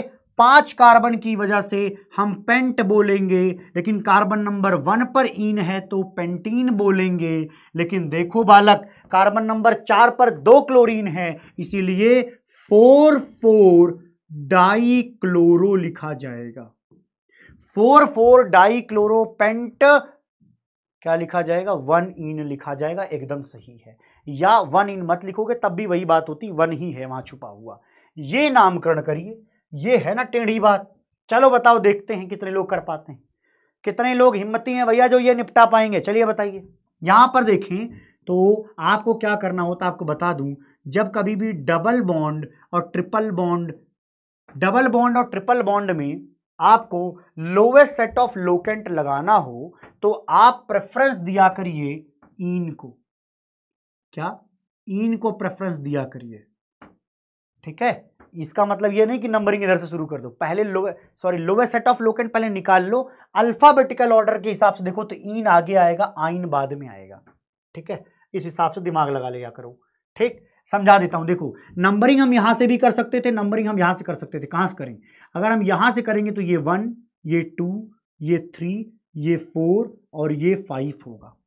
बोलो भाई, सही है क्या? अगर हम इधर से करें तो one two three four five होगा। यहाँ पर हम देखें तो सेट ऑफ़ लोकेंट क्या बन रहा है? वन और थ्री बन रहा है। देखो, यहाँ से चलने पर वन और थ्री बन रहा है। लेकिन अगर मैं यहाँ से चलूँ, इधर वन इधर टू, इधर थ्री, इधर फोर, इधर फाइव। तो देखो क्या बन रहा है। इधर चलने पर टू और फोर बन रहा है। तो बताओ कौन सा रिजेक्ट किया जाए? रिजेक्टेड मटेरियल कौन है भैया ये? सेलेक्टेड कौन है ये? क्यों? क्योंकि लोवेस्ट सेट ऑफ़ लोकेंट बन रहा है। डबल बॉन्ड और ट्रिपल बॉन्ड को सेट ऑफ़ लोकेंट कितना देखना पड़ेगा। और वन और थ्री पोजीशन पर हमें क्या मिल रहा है जी? ये देखिए मैं हटा दे रहा हूँ। डबल एंड ट्रिपल बॉन्ड बन रहा है। अब समझ में आया कि हमने ये रिजेक्ट क्यों किया और ये सेलेक्ट क्यों किया? क्योंकि इसका लोवेस्ट सेट ऑफ़ लोकेंट बड़ा है, यहाँ टू है, यहाँ वन है वन वाला सेलेक्ट करिए। नाम क्या बनेगा? बोलो भैया, नाम क्या बनेगा? आप कहेंगे, देखिए टोटल पाँच कार्बन है। पाँच कार्बन के लिए तो पेंट लिखा ही जाता है। पाँच कार्बन के लिए पेंट लिखा जाएगा। वन पर आइन है थ्री पर इन लेकिन आपको सिखाया था मैंने कि पहले इन लिखा जाएगा। तो हो गया थ्री इन और वन पर क्या आ जाएगा? आइन। यही आएगा। Pent three en, one yne. This is the name आइए अगला देखते हैं। ये बताइए, चलिए। चलिए, देखिए। अब देखो, इनका अगर आप सेट ऑफ़ लोकेंट देखो तो यहाँ से गिनोगे तब भी वन आएगा, यहाँ से गिनोगे तब भी वन आएगा। मतलब सेट ऑफ़ लोकेंट तो सेम आने वाला है। अगर सेट ऑफ़ लोकेंट सेम आएगा तो अल्फाबेटिकल ऑर्डर अपनाइए। इनको प्रेफरेंस दीजिए। आइए आइए बताइए। इनको प्रेफरेंस दीजिए। आप कहेंगे, यहाँ पर जो नंबरिंग है दैट इज़ वन यहाँ पर टू यहाँ पर थ्री यहाँ पर फोर और है इसके बाद फाइव ठीक है? इसके बाद क्या आएगा? फाइव आएगा। क्लियर है क्या? एक बार देख लो। एक बार सारे लोग देख लो, भाई सही है क्या? एकदम यस तो हम लिख देंगे ठीक है? अब थोड़ा तेज चल सकते हैं, क्योंकि अब सारी चीज़ें समझाई जा चुकी हैं। पेंट का मतलब पाँच कार्बन है और टू पर डबल बॉन्ड है, इसलिए टू इन हमेशा इन पहले लिखना होता है और इसके बाद देखें तो फोर पर, देखो, फोर पर क्या प्रेजेंट है? Triple bond. तो फोर पर आइन आएगा। तो ये आएगा जी। बोलो भैया, ठीक है? ये देखिए, दोनों, अब आप ये खुद लिख सकते हैं। One, two, three four. आप क्या लिखेंगे? आप लिखेंगे ब्यूट one three di yne. But one three, but one three di yne. Clear है? ये क्वेश्चन करिए, चलिए। चलिए, आपको टाइम दे दिया जी ये क्वेश्चन करिए। आपको मैं दे रहा हूँ तीस सेकंड। इससे ज़्यादा का टाइम देना ठीक नहीं है। मैं साथ साथ आपके हेल्प करता चलूँगा। अब अपन स्पीड पकड़ लेंगे अब निश्चित रूप से, क्योंकि हमने सारे बेसिक कॉन्सेप्ट ढंग से सीख रखे हैं। अब ज़्यादा वक्त लगेगा ही नहीं।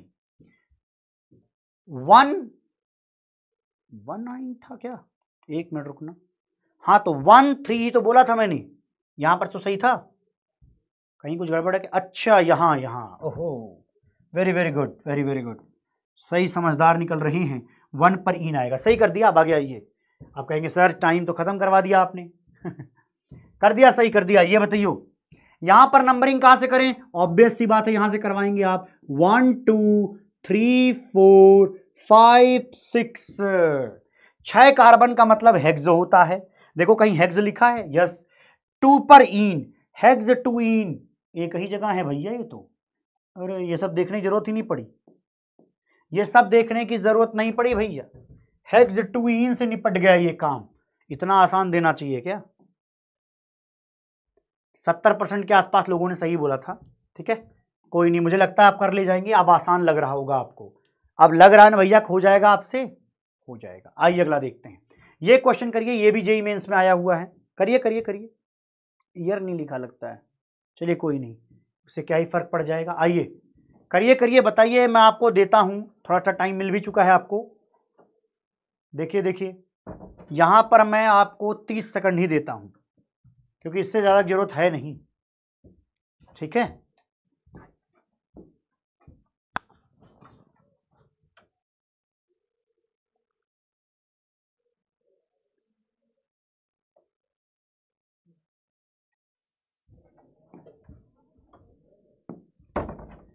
बोलो भैया, क्या आएगा? नंबरिंग करें कहाँ से? सर डबल बॉन्ड से किया करिए, जब दोनों किनारे हो। तो one two three four five ये सिक्स और ये सेवन तो कहीं पर देखो भैया हेप्टेन टाइप की चीज़ दिख रही है क्या?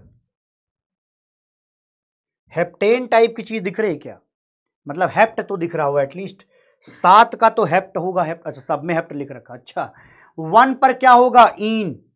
हेप्ट वन इन, कहीं है? हेप्ट वन इन, सिक्स पर आइन, ये मैच करता हुआ नज़र आ रहा है। देखिए, हेप्ट वन, अब तीसरे पर मिथाइल, तीसरे पर मिथाइल, पाँचवें पर मिथाइल। अच्छा जी, थ्री फाइव डाई मिथाइल एकदम सही है, और चौथे पर propyl means that B option is correct. B option को सही लगाएँ देखें क्या आता है। अरे बाप रे बाप, ब्लंडर, इतना खतरनाक ब्लंडर। अरे भाई भाई। क्या चल रहा है? अंधा मार रहे हैं बच्चे हमारे। हमारे बच्चे देखते हैं सबसे बड़ा नंबर क्या लिखा है? लो भैया, यही होगा। कछु नहीं और होगा। का भैया जी, कौन सही किया जी? रेड जोन साहब ने सही किया है। पांडे अंकित जी ने सही किया। एकेडमिक क्लासेस वाले भी कर रहे हैं, देख रहे हो? जब अच्छा पढ़ाते हो ना तो यही होता है क्लासेस वाले भी करते हैं। चलो आगे देखते हैं। आसान सी बातें हैं तो। अब आते हैं होमोलॉगस सीरीज़ में। ठीक है? होमोलॉगस सीरीज़ में देखना क्या होता है? सी एच टू का डिफरेंस करना है। तो जैसे है सी एच फोर मैं बात करूँगा एल्केन की पहले, ठीक है? एल्केन में सी एच फोर से शुरुआत होती है, इसमें सी एच टू ऐड करो। क्या ऐड करो? सी एच टू तो सी एच टू ऐड करोगे तो एक कार्बन ऐड हुआ और तो हो गया दो कार्बन दो हाइड्रोजन ऐड हुआ तो सिक्स तो ये भी एल्केन ये भी एल्केन फिर से सी एच टू ऐड करो तो ये होगा सी थ्री एच एट हम ऐड क्या कर रहे हैं? लिख देता हूँ यहाँ पर सी एच टू ग्रुप होता क्या है? ये एक ऐसा सीरीज़ है, ये एक ऐसा सीरीज़ बनता है जहाँ पर एक दूसरे में जो अड़ोसी पड़ोसी लोग हैं, उनमें सी एच टू का डिफरेंस आता है। ठीक है? सी एच टू का डिफरेंस आता है। सी एच फोर में सी एच टू ऐड किया तो ये आएगा। इसमें सी एच टू मतलब एक कार्बन दो हाइड्रोजन ऐड किया तो ये आएगा। इसी तरीके से अगला भी कर सकते हैं। तो ये जो सीरीज़ बनती है, इस तरीके से बहुत बड़ी सी सीरीज़ बनाई जा सकती है ना? तो ये एल्केन की एक जो सीरीज़ बनती है, इसी सीरीज़ को होमोलॉगस सीरीज़ कहते हैं। क्या? इसी को क्या कहते हैं? होमोलॉगस सीरीज़ कहते हैं। और इन सबको होमोलॉग्स कहते हैं। होमोलॉगस सीरीज़ में जितने लोग आते हैं उनको होमोलॉग्स कहते हैं। अब एक बात बताओ। एल्केन का जो जनरल फॉर्मूला वो क्या पढ़ा था हमने? C n H two n plus two होता है। यही होता ना? अब एक बात बताओ, मैं कहूँ कि इस पूरे होमोलॉगस सीरीज़ में सबके लिए जनरल फॉर्मूला यही होगा, क्या सही है? मैं शब्द क्या पूछ रहा हूँ, सुनिएगा। पूरे होमोलॉगस सीरीज़ के लिए क्या ये जनरल फॉर्मूला सेम ही होगा? जवाब है हाँ क्योंकि एन की वैल्यू वन पुट कर दो तो ये आएगा एन की वैल्यू टू पुट करो ये आएगा एन की वैल्यू थ्री पुट कर दोगे ये आएगा, और इन सब में सी एच टू का डिफरेंस आ रहा है। समझ गए? अगला देख लीजिए, इसी तरीके से एल्कीन एल्काइन का भी आप बना सकते हैं। लेकिन मैं चल रहा हूँ एल्कोहल का समझाने। क्या?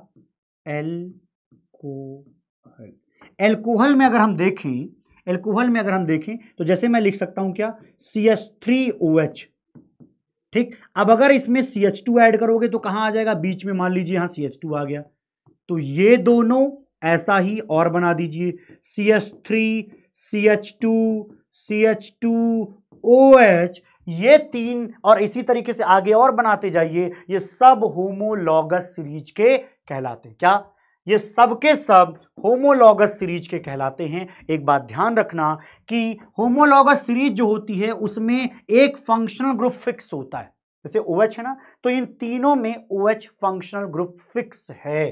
तो बस यही बात ध्यान रखना है कि फंक्शनल ग्रुप सेम होना चाहिए बट डिफरेंट होना चाहिए। क्या एक ऐड होता हुआ सी एच टू ग्रुप ये अलग होना चाहिए? चलिए। आइए देखते हैं, ये पढ़िए क्या लिखा है। A sequence of compounds with the same functional group same functional group in which the members of series can differ by the molecular formula of C H two का अंतर आता है। और सी एच टू का अंतर आता है तो एक बात बताइए, इनके मॉलिकुलर फॉर्मूले में, चलो इनका मॉलिकुलर फॉर्मूला बताओ और इनका बताओ, चलो निकाल के बताओ। मॉलिकुलर फॉर्मूला निकालना आता है। मॉलिकुलर फॉर्मूला आता है क्या निकालने? बताइए। कितने लोग ऐसे हैं जो मॉलिकुलर फॉर्मूला निकाल सकते हैं, लिख सकते हैं और मॉलिकुलर मास लिख सकते हैं? चलो मॉलिकुलर मास बताओ आज। इनका मॉलिकुलर मास क्या होगा? इनका मॉलिकुलर मास क्या होगा? आप क्या कहेंगे? देखिए, यहाँ पर एक कार्बन है तो एक कार्बन के लिए तो बारह लिखते हैं, ठीक है? अब देखो, हाइड्रोजन कितने हैं? चार। चार हाइड्रोजन के लिए तो आएगा फोर ए एम यू अच्छा एक ऑक्सीजन के लिए कितना आएगा? सोलह आएगा। तो ये कितना हो गया जी? बत्तीस हो गया क्या? इनका मॉलिकुलर फॉर्मूला देखो थर्टी टू आएगा। Thirty two A M U आएगा। A M U atomic mass unit आएगा। अच्छा एक बार बताइए, अब अगर इनके, इनका जस्ट पड़ोसी कौन है? ये होमोलॉगस सीरीज़ का होमोलॉग है तो इसमें सी एच टू ही तो एक्स्ट्रा हुआ है। तो सी एच टू को अगर आप देखो तो सी एच टू को देखो कितना आता है? कार्बन का आएगा बारह, दो हाइड्रोजन का तो कितना आएगा? चौदह। तो चौदह ए एम यू या इसी को शॉर्ट में यू लिखते हैं। तो यहाँ पर 14 और ऐड हो जाएगा। तो 32 प्लस 14 ये कितना हो जाएगा भैया? Forty six A M U इन दोनों में डिफरेंस कितने का है? 14 का है। यही बात यहाँ लिखी गई है कि दो लोगों में मॉलिकुलर मास 14 का अंतर आता है और अगर हम मॉलिकुलर फॉर्मूले वाइज देखें तो सी एच टू का अंतर आता है। इस तरीके से शायद आपको समझ में आ चुका होगा। आइए अगला देखते हैं। ये क्वेश्चन करिए। ये क्वेश्चन वैसे आप, मुझे लगता है, खुद कर ले जाएँगे। एल्केनॉल्स जो मैंने बताया ना अभी पीछे, उन्हीं को जनरल फॉर्म में लिख देना है। ठीक है? जैसे आप लिख दीजिए। क्या लिखा है? C S three O H इसको कैसे लिखोगे? C H four O C H four O अब ऐसा इनमें से कौन सा है जहाँ पर एन की वैल्यू वन पुट करें और ये सेटिस्फाई कर दें? बताओ।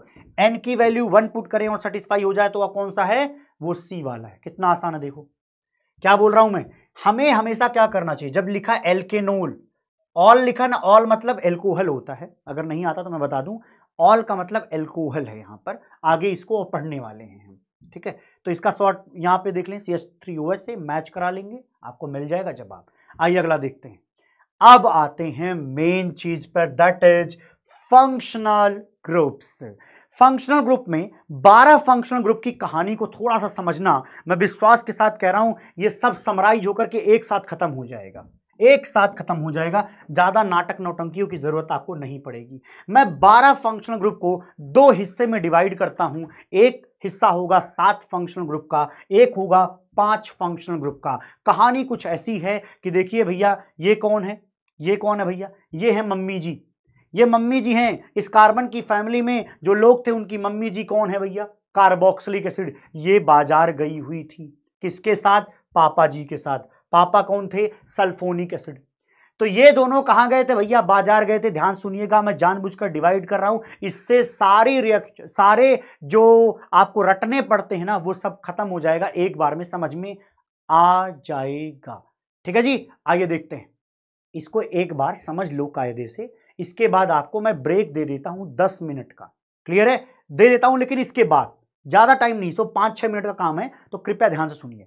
कहानी सुनिए, कहानी क्या थी? मम्मी और पापा गए थे कहाँ पे? बाज़ार में, ठीक है जी? अब हुआ क्या कि जब आए, पापा जी बाहर आए, मम्मी जी बाहर आई बाज़ार से आकर के तो उनके परिवार में जो बाकी लोग थे, उसमें सुनिएगा, जिनकी शक्लें मम्मी से मैच करती थी, वो मम्मी को प्यार करते थे तो मम्मी से प्यार करने वाले लोग, ये छह लोग और थे।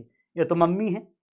पूरे बारह में ये छह और लोग थे, जहाँ पर इनकी शक्लें मैच करती हैं। मतलब यहाँ कार्बन है, यहाँ भी कार्बन है, यहाँ भी कार्बन है कार्बन है कार्बन है कार्बन है कार्बन है। यहाँ देखो, इन सातों लोगों में कार्बन कॉमन था तो इन सबको इनसे प्यार था तो ये सारे कहाँ चले गए? एक ग्रुप में चले गए। समझ में आया?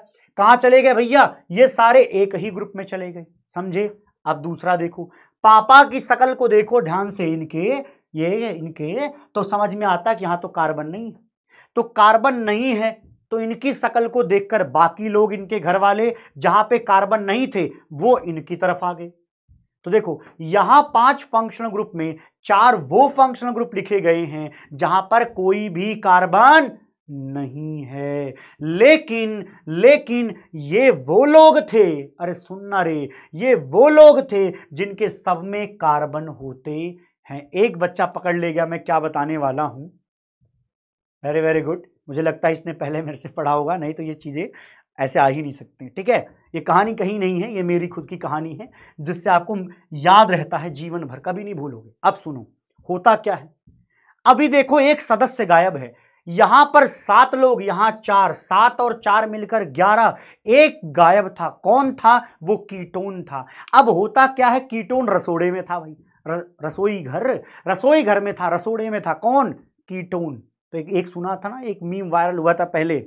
रसोड़े में कौन था? तो अब पता चल गया तुम्हें कौन था? कीटोन था। अब कीटोन अपने रसोई में था। जब वो बाहर निकला गेट के तो उसने देखा अरे मम्मी की तरफ़ तो इतने लोग खड़े। पापा तो बेचारे केवल चार लोगों के साथ अपने खुद को मिला करके खड़े। तो वो क्या होता है? किधर सड़क के आ गया जी? कीटोन की तरफ़। अरे इनके पापा की तरफ़ आ गया। तो बस कीटोन में कार्बन तो था। ये थोड़ा पाप, मम्मी से प्यार तो करता था, लेकिन उसने देखा पापा बेचारे अकेले पढ़ रहे, चलो इनका नंबर बढ़ाता हूँ। तो कीटोन जो है, वो इस साइड आ गया। समझ गए? और ये ब्रह्म सूत्र का मतलब क्या है? वो सुन लीजिए, रसोड़े में कीटोन ये कहा गया था, वो सुनो उसे क्या काम होगा? जहाँ कहीं ये सात फंक्शनल ग्रुप दिखाई दें, उनके कार्बन को पकड़ करके उसको नंबरिंग वन दीजिए। ऑलवेज नंबर वन बनाइए। ऑलवेज नंबर वन बनाइए ऑलवेज नंबर वन बनाइए। मम्मी की यही कंडीशन है कि भैया हमारे बेटे और हम खुद कार्बन नंबर वन पर ज़िंदा रहेंगे। हमेशा ऐसा होगा कि ये लोग कार्बन नंबर वन ग्रहण करेंगे। क्या करेंगे? क्या करेंगे? ये सबके सब कार्बन नंबर वन ग्रहण करेंगे। लेकिन ये जो लोग हैं, इनको बस अगर वन मिला तो संतोष है, खुशी है। वन मिला तो संतोष है, खुशी है, प्रसन्नता है मन में, लेकिन वन नहीं मिला। वन नहीं मिला तो कोई दुख की बात नहीं है। ये कहते हैं, वन नहीं मिला, कोई दुख की बात नहीं है। इतनी कोई बड़ी बात नहीं है। आप मुझे एक काम करो, बस मिनिमम नंबर प्रोवाइड करवा दो। वन मिलता मैं खुश हूँ, लेकिन अगर मुझे मिनिमम नंबर भी मिल जाए तो तो तो भी मैं खुश हूँ। मिनिमम नंबर जैसे मान लो टू मिल गया। थ्री मिल गया तो ये खुश हैं भैया, कोई दिक्कत की बात नहीं है। बस कोशिश ये करो, वो कह रहे हैं, ज़्यादा झंझट मत पालो, पापा बड़े शांत आदमी वो कहते हैं, एक दोगे तो भी ठीक, नहीं तो भैया देखो मिनिमम नंबर कोई सा थमा दो। मेरे जुड़े हुए कार्बन पर, ये सारे लोग कहीं कार्बन पर जुड़ेंगे तो उसको यार मिनिमम नंबर करवा देना, वो मेरे को सेटिस्फाई कर देगा, प्रसन्न रहूँगा मैं इसमें। अब आइए, लगाते हैं इसको, इसके बाद समझते हैं, ठीक है? आइए देखते हैं। यही है सेवन के लिए क्या बोला गया? Carbon present in functional group are always given the position one हमेशा वन पोजिशन पर रहेंगे। हमेशा इसका कोई भैया तोड़ नहीं है। लेकिन यहाँ आओ। नंबर ईथर लास्ट में मैं पढ़ाऊँगा ईथर को छोड़ो। ईथर को एज ए फंक्शनल ग्रुप यहाँ पर ट्रीट नहीं करेंगे। एज ए सब्सटीट्यूएंट ट्रीट किया जाता है मेन चेन के बाद। इसलिए उसको यहाँ पे नहीं पढ़ाता मैं। ठीक है? अब देखो, पाँच फंक्शनल ग्रुप में मैंने क्या लिखा? नंबरिंग इज़ डन नंबरिंग उधर से करना है। उस साइड से main chain which gives the lowest number of the functional group आपको फंक्शनल ग्रुप को भैया क्या बोलना है? मिनिमम नंबर बस. एक ही ब्रह्म सूत्र है, काम बन चुका है. एक ही ब्रह्म सूत्र है, काम बन चुका है बेटा. देख लो. बताओ, कहीं से दिक्कत, परेशानी, समस्या है तो बताइएगा. कहीं नहीं होगी. अब बताइए, कोई कहे कि भैया इनका कार्बन नंबर वन कहाँ आएगा? अरे आँख मूद के कहो, भैया, मम्मी है ये. मम्मी को कार्बन नंबर वन चाहिए. पड़ोसी को दो दे दो. दो कार्बन के लिए हम एथ लिख देंगे. अरे बोल ना दो कार्बन के लिए हम एथ लिख देंगे, और जब कार्बन काउंट हो गया तो हम ओइक एसिड लिख देंगे। तो हम लिखेंगे, देखो, दोनों कार्बन के बीच में केवल एक सिंगल बॉन्ड है तो हम लिखेंगे ईथेन। क्या लिखेंगे? इसके बीच में हम लिखेंगे ईथेन, और सी डबल ओ एच लिए है ओइक एसिड तो हम लिखेंगे इथेनोइक एसिड। हम क्या लिखेंगे? Ethanoic acid. सिंपल है ना? अरे बोल रहे भैया, सिंपल है ना जी। हाँ अब आप कहेंगे, सर, ये एन में ई कहाँ चला गया? तो ये जान लीजिए, जब भी आपके फंक्शनल ग्रुप के नाम में ए ई आई ओ यू आएगा तो उससे जस्ट पहले एन का ई गायब करो, इन का ई गायब करो, आइन का ई गायब कर दीजिए। बोलो भैया।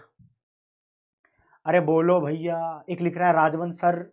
क्या? OP in the chat yes boss he is OP in the chat and I am the OP जो सबके नाम के साथ जुड़ करके उनका उन, हर नाम की औकात बढ़ा देता है। वो सिर्फ़ मैं ही हूँ। मेरा नाम ही ओम है भैया। ओम पांडे मारा नाम ही है।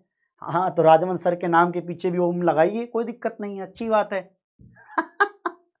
अब आया मज़ा। नालायक पढ़ ले। तुझे लग रहा है मुझे दुख हो जाएगा। अबे वो मेरे दोस्त हैं। पढ़ ले इधर। ठीक है? तो ये हो जाएगा इथेनोइक एसिड। अगला देखते हैं। यहाँ पे देखते हैं भैया, ये ओ OH क्या था? पापा वाले ग्रुप का, इसके अंदर कार्बन नहीं है। कार्बन नहीं है, लेकिन वो कहता कि देख भैया, हमारे पास कार्बन नहीं, कोई बात नहीं, लेकिन मैं जिससे जुड़ा हूँ, उस कार्बन को मिनिमम नंबर दीजिए। तो क्या मैं इधर से चलूँ मिनिमम आएगा? वन टू थ्री इधर से चलने पर थ्री इधर से चलने पर टू तो कहाँ से चलना चाहिए जी? इधर से चलना चाहिए। बोलो भाई। अरे बोल रहे बालक, क्या आएगा? तो आप कहेंगे, अरे आप कहेंगे चार कार्बन के लिए मैं तो क्या लिखने वाला हूँ? ब्यूट और चारों कार्बन में कहीं भी डबल बॉन्ड, ट्रिपल बॉन्ड नहीं तो ब्यूटेन, है ना? ई हमने क्यों नहीं लिखा? क्योंकि हमें यह पता था कि कार्बन नंबर टू पर ओ OH मतलब कि ऑल प्रेजेंट है सफिक्स के लिए तो टू ऑल लिख दिया जाएगा तो ब्यूटेन टू ऑल आएगा। क्या आएगा? ब्यूटेन टू ऑल आएगा। अरे समझे। हाँ। कोई दिक्कत तो नहीं। किसी को कोई समस्या तो नहीं। नहीं होनी चाहिए। अगला देखिए, यहाँ बताइए नंबरिंग कहाँ है? अरे सर ये तो कार्बन है ना? कार्बन को तो हमेशा वन देना पड़ेगा। ये अपनी मजबूरी हो गई है सर ठीक है, बाकी नामकरण बाद में कर लेंगे। चलो ये दे दिया। आपको समझा दिया क्या लिखना होता है। ठीक है, उसी तरीके से यहाँ वन यहाँ टू यहाँ से थ्री यहाँ से फोर बस हमें बताना वन देखो कहाँ दिया? कार्बन को। यहाँ देखिए NH2 जुड़ा जिस कार्बन से यहीं से शुरुआत कर लो। वन टू, थ्री, क्योंकि हमें मिनिमम नंबर देना था। तो देखो, यहाँ हुआ जहाँ जुड़ा है, उसको टू मिला है। यहाँ तो वन मिला वन मिले तो खुश है वो, टू मिल जाए, कोई दिक्कत नहीं, क्योंकि वही मिनिमम नंबर पॉसिबल था तो उसको दे दिया गया है। इसका नाम बता सकते हो? पाँच कार्बन के लिए हम क्या लिखेंगे? पेंट लिखेंगे। क्या लिखेंगे? पेंट लिखेंगे। पाँच कार्बन के लिए हम पेंट लिखेंगे। पाँच कार्बन में हमें कहीं डबल या ट्रिपल नहीं दिख रहा तो पेंटेन लिखेंगे। पेंटेन लिखने के बाद हम अल लिखेंगे, क्योंकि अल से पता चलेगा कि यहाँ एल्डिहाइड ग्रुप जुड़ा हुआ है तो इसका नाम है पेंटेनल। और इसमें ना वन, टू लिखने की ज़रूरत नहीं पड़ती, क्योंकि ये हमेशा किनारे होगा, कार्बन नंबर वन पे ही होता है। ठीक है? ओके, आइए, ये वाला लिख ले जाएँगे। इसका नाम बता पाएँगे कोई? बताओ बताओ। चार कार्बन हो गया तो क्या कहेंगे? ब्यूटेन। फिर ब्यूटेन के बाद वन पर क्या आ रहा है? ये क्या नाम है इसका? इसका नाम बताना पड़ेगा जी आपको। कोई भी नहीं है जो बता पाए। चलो भैया तो इसको ब्रेक के बाद करें। चलो जी, कोई बात नहीं ब्रेक के बाद ही कर लेंगे जी। अच्छा ये थोड़ा सा बाकी है। नहीं नहीं, अभी ब्रेक नहीं है। ये इसी के बाद ब्रेक है। हाँ इसी के बाद ब्रेक है। एक मिनट एक मिनट बस, एक पीपीटी के बाद ब्रेक है। एक पीपीटी के बाद ये ब्रेक है। बस ये देख लो। ये तो बड़ा आसान है जी। सुनना सुनना सुनना। हमने क्या सीखा था? देखो, हमने सीखा था कि multiple bond number of carbon number of substituent फिर लोवेस्ट सेट ऑफ़ लोकेंट फिर अल्फाबेटिकल ऑर्डर बट जब प्रिंसिपल फंक्शनल ग्रुप आ जाए, जब फंक्शनल ग्रुप आ जाए तो उसको सबसे आगे रख दीजिए। बस।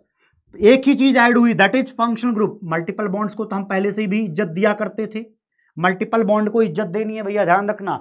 फिर number of carbon number of carbon के बाद number of substituent number of substituent के बाद आप लोवेस्ट सेट ऑफ़ लोकेंट देख लीजिए, फिर अल्फाबेटिकल ऑर्डर देख लीजिए। इसी सीक्वेंस में आपका काम बनता है ना जी? फंक्शनल ग्रुप की ये कहानी यहाँ पर समझ में आ रही है।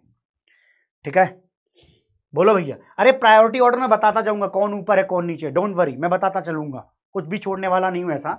है ना? नोट पॉइंट में देखिए, वो तो मैंने बता दिया कि ये क्या लिखा पता है कि वही जो ए ई आई ओ यू अगर आ जाए, किसी भी फंक्शनल ग्रुप के नाम में, जैसे ओइक एसिड में आया था तो मैंने एल्केन का ई e काट दिया था। वही इन्होंने लिखा है कि first alphabet of secondary suffix secondary suffix मतलब प्रिंसिपल फंक्शनल ग्रुप का सफिक्स जो लिखा जाता है, अगर उसमें ए ई आई ओ यू आता है तो प्राइमरी सफिक्स का ई e ड्रॉप करना पड़ता है, हटाना पड़ता है।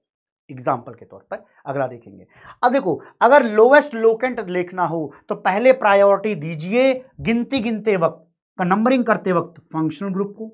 अगर फंक्शनल ग्रुप नहीं है तो मल्टीपल बॉन्ड को। अगर मल्टीपल बॉन्ड नहीं है, तब जो है सब्सटीट्यूएंट को नंबर दीजिए। अदरवाइज़ चलिए किसके हिसाब से? फंक्शनल ग्रुप के हिसाब से, फिर मल्टीपल फिर सब्सटीट्यूएंट ऊपर भी यही लिखा, यहाँ भी मैंने लिख के दे दिया है। आइए, बस इसका नामकरण करना है। आपका एक छोटू सा ब्रेक आपको मिल जाएगा। चलिए, नामकरण करिए, ऐसे थोड़ी ना दे देंगे जी। ऐसे थोड़ी ना दे देंगे। बोलो बोलो बोलो। यहाँ पर बताओ, सीनियर फंक्शनल ग्रुप कौन है?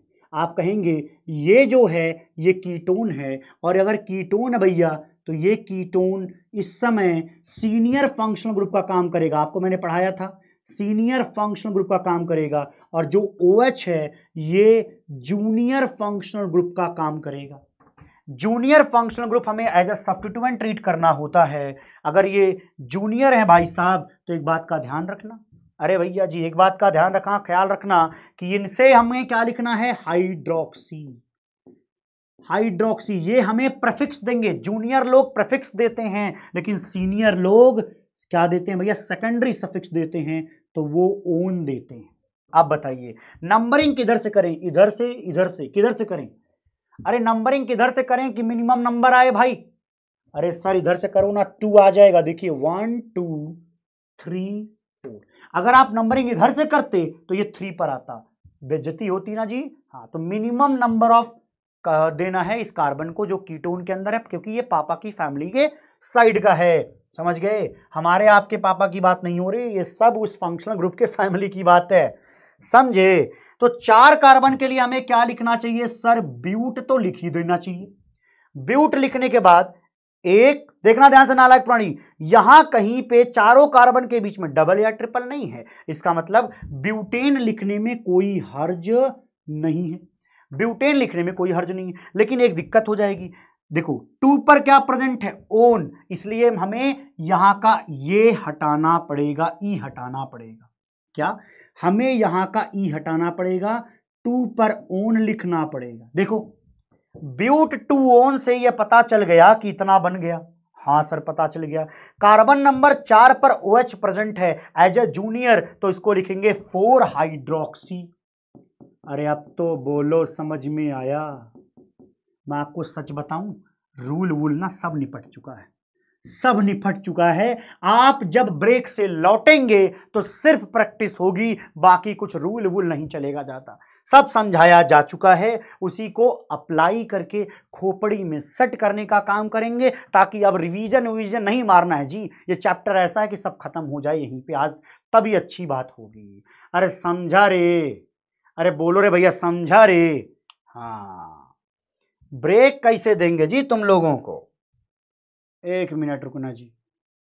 ब्रेक देने का काम तो नोट पर होता है और मैं पढ़ाता हूँ आपको पीपीटी पर। कौनो बात नहीं। है ना जी? यहाँ पे टूल होता ना। कहाँ गया जी? हाँ ये है टूल शायद। हाँ clock clock clock clock clock clock clock. नहीं क्लॉक नहीं, गड़बड़ हो गया। अरे तुम लोगों को पता है क्या? टाइमर बोलते हैं जी, क्लॉक नहीं बोलते हैं।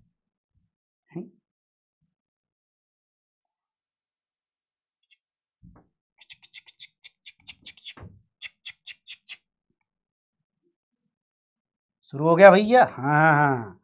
सिर्फ़ और सिर्फ़ दस, इतना पतला कैसे लिख दिया जी तुमने?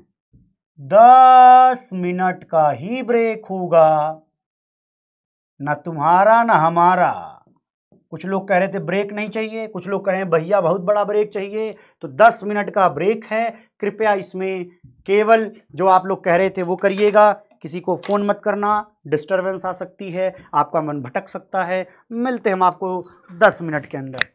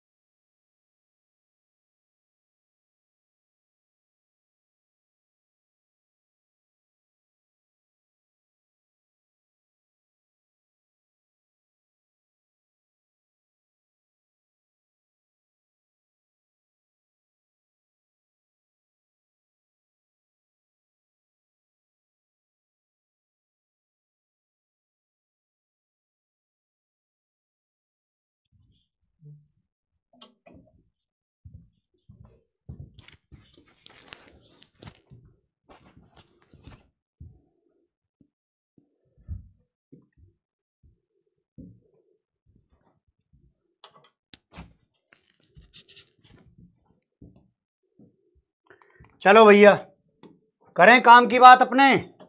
आवाज़ जा रही है क्या? एक बार देखो। बोलो बोलो, आवाज़ जा रही है क्या?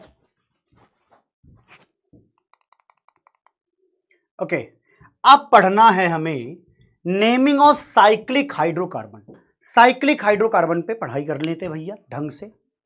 देखो, अभी तक एक हज़ार लोग गायब हैं, एक हज़ार लोग आ नहीं पाए, वापस लगता है। इसलिए मैं थोड़ा एक आध मिनट लेट आने की कोशिश कर रहा था कि आ जाएँगे तब तक। आ जाओ भैया, आ जाओ। बात करते क्योंकि काम की बात है ये। नेमिंग ऑफ़ साइक्लिक हाइड्रोकार्बन अब ये देखते साइक्लिक हाइड्रोकार्बन हमें पहले क्या देखना होगा? वही रूल है भैया फंक्शनल ग्रुप पहले देखो, फिर मल्टीपल बॉन्ड देखो, फिर नंबर ऑफ़ सब्सटीट्यूमेंट देखो, इसके, यहाँ पे कार्बन के बाद सब्सटीट्यूएंट देखो, फिर लोवेस्ट सेट ऑफ़ लोकेंट के पास जाओ, फिर अल्फाबेटिकल ऑर्डर देखो। लेकिन यहाँ देखना कैसे है, उसका थोड़ा सा नज़रिया बदलना पड़ेगा। ये सुन लो भैया, क्या बात है ये। यहाँ पे आपको साइक्लिक और एसाइक्लिक दोनों फॉर्म मिलेंगे। नॉर्मल चीज़ें तो आप कर ले जाएँगे लेकिन ये सुनिए कि ये जैसे साइक्लिक फॉर्म में आपको क्या दिख रहा है ये? चार कार्बन की एक चेन दिख, चार कार्बन की एक साइक्लिक चेन है। इस पर ये क्या बना है? तीन कार्बन की, तीन कार्बन की एक ए साइक्लिक चेन है। तीन कार्बन की इस पर एक ए साइक्लिक चेन है, ठीक है? तो हमें क्या करना होता है? हमें साइक्लिक और एसाइक्लिक पार्ट में से कोई सा एक मेन चेन चुनना होता है। और उस मेन चेन को चुनने का यह तरीका है जो हमने पहले भी सीखा है, यहाँ अप्लाई करके बताऊँगा भी। ध्यान से सुनिए, ये साइक्लिक पार्ट नहीं है तो इसको बोलते हैं ए साइक्लिक पार्ट ये वाला हिस्सा साइक्लिक है तो इसके लिए क्या बोलेंगे भैया? साइक्लिक पार्ट अब होगा क्या? साइक्लिक पार्ट या ए साइक्लिक पार्ट में से कोई सा एक मेन फंक्शनल ग्रुप हो मेन चेन होगा इनमें से। इनमें से कोई एक मेन चेन बनेगा। अब मेन चेन साइक्लिक बनेगा या ए साइक्लिक बनेगा, वो इस बात पर डिपेंड करता है कि फंक्शनल ग्रुप जो है साइक्लिक पर लगा है या ए साइक्लिक पर। जहाँ फंक्शनल ग्रुप लगा होगा, वही मेन चेन बन जाएगा। जहाँ मल्टीपल बॉन्ड होगा, वही मेन चेन बन जाएगा। जहाँ ज़्यादा नंबर ऑफ़ कार्बन होंगे, वही मेन चेन बन जाएगा। या अगर ज़्यादा नंबर ऑफ़ कार्बन या कहो दोनों में नंबर ऑफ़ कार्बन बराबर है साइक्लिक और रिसाइक्लिक में तो हमें चेक करना पड़ेगा सब्सटीट्यूएंट को। और नेमिंग करते वक्त लोवेस्ट सेट ऑफ़ लोकेंट और अल्फाबेटिकल ऑर्डर का हम ध्यान रखेंगे। समझाता हूँ, सुनिएगा। ये जैसे, देखिए ध्यान से, अगर ऐसा निकल जाए कि देखो भैया, साइक्लिक और एसाइक्लिक में नंबर ऑफ़ कार्बन भी सेम है सब्सटीट्यूएंट भी सेम है, सब कुछ सेम है, तब, सर तब क्या करूँगा मैं? तब नाम कैसे बनाऊँगा? तब वहाँ पर साइक्लिक को प्रेफरेंस दीजिए और साइक्लिक को ही मेन चेन घोषित कर दीजिए। ए साइक्लिक जो होगा, वो साइड चेन बन जाएगा। सुनो रे बालक, क्या बोला मैंने अभी? कि देखो भाई, यहाँ पर अगर ये एग्जांपल ले लिया जाए तो यहाँ पर फोर मेंबर रिंग यहाँ पर तीन ही कार्बन का बना हुआ साइड चेन होगा। तो ये मेन चेन ये साइड चेन पता है क्यों? क्योंकि यहाँ रिंग के अंदर चार कार्बन है। यहाँ पर देखो ओपन फॉर्म में तीन ही कार्बन है। तो इसका मतलब ए साइक्लिक वाला साइड चेन का काम करेगा, लेकिन ये मेन चेन का काम करेगा। और जो साइड चेन है, उसी का प्रफिक्स बनता है। क्या? उसी का प्रफिक्स बनता है। तो इसका बनाएँगे बनाएँगे हम प्रेफिक्स अच्छा कहीं तुम उल्टा ना समझ लो, इसलिए मैं हटा रहा हूँ, क्योंकि तुम ये समझ लोगे कि साइक्लिक हमेशा ये होता है। कोई नहीं एग्ज़ाम्पल से समझाऊँगा। ये देखो भैया, इसका नाम कैसे लिखेंगे? पहले इसका नाम बताओ। बोलो भैया, इसका नाम। ज़ोर लगा के बोलो, इतना ज़ोर बोलो कि यहाँ तक सुनाई पड़े। चलो चलो, बोलो, क्या होगा? साइक्लो प्रोपेन होगा। प्रोपेन क्यों होगा भैया? नंबरिंग कर लो। One, two, three. तीन कार्बन, प्रोपेन। साइक्लो क्यों? क्योंकि साइक्लिक है। लेकिन अगर ऐसा हो ये तो सिर्फ़ इतना था। लेकिन अगर साइक्लिक के साथ ए साइक्लिक पार्ट भी हो तो हमें चेक करना पड़ेगा कि मेन चेन कौन सा है। तो आ जाओ रे बालक, यहाँ देखो। यहाँ पे तीन कार्बन है। ये साइक्लिक के अंदर तीन कार्बन है। ये ए साइक्लिक के अंदर भी तीन कार्बन है। क्या बोला मैंने? क्या बोला मैंने भाई? सब लोग सुनेंगे? अरे दिमाग लगाओ भाई, खोपड़ी। ये क्या है? साइक्लिक पार्ट है। ये साइक्लिक पार्ट है। ये क्या है? ये ए साइक्लिक पार्ट है।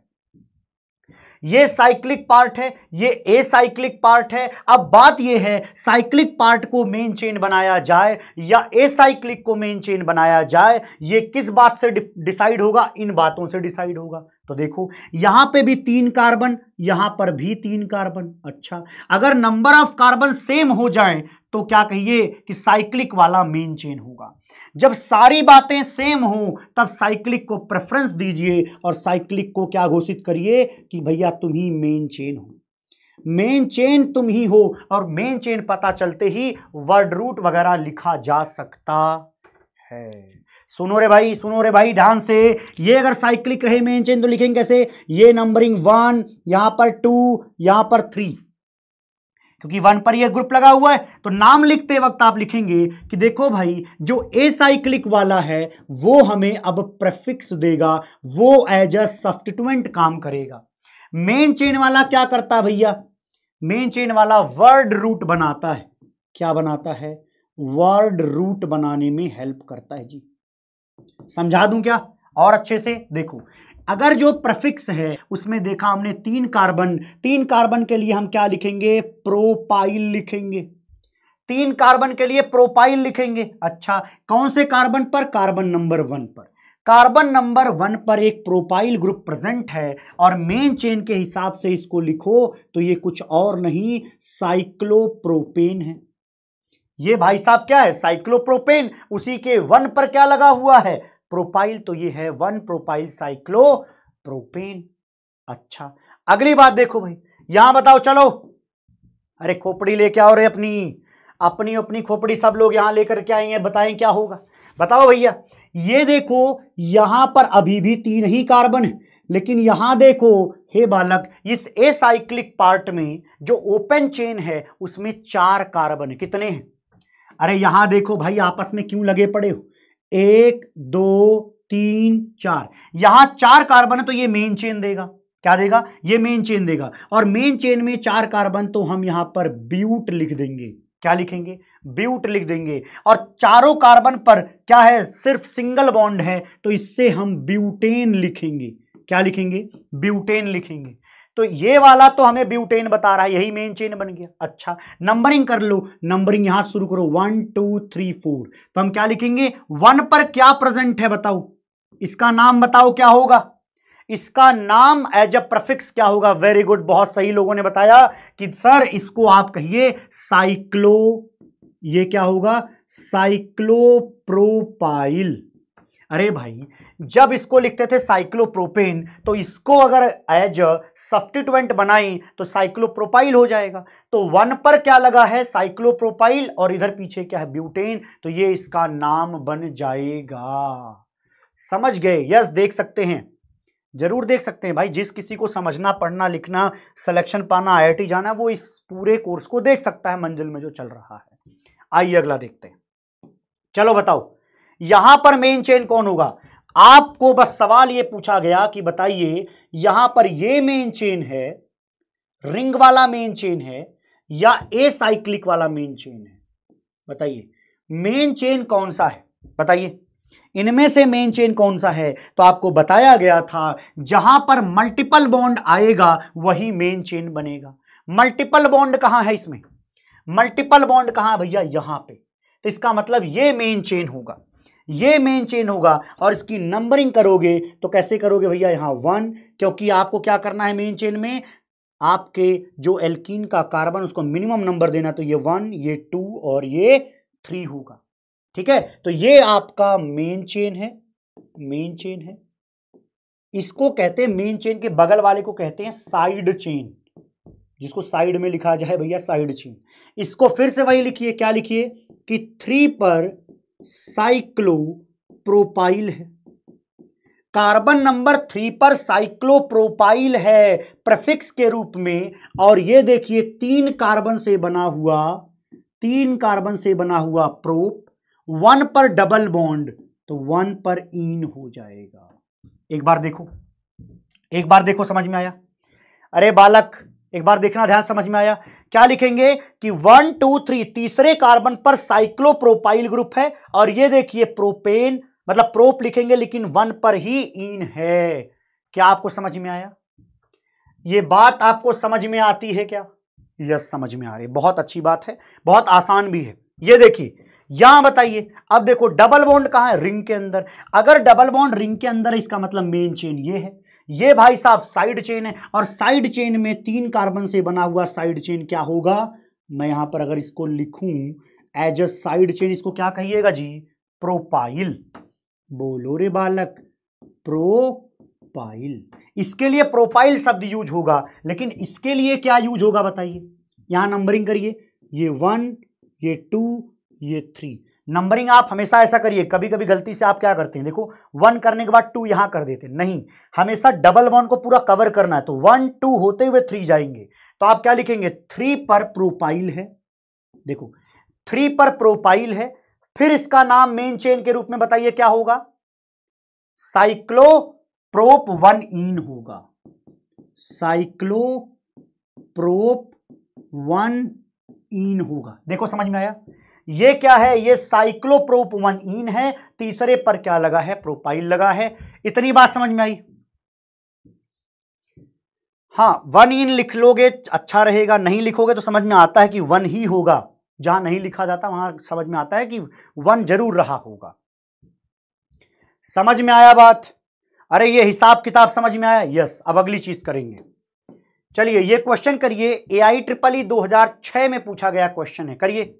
आपको वक्त मिलता है सिर्फ़ सिर्फ़ और सिर्फ़ तीस सेकंड। ज़्यादा वक्त देना ठीक नहीं है इन पे। चलो चलो। बालकों, बताओ क्या होगा? चलो, लग जाओ। देखो, बोलो भैया, क्या आएगा? द आईयूपीएसी नेम ऑफ़ इसका बताना है, ठीक है? तो हमें क्या करना है? डबल बॉन्ड को नंबरिंग करनी तो ये वन टू थ्री देखो, अगर आप नंबरिंग इधर से करते तो यहाँ पर दूर पड़ता तो इसलिए हमने ऐसा किया one two three four five six अब छह कार्बन साइक्लिक है तो एक बात तो कंफर्म है कि ये साइक्लोहेक्स तो लिखा जाएगा, है ना? और डबल बॉन्ड कहाँ है? कार्बन नंबर वन पर. तो हेक्स वन इन लिखने में कोई संदेह तो है ही नहीं। बोलो भैया। अच्छा अब देखो, तीन पर ब्रोमो है वन पर क्लोरो है। तीन पर ब्रोमो है। तीन पर ब्रोमो है, वन पर क्लोरो है साइक्लोहेक्स वन इन है। देखो कहीं मैच होता है क्या? कौन सा सही है भैया? सी ऑप्शन सही नज़र आ रहा है। अच्छा जी, चलो सी ऑप्शन को हम सही मारते हैं। बताओ भैया। वेरी वेरी गुड, बहुत अच्छी बात है। आयुष पाटले आयुष पाटले शायद होगा। जहाँ तक मैं पाटिल तो नहीं है ना। पाटले जो भी नाम है भैया। धन्यवाद, अच्छी बात है। रौनक, नितिन, ड्रीम आईटी अच्छा कर रहे हो यार। अच्छा कर रहे हो अच्छा ड्रीम है। सफल हो गए, ठीक है, अच्छी बात है। यही है ना? नहीं सर, गलत है, सी ऑप्शन था ना। चलो ठीक है। ऑप्शन समझ में आ गया, सी होगा अच्छा। समझ में आया, क्वेश्चन हुआ, होना चाहिए। आइए, ये बताइए, चलिए। अब हमने देखा कि अच्छा ओएस तो फंक्शनल ग्रुप है। हमने पीछे पढ़ा कि फंक्शनल ग्रुप जहाँ होगा, वही मेन चेन होगा। इसका मतलब अब ये मेन चेन है। तो मेन चेन में तो हमें क्या लिखना होगा जी? साइक्लोप्रोपेन लिखना होगा। इसमें किसी को कोई संदेह हो तो अभी बोल दो भाई। साइक्लोप्रोपेन लेकिन हमें एक बात पता है कि ये भैया ओ एच को ऑल लिखते हैं। तो नंबरिंग यहाँ वन यहाँ टू यहाँ थ्री होगा। इधर से जाएँगे तो इसको नंबरिंग मिल जाएगी मिनिमम नंबर और यहाँ शुरुआत करें, अच्छी बात है। तो वन पर ऑल तो ये है वन पर ऑल। साइक्लोप्रोपेन वन ऑल, इससे तो ये निपटा, लेकिन अभी हमें ये बताना ये क्या है? तो हम कहेंगे टू पर प्रोपाइल। टू पर प्रोपाइल तो two propyl cyclopropane one ol होगा। बीएमडब्ल्यू? यहाँ कहाँ से आ गया बीएमडब्ल्यू जी? अरे घुमा देंगे जी, सिलेक्शन लेके आइए, निश्चिंत रहिए, ये मेरा दावा है। जब मैं बोल चुका हूँ कि भाई मैं घुमाऊँगा घुमाऊँगा मुझे पता है उस दिन मुझे रहना पड़ेगा, क्योंकि ये बात मैंने कई सारे बैचेज में बोल रखा है। तो मैं उस दिन का ड्राइवर हूँ भाई। हाँ सिलेक्शन के दिन का मैं ड्राइवर हूँ भाई, मैंने फिक्स कर रखा है। खुद ही चलाऊँगा वो गाड़ी किसी को दी भी नहीं जाती। चलो, ये बताओ भैया, यहाँ पर आप कहेंगे कि ओ OH देखिए साइड वाले में है तो नंबरिंग यहाँ शुरू होगी। वन, टू, थ्री, कर ले जाएँगे। वन साइक्लोप्रोपाइल, इसके बाद क्या होगा? Propane one ol. लिख लो, लिखो लिखो, सब लोग लिखो। क्या लिखेंगे? लिख देता हूँ। One cyclopropyl one cyclopropyl, propane P A N propane one ol. देखो, ये वाली बात प्रोपेन वन ऑल पे निपट गई और वन पर साइक्लोप्रोपाइल है, ये बात और निपट गई अच्छे से। अच्छा पोल के ज़रूरत नहीं होती है यार, पोल नहीं जाता आपके पास। होता क्या है? ये यूट्यूब वाला पोल इस तरीके से नहीं, ये हमारे ऐप वाला ही पोल यहाँ पर इस तरीके से लगाया जाता है, ताकि आप जो लिखते हो, उससे कमेंट आते हैं, उससे परसेंटेज गिनता है वो, ठीक है? आइए ये देखिए, चलिए ये बताइए, यहाँ पर पता है सब्सटीट्यूएंट से होगा।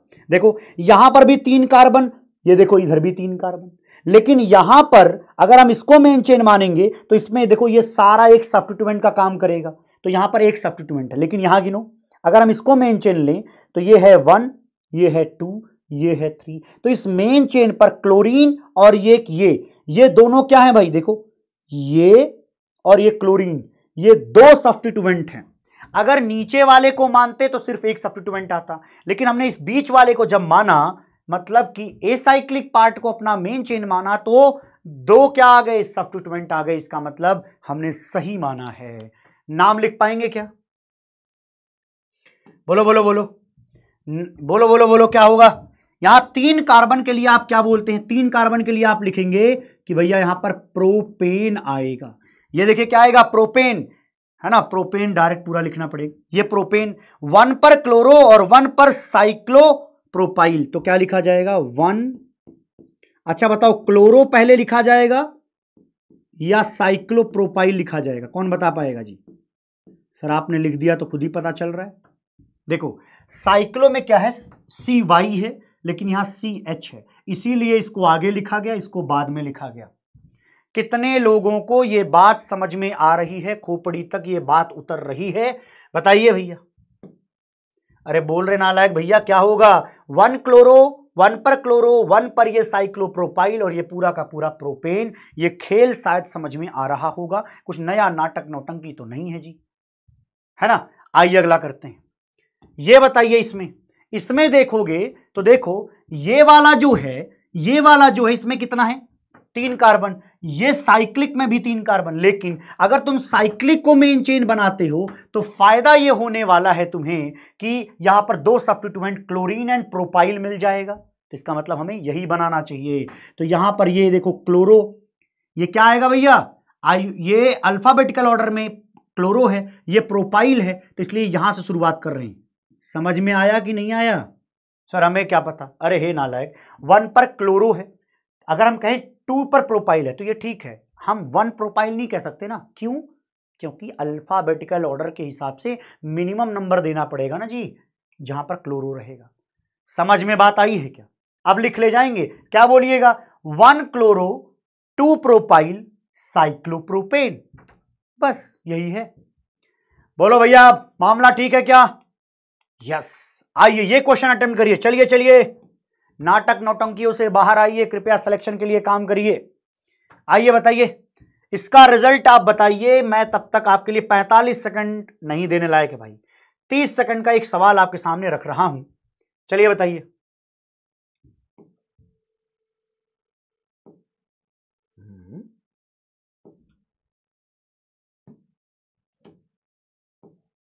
पता नहीं कहाँ गायब हो गया है। चलो आओ। इनका नाम लिखना है तो देखो, अब एक बात समझ में आती नंबरिंग करनी है हमें, ठीक है? तो हम क्या करेंगे जी? अल्फाबेटिकल ऑर्डर देखें, क्या देखें बताओ? लोवेस्ट सेट ऑफ़ लोकेंट देखें।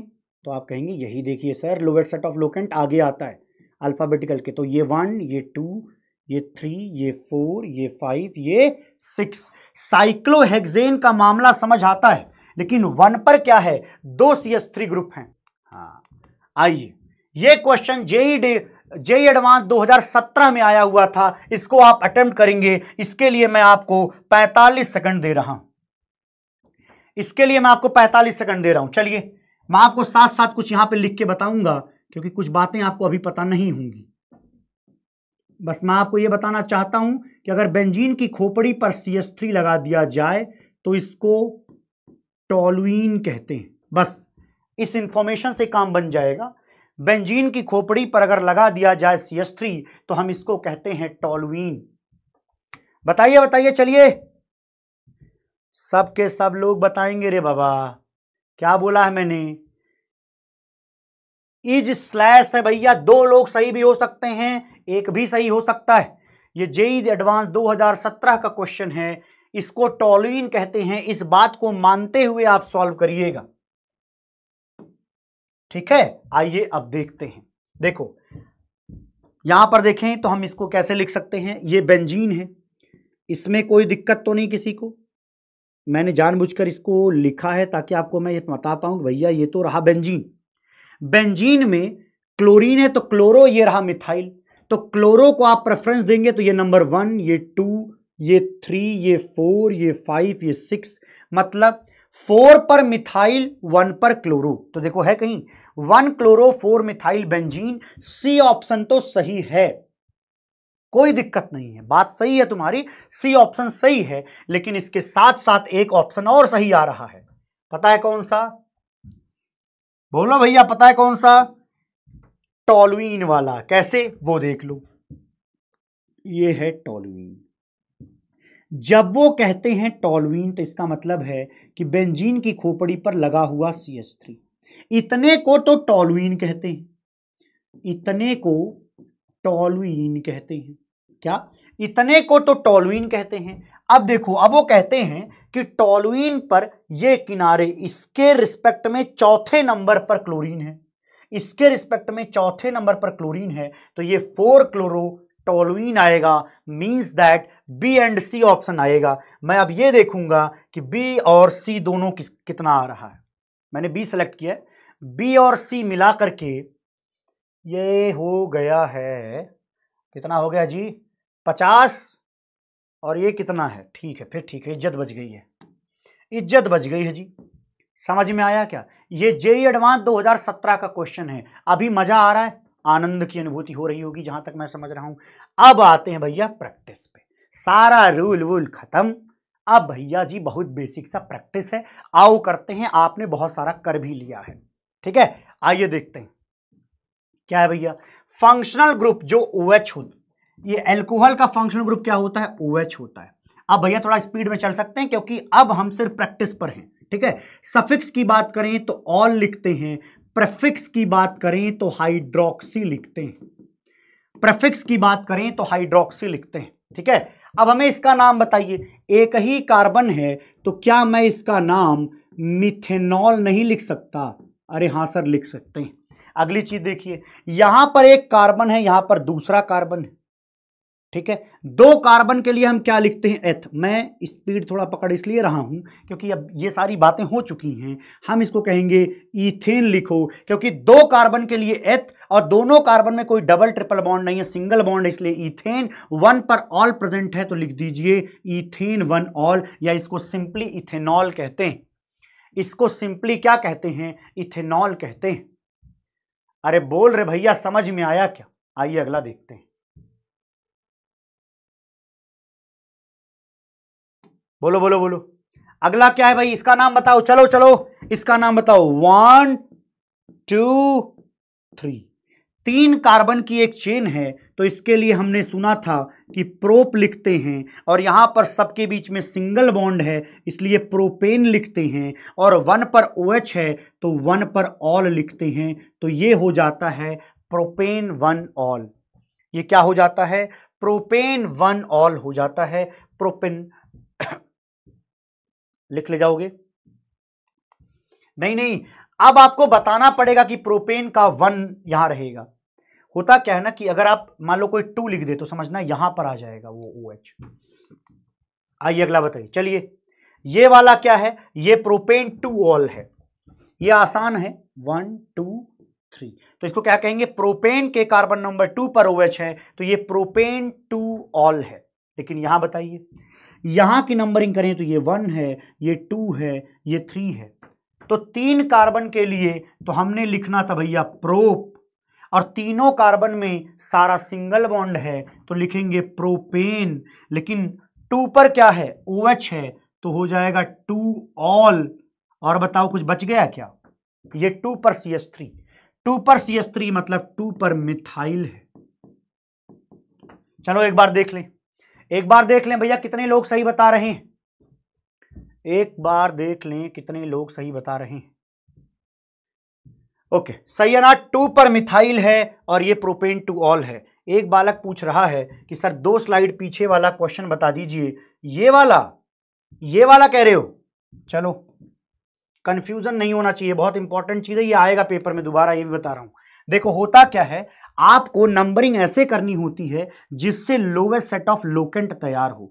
पहले कोशिश कर अल्फाबेटिकल ऑर्डर जब lowest set of locant same होते हैं, तब वह देखे जाते हैं। तो पहले सेट ऑफ़ लोकेंट बनाइए। अगर आपने नंबरिंग यहाँ करी है वन तो इसका बनेगा वन लेकिन दो सी एस थ्री है तो इसलिए वन वन दो बार लिखना पड़ेगा, और टू पर इथाइल लिखना पड़ेगा। तो ये है सेट ऑफ़ लोकेंट अगर आप यहाँ वन करते थे देखो रे बालक शायद यही कंफ्यूजन होगा क्योंकि मैंने अलग से बना के नहीं बताया, है ना? ये देखिएगा। अगर मैं नंबरिंग यहाँ से करता तो ये वन आता two three four five six इसके लिए तो सेट ऑफ़ लोकेंट ये आता। इसके लिए सेट ऑफ़ लोकेंट ये। देखो, यहाँ वन एक बार टू दो बार है, क्योंकि दो बार सब्सटीट्यूएंट आया। इन दोनों को कंपेयर करो। पहला तो सेम है वन वन सेम है। लेकिन यहाँ देखो, ये वन है, ये तो कम है वैल्यू लेकिन देखो ये ज़्यादा है। ये कम है, ये ज़्यादा है, इसका मतलब ये एक्सेप्टेबल नहीं है, ये गलत है, ये सही है। आई होप आप सभी को आनंद की अनुभूति हुई हो, कोई दिक्कत, कोई परेशानी, कोई समस्या ना आई हो। चलो, अब अगर बात करें, इनका बताओ, चलो। कौन बताएगा? आसान है ये भी। कौनो है जो जो बता पाएगा? बोलो। यहाँ कार्बन नंबर वन ले लीजिए, यहाँ कार्बन नंबर टू यहाँ पर ले लीजिए कार्बन नंबर थ्री तीन कार्बन की चेन के लिए आप लिखेंगे प्रोप तीनों कार्बन में कोई डबल ट्रिपल का खेला नहीं तो प्रोपेन और तीन बार ओ OH है तो इसके लिए क्या लिखेंगे? प्रोपेन बोलो क्या लिखेंगे? One two three tri ol देखो सही लिख रहे हैं? Propane one, two, three tri ol propane one, two, three tri ol very very good बहुत सही लिख रहे हैं।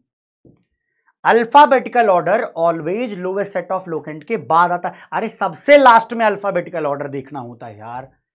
कुछ लोग तो पीछे पड़ गए हैं अल्फाबेटिकल ऑर्डर के। अरे, नहीं पढ़ना है बालक। समझना है।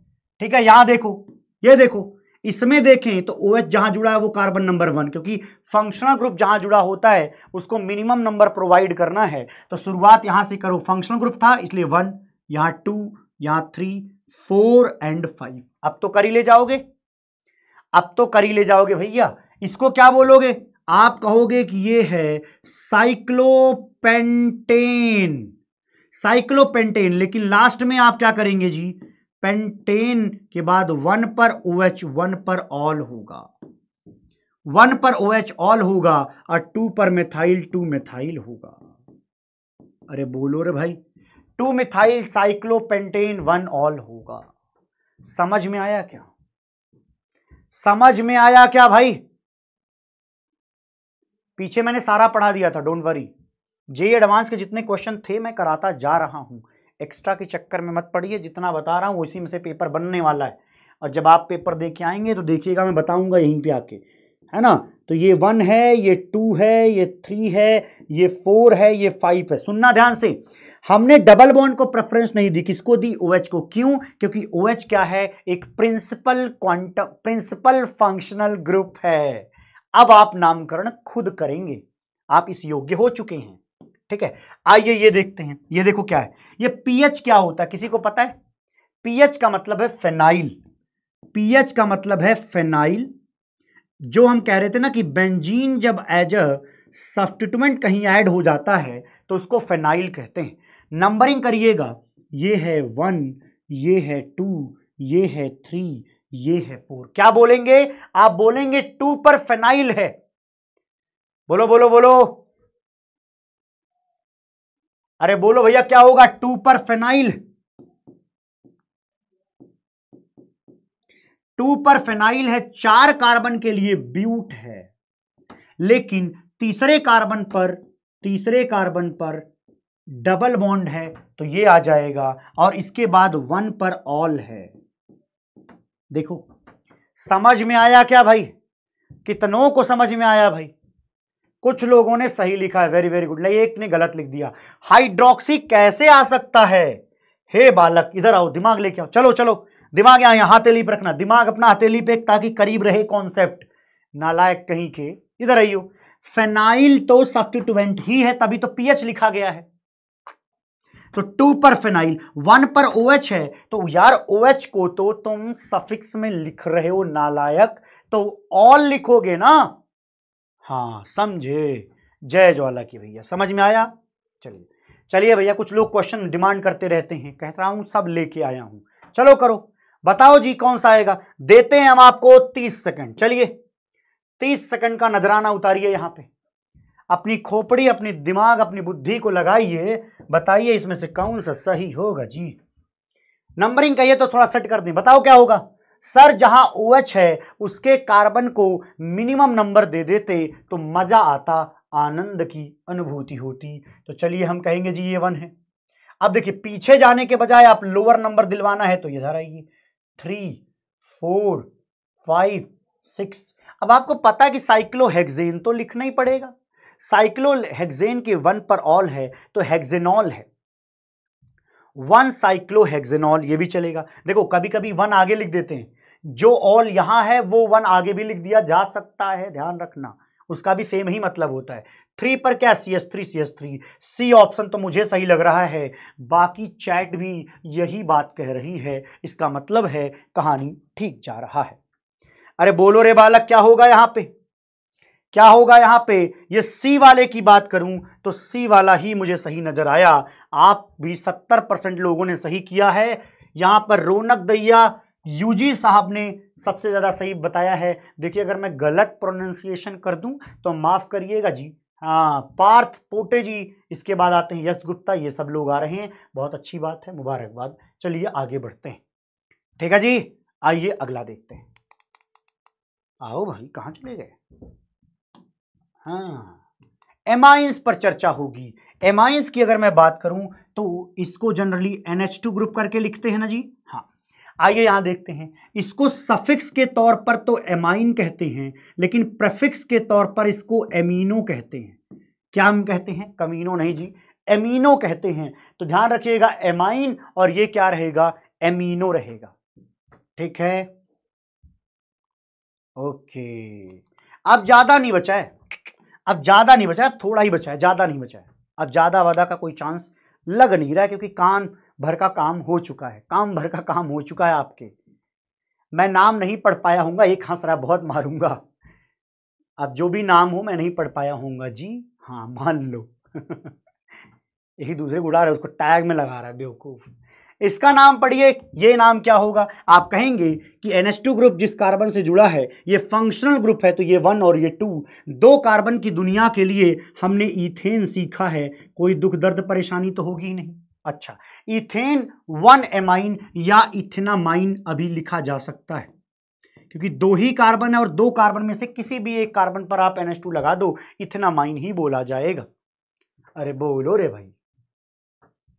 बोलो रे भैया, बात ठीक है क्या? ओके, अगला बताइए। ये देखो, ये भैया यहाँ गलती कर बैठते हो आप, ये सुनना ये सुनना। नाइट्रोजन जहाँ पे बड़े कार्बन की चेन देखता है, उसका मन ललचाता कि इसको भैया मेन चेन बनाना पड़ेगा। तो नाइट्रोजन जहाँ कनेक्टेड है, उसके कार्बन को वन और इधर दो। इधर देखो, एक ही कार्बन था, इधर दो। इसलिए दो कार्बन वाले को बड़ा चेन, मेन चेन मानते हुए उसको हमने एथ लिख दिया है। अरे, क्या लिख दिया जी? बोलिए, हमने इसको क्या लिख दिया है? एथ लिख दिया है। ई टी एच बल्कि इथेन लिख देते हैं, क्योंकि इनके बीच में कोई डबल या ट्रिपल तो नहीं। तो देखो, हमने लिख दिया इसको इथेन कोई दिक्कत की बात तो नहीं है। अच्छा इथेन के बाद हम कहेंगे एमाइन लगा लो। एमाइन लगा लो। क्योंकि हमें पता है कि इथेन कार्बन नंबर वन पर क्या जुड़ा हुआ है? एमाइन जुड़ा है। चाहो तो यहाँ पर वन लिख ही दो। चलो कंफ्यूजन तो नहीं है। कई लोग पीछे पड़ जाते सर आपने वन ही नहीं लिखा। गंदे आदमी हो आप। है? सही है क्या? इथेन वन एमाइन अब सुनो, अब हमें यह बताना है कि नाइट्रोजन पर सी एस थ्री लगा है। अब इसको कैसे बताएँगे? तो हम लिखेंगे कि देखो भैया नाइट्रोजन पर मिथाइल ग्रुप है। नाइट्रोजन पर मिथाइल ग्रुप है। ये बताएँगे कैसे? बताने का तरीका है एन मिथाइल, कि नाइट्रोजन पर मिथाइल है और इसके बाद ये पूरा हिस्सा क्या कहलाता है? इसका रिश्ता कहलाता है ethane one amine ethane one amine इतना पार्ट है यहाँ से लेकर यहाँ तक, लेकिन नाइट्रोजन पर सी एस थ्री है, मिथाइल है, इसलिए ये हो जाएगा। समझे? अगला करिए। यहाँ देखे कितनों की बुद्धि काम करती है। बताइए, इनमें से कोई सा एक को मेन चेन मानना पड़ेगा। तो चलो ये मेन चेन मान लेता हूँ। अब यार ऑब्वियस सी बात भले एक कार्बन क्या कर सकते हैं? अब ये मेन चेन है, लेकिन ये भाई साहब लोग तो साइड हैं। ये साइड चेन है। मेन चेन में एक ही कार्बन है तो मुझे तो मीथेन लिखने में कोई संदेह नज़र नहीं आ रहा है। हम क्या लिख देंगे? मिथनामाइन लिख देंगे। मीथेन एमाइन मीथेन एमाइन मतलब इतने को हमने लिख दिया है। अरे सुनो रे बालक, इतने को हमने लिख दिया है। मिथनामाइन का मतलब ये होता है, लेकिन अभी बात जो बची है, अरे वो ये है। अरे सुनो भाई, खोपड़ी लाओ। इस नाइट्रोजन पर दो सी एस थ्री है मतलब एन एन नाइट्रोजन पर दो डाई मिथाइल जुड़ा हुआ है। N N di methyl methanamine इसका पूरा नाम होगा। बोलो भाई, यहाँ तक की बात समझ में आई? ये बातें समझ में आई क्या कि नाइट्रोजन पर दो मिथाइल और ये पूरे का नाम है मिथनामाइन क्योंकि एक कार्बन ही इसके अंदर आता है। समझ में आता है क्या? चलो अगला बताओ। अगर आता है तो इसका नाम बताओ। इसको बड़ा आसान है जी। NH2 एक फंक्शनल ग्रुप है। उसको, उसके कार्बन को मिनिमम नंबर देना है तो टू ही पॉसिबल है मिनिमम अब यहाँ से शुरू थोड़ी कर सकते हैं। एक किनारे से करना होता है। नाम आप खुद लिखेंगे। सेम कहानी यहाँ पर। डबल बॉन्ड और NH2 में आपको NH2 को प्रेफरेंस देना है तो नामकरण आप खुद लिखेंगे। चलिए, पहले वाले का नाम और दूसरे वाले का नाम लिख के बताइए। पहले वाले का नाम कैसे लिखेंगे? तीन कार्बन की चेन के लिए तो आज तक आपने क्या लिखा है? प्रोपेन लिखा है। इसमें कोई संदेह तो है ही नहीं। प्रोपेन लेकिन टू पर अब की बार एमाइन है। तो प्रोपेन टू एमाइन ये हो जाएगा। समझे? यस यहाँ पर क्या बोलेंगे? बोलो बोलो बोलो। यहाँ पर आप कहेंगे तीन कार्बन में आप लिखिए प्रोप। अच्छा। प्रोप के बाद टू पर क्या लिखिए? इन। अच्छा। वन पर क्या लिखिए? एमाइन कितने लोगों ने सही बताया था? बोल मेरे भाई, बात ठीक ठाक लग रही है क्या? खोपड़ियों तक सीधी सीधी बात लैंड होती है क्या? अरे बोल रे बालक। ओ मेरे बालक, बात ठीक लग रहा है? ये चलो बताओ, अगर ठीक लग रहा है। चलो चलो चलो।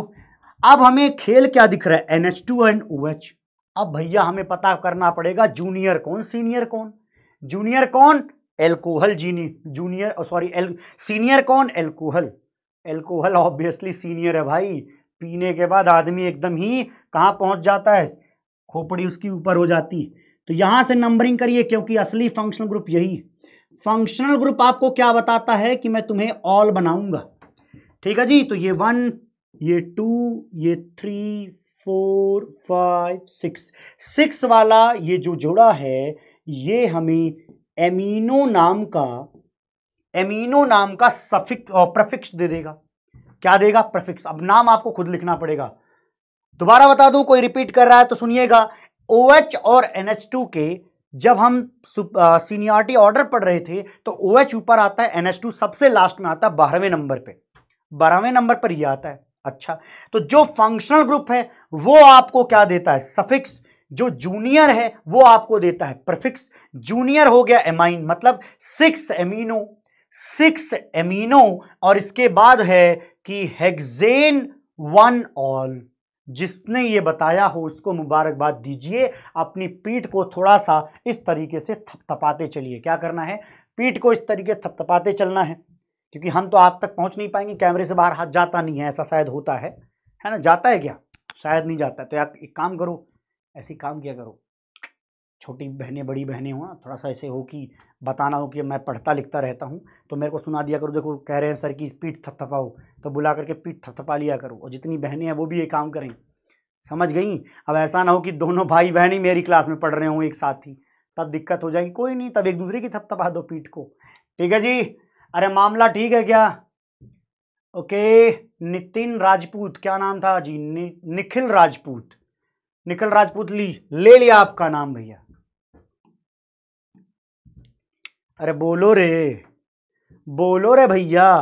हाँ अगला है थायोल। थायोल का मतलब है भैया एस एच इसमें ज़्यादा वक्त देने की ज़रूरत नहीं, बहुत ज़्यादा यहाँ से आने वाला भी नहीं होता। ये है क्या? थायोल, ये मरकेप्टो लिखते हैं। Mercapto is the prefix. ठीक है? आइए देख लेते हैं। यहाँ पर एक कार्बन है तो हमें लिखना चाहिए मीथेन थायोल। मीथेन, पूरा ई लिख दीजिए थायोल मीथेन थायोल क्लियर है? ये क्या है? मीथेन थायोल ठीक? अगला देखिए। यहाँ ओ OH और एस एच में हमें पता है कि ये प्रिंसिपल फंक्शनल ग्रुप है। प्रिंसिपल फंक्शनल ग्रुप कहता है कि तुम्हें सफिक्स बनाना है ऑल लिखना है। लेकिन एस एच क्या है? एस एच तो जूनियर है ओ OH के सामने।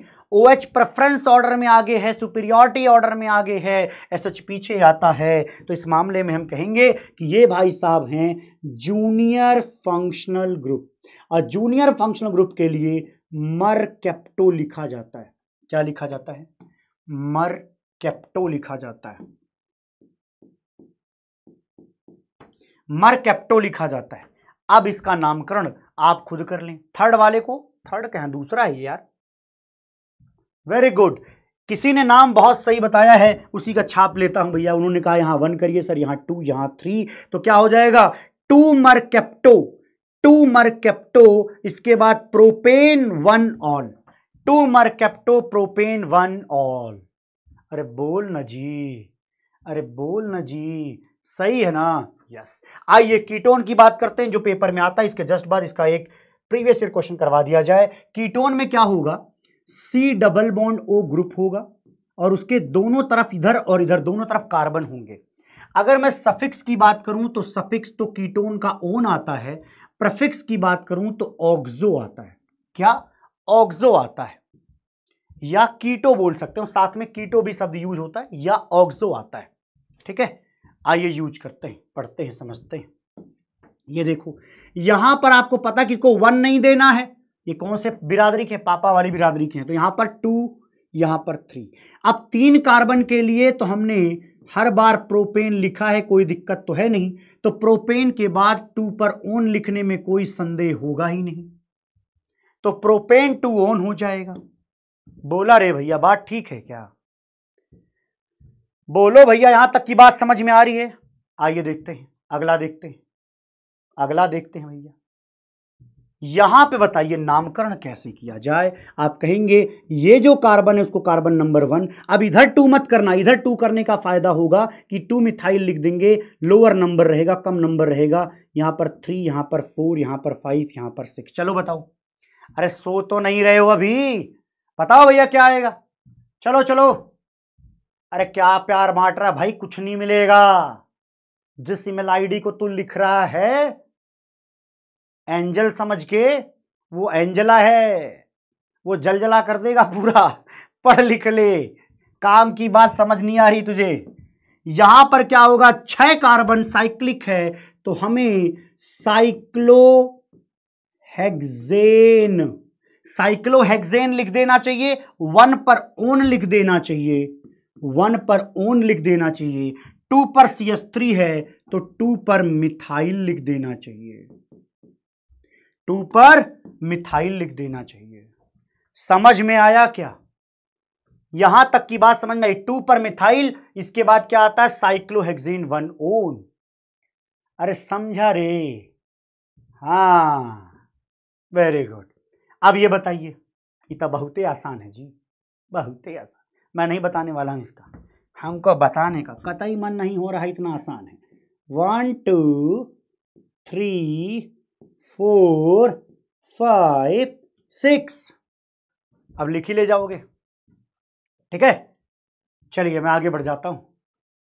आई होप हाँ हाँ वो एंजला होगा भाई, बता रहा हूँ मैं। तुम, तुम्हें लगता है, क्योंकि हमारे समय में ना, जब हम लोग ग्रेजुएशन में थे तो तब फेसबुक ज़्यादा चलता था। अभी फेसबुक अच्छा चलता नहीं है। तब फेसबुक पर किसी की पूरे प्रोफ़ाइल को लोग डाल करके रोज़ रोज़ एक एक अपलोड करते मतलब ऐसे कि एक हफ़्ते में एक अपलोड किया, ताकि लगे कि ये कोई एंजल ही और एंजला बन के अपने ही क्लास के लड़के को बेवकूफ़ बना रहे होते थे लोग। समझ रहे हो? हाँ। चलो अगला देखते हैं। कार्बोक्सलिक एसिड की बात करें तो कार्बोक्सलिक एसिड में लिखा जाता है C double O H group suffix की बात करें यहाँ पर तो देखो भैया यहाँ पर क्या आता है? ओइक एसिड यूज़ वैसे करके मैं बता भी चुका हूँ। ओइक एसिड बोलते हैं और प्रफिक्स में कार्बोक्सी बोलते हैं। ठीक है? मेन तो भाई ओइक एसिड से काम बनने वाला है, वो देखो। एक ही कार्बन है नंबरिंग यही करनी पड़ेगी। मतलब क्या हो जाएगा जी? मीथेनोइक एसिड क्या? बोलो भैया, बात सही लिख रहा हूँ क्या? मिथेनोइक एसिड सही है? एक ही कार्बन है? तो ओइक एसिड लगाना था मिथेनोइक एसिड हो जाएगा। थैंक यू जी थैंक यू नाम मैं आपका पढ़ नहीं पाया, जो भी लिख रहे थे अच्छा लिख रहे थे, धन्यवाद। आइए देखते हैं। यहाँ पर देखो भाई, यहाँ की अगर मैं बात करूँ तो नंबरिंग में वन टू दो कार्बन हो गया तो भैया जी क्या हो जाएगा? दो कार्बन के लिए ethane oic acid ethanoic acid ठीक है? अच्छा। ये काम की बात है भैया, ये सारी काम की बात है। आगे हम कुछ ऐसा पढ़ने वाले हैं जिस पर आप सभी को गौर फरमाना है। आगे वाली चीज़ें आपको परेशान करेंगी, इसलिए मैं कहूँगा अब से लेकर के थोड़ी देर, नेक्स्ट आधे घंटे सीरियस हो जाइए, चैप्टर भी खत्म है और आपके काम की सबसे ज़्यादा बात यहीं पर होने वाली है। मैं जानबूझकर यहाँ से बोल रहा हूँ, इसके पहले सब कुछ आसान था। देखिएगा, यहाँ पे नंबरिंग करना शुरू किया तो यहाँ वन, यहाँ पर टू, यहाँ पर थ्री और यहाँ पर फोर। चार कार्बन के खेल में हमने लिखा कि ये क्या होगा? ये ब्यूटेन होगा। क्या होगा? ये ब्यूटेन होगा। चार कार्बन के खेल में ब्यूटेन और वन और फोर पोजीशन पर। वन और फोर पोजीशन पर जो C double H group present हैं, उनके कार्बन को नंबर दिया जा रहा है, वन और फोर। मतलब कार्बन को गिना जा रहा है तो हम उस समय ओइक एसिड लिख देंगे तो हम कहेंगे कि वन फोर डाई मतलब दो बार ओइक एसिड है। वहाँ पर दो बार ओइक एसिड है। कृपया ध्यान दें, इन बातों को क्या लिखा गया है? लिखा गया इसका नाम होगा butane one four di oic acid. मुझे लगता है वहाँ पर भी है तो थोड़ा सा इसके ऊपर आ जाएगा, उससे बजाय हम नीचे लिख देंगे। हम लिखेंगे यहाँ पर क्या होगा? Di oic acid. ठीक, अब आता है यहाँ खेल। चलिए बताइए, यहाँ बताइए। Very good. बहुत सही लिख रहे हैं जी। हर्ष जी सही लिख रहे हैं और जी डब्ल्यू नंदन, ध्रुव पता नहीं क्यों हंस रहा है, उसको अलग ही मज़ा आ रहा है। एक नालायक, ओपी मेरा नाम भी खराब कर रहा है। ओपी इंसान यूट्यूब करके है, वो तो पता नहीं मोए मोए करा पड़ा हुआ है। अब गधे आदमी हो यार। आओ सबसे इंपॉर्टेंट बात करते हैं। जो पेपर में आएगा, सबसे ज़्यादा इंपॉर्टेंट यही लाइनें होंगी जो आप पढ़ने वाले हो तुम। अब तक जो पढ़ा है, सब फालतू था क्या सर नहीं जाई। ये सब काम का है। सी डबल ओ एच के इस कार्बन को कार्बन नंबर वन इधर टू इधर थ्री इधर फोर दे दीजिए। अच्छा अब फोर पर ये सब मेन चेन में हो गए तो ये भाई साहब कौन है जी?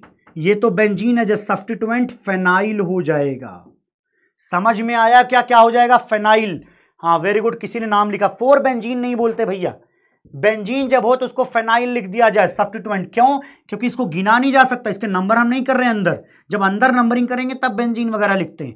बाहर कर रहे हैं चार कार्बन के लिए हमने लिखना, सीखा था चार कार्बन के लिए ब्यूटेन ब्यूटेन बल्कि डायरेक्ट लिख दो butanoic acid butane oic acid butane oic acid इतना होगा ब्यूटेन ओइक एसिड लेकिन कार्बन नंबर चार पर फेनाइल है तो फोर फेनाइल लिखने में कोई दर्द परेशानी समस्या थोड़ी है। बोलो भैया, एकदम सही बात है। अगली चीज़ सुनिए। यहाँ बताइए, चलिए चलिए। चलो भैया, यहाँ पर आप कहेंगे ये कार्बन नंबर वन, ये टू। अब बताइए, इसका क्या नाम है? बस इसका नाम बता दीजिए, काम बन चुका है। वन और टू, दो कार्बन के लिए तो हमने जीवन में इथेनोइक जैसे शब्द को ईजाद किया था कि ये होगा इथेनोइक एसिड। लेकिन इस इथेनोइक एसिड में टू पर क्या लगा? ये कौन है भैया? साइक्लोहेक्साइल। टू पर साइक्लोहेक्सेन है तो इसको क्या लिखेंगे? साइक्लोहेक्साइल। ये सब पेपर में ज़्यादा पूछा जाता है। साइक्लो हेक्साइल टू पर साइक्लोहेक्साइल और इथेनोइक एसिड है। कहानी ठीक लग रही है क्या? यस सर, एकदम सही है। मज़ा आ रहा है। आइए अगला देखते हैं। ये बताइए अब की बार देखो, ध्यान से सुनो, अब की बार का खेल एकदम ही अलग है। अब की बार रिंग से डायरेक्ट जुड़ा है, क्या बात कर रहे हैं? रिंग से डायरेक्ट जुड़ा है, लेकिन यहाँ देखो, रिंग से डायरेक्ट नहीं जुड़ा था। एक बीच में गैप है तो नंबरिंग कर ली, लेकिन यहाँ पर नंबरिंग ऐसे नहीं होती। यहाँ के लिए एक अलग ही खेल है, उसका नाम है कार्बोक्सिलिक एसिड।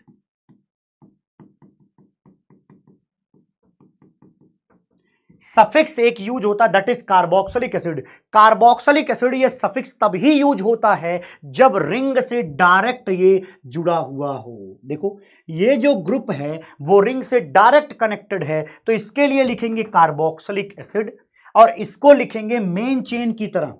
इसको मेन चेन की तरह लिखेंगे भाई। इसको लिखेंगे साइक्लोहेक्सेन इसको लिखेंगे साइक्लोहेक्सेन इसको लिखेंगे, अब क्या होता है? जब रिंग से डायरेक्ट कनेक्टेड हो, दोनों का नाम अलग अलग एक साथ लिख दीजिए। बोल रहे मेरे भाई क्रेजी एक्सपेरिमेंट साहब, यहाँ पे देखो, पढ़ाई कर लो, ये क्या है? साइक्लोहेक्जेन और ये है कार्बोक्सिलिक एसिड क्या क्या क्या बोल रहे हैं सर आप? कार्बोक्सिलिक एसिड देखो ध्यान से, यहाँ पर गलती से ओइक एसिड का नाटक नहीं करना है जी। रिंग से जब डायरेक्ट कनेक्टेड हो रिंग से ये डायरेक्ट कनेक्टेड नहीं, बीच में कार्बन जब डायरेक्ट कनेक्टेड होगा तो इसका नाम पढ़िए साइक्लोहेक्जेन इसका नाम पढ़िए कार्बोक्सिलिक एसिड ऐसा इसलिए करना पड़ता है क्योंकि इस कार्बन की काउंटिंग अब पॉसिबल नहीं रही। वन के बाद इसको गिन नहीं सकते ना जी? हाँ तो इसलिए इसको ऐसे लिखते हैं साइक्लोहेक्जेन कार्बोक्सिलिक एसिड ये एक तरीका है जी।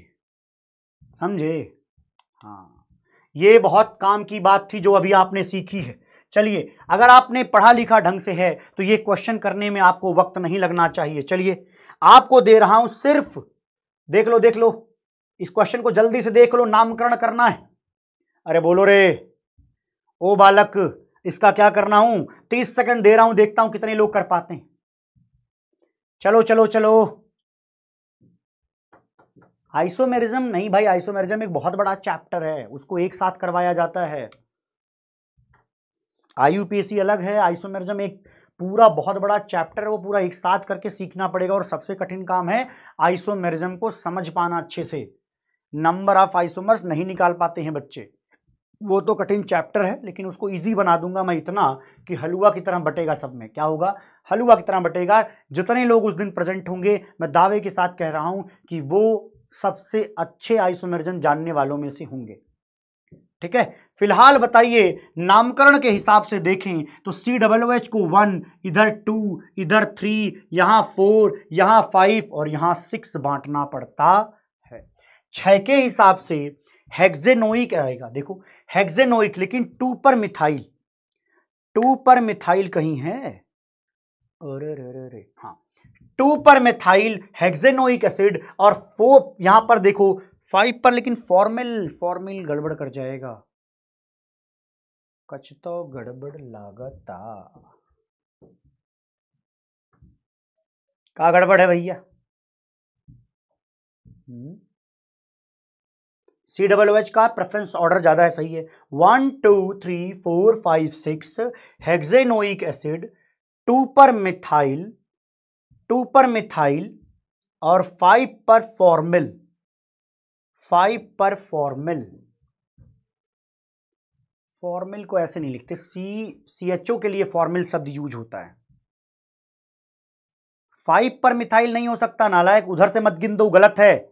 इधर से नहीं गिन सकते ना, क्योंकि सी डबल ओ एच जो है प्रेफरेंस ऑर्डर में ऊपर है। इसका मतलब इनकी फॉर्मिल वाली बात माननी पड़ेगी। सिंपल है। इनकी फॉर्मिल वाली बात तो माननी पड़ेगी जी। है ना? क्योंकि फॉर्मिल और ऑक्जो तो यूज़ करते थे, ऑक्जो को ही दूसरे नाम से यो चिल्ला चिल्ला के बता रहे हैं। है ना? वैसे मैं बताऊँ, सही जो चीज़ होनी चाहिए उसमें ये है, अगर हम इसको थ्री को टू कर दें तो ये हो जाएगा टू पर मिथाइल फाइव पर ऑक्जो ये सही हो जाएगा। हो सकता मिसप्रिंट भी हो। ठीक है, कोई नहीं, आपने गलत बताया हो, कोई बड़ी बात नहीं है। मैं यहाँ से कटी मारूँगा, कोई मतलब नहीं है मेरे लिए भी ठीक है टू पर मिथाइल टू पर मिथाइल ये देखिएगा तो छह कार्बन की वजह से हेक्सेनोइक और फाइव पर ऑक्सो कीटोन जब डबल बॉन्ड ओ बनाता है, देखो मैं एक चीज़ बताऊँ आपको ऑक्सी शब्द तब आता है जब ऐसा होता है। एक ऑक्सीजन के किनारे इधर एक बॉन्ड है, इधर एक बॉन्ड है तो इसको ऑक्सी लिखा जाता है। लेकिन अगर डबल बॉन्ड एक साथ होकर के ऑक्सीजन हो तो इसके लिए ऑक्जो लिखा जाता है। इसके लिए ऑक्सी इसके लिए ऑक्जो शब्द यूज़ होता है। ठीक है? ओके, चलिए जी, यहाँ तक रोकते हैं। मतलब रोकते नहीं यहाँ तक आगे बढ़ते हैं। ये क्वेश्चन तो वैसे भी आपको कर ले जाना चाहिए, अपने आप से ही। चलिए देखते हैं कितने लोग ट्राई करेंगे। देखो क्या लिखा है। पहले पढ़िए कि वर्ड रूट कहाँ है। वर्ड रूट यहाँ हेग्स तो मतलब छह कार्बन की एक चेन नचानी। क्या करनी है? छह कार्बन की एक चेन नचानी है भैया। एक, दो, तीन, चार, पाँच, छह। छह कार्बन की इस चेन में देखो क्या लिखा है इन्होंने। लास्ट में ओइक लिखा है तो इसका मतलब यहाँ कहीं किनारे की तरफ़ एसिड बनाना होगा, क्योंकि एसिड तो किनारे की तरफ़ ही बन सकता है। अब नंबरिंग कर दो तो ये वन ये टू ये थ्री ये फोर ये फाइव ये सिक्स अच्छा जी, अब सुनो। अब सुनो रे बालक, क्या होगा? फोर पर मिथाइल तो लो भैया मिथाइल फोर पर मिथाइल टू पर हाइड्रोक्सी टू पर हाइड्रोक्सिल इसका मतलब यहाँ पर ओ OH. अच्छा जी। थ्री पर इथाइल थ्री पर इथाइल अच्छा। इसके बाद थ्री पर इन थ्री पर इन थ्री पर इन मतलब यहाँ डबल बॉन्ड थ्री पर इन फाइव पर ट्रिपल बॉन्ड अरे भाई भाई भाई। ये है भैया ढूंढ लेना अब इसमें से। अब इतना काम तो कर लोगे ना जी। हाँ। अगले पर आते हैं। हाँ जो आया होगा सही है। अगर ए सही है तो आपका ए सही है। वैसे देख लूँ, पता नहीं ये सही भी है कि नहीं है। है ना? एक हाँ लग तो रहा है। Very very good. थोड़ा सा बुद्धि लग रहा है, तुम लोग भी काम करती है सर, ऐसी बात मत करिए समझ नहीं रहे हैं आप हमको। हमको हल्के में नहीं लेते हैं।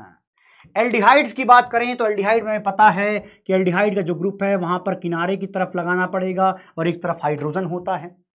अगर मैं सफिक्स की बात करूँ तो अल होता है, एक दूसरा होता है that is carb C A R B carb के बाद लिखिए एल्डिहाइड कार्ब एल्डिहाइड दो इसके सफिक्स होते हैं तो कार्ब एल्डिहाइड कार्बेल्डिहाइड और अल।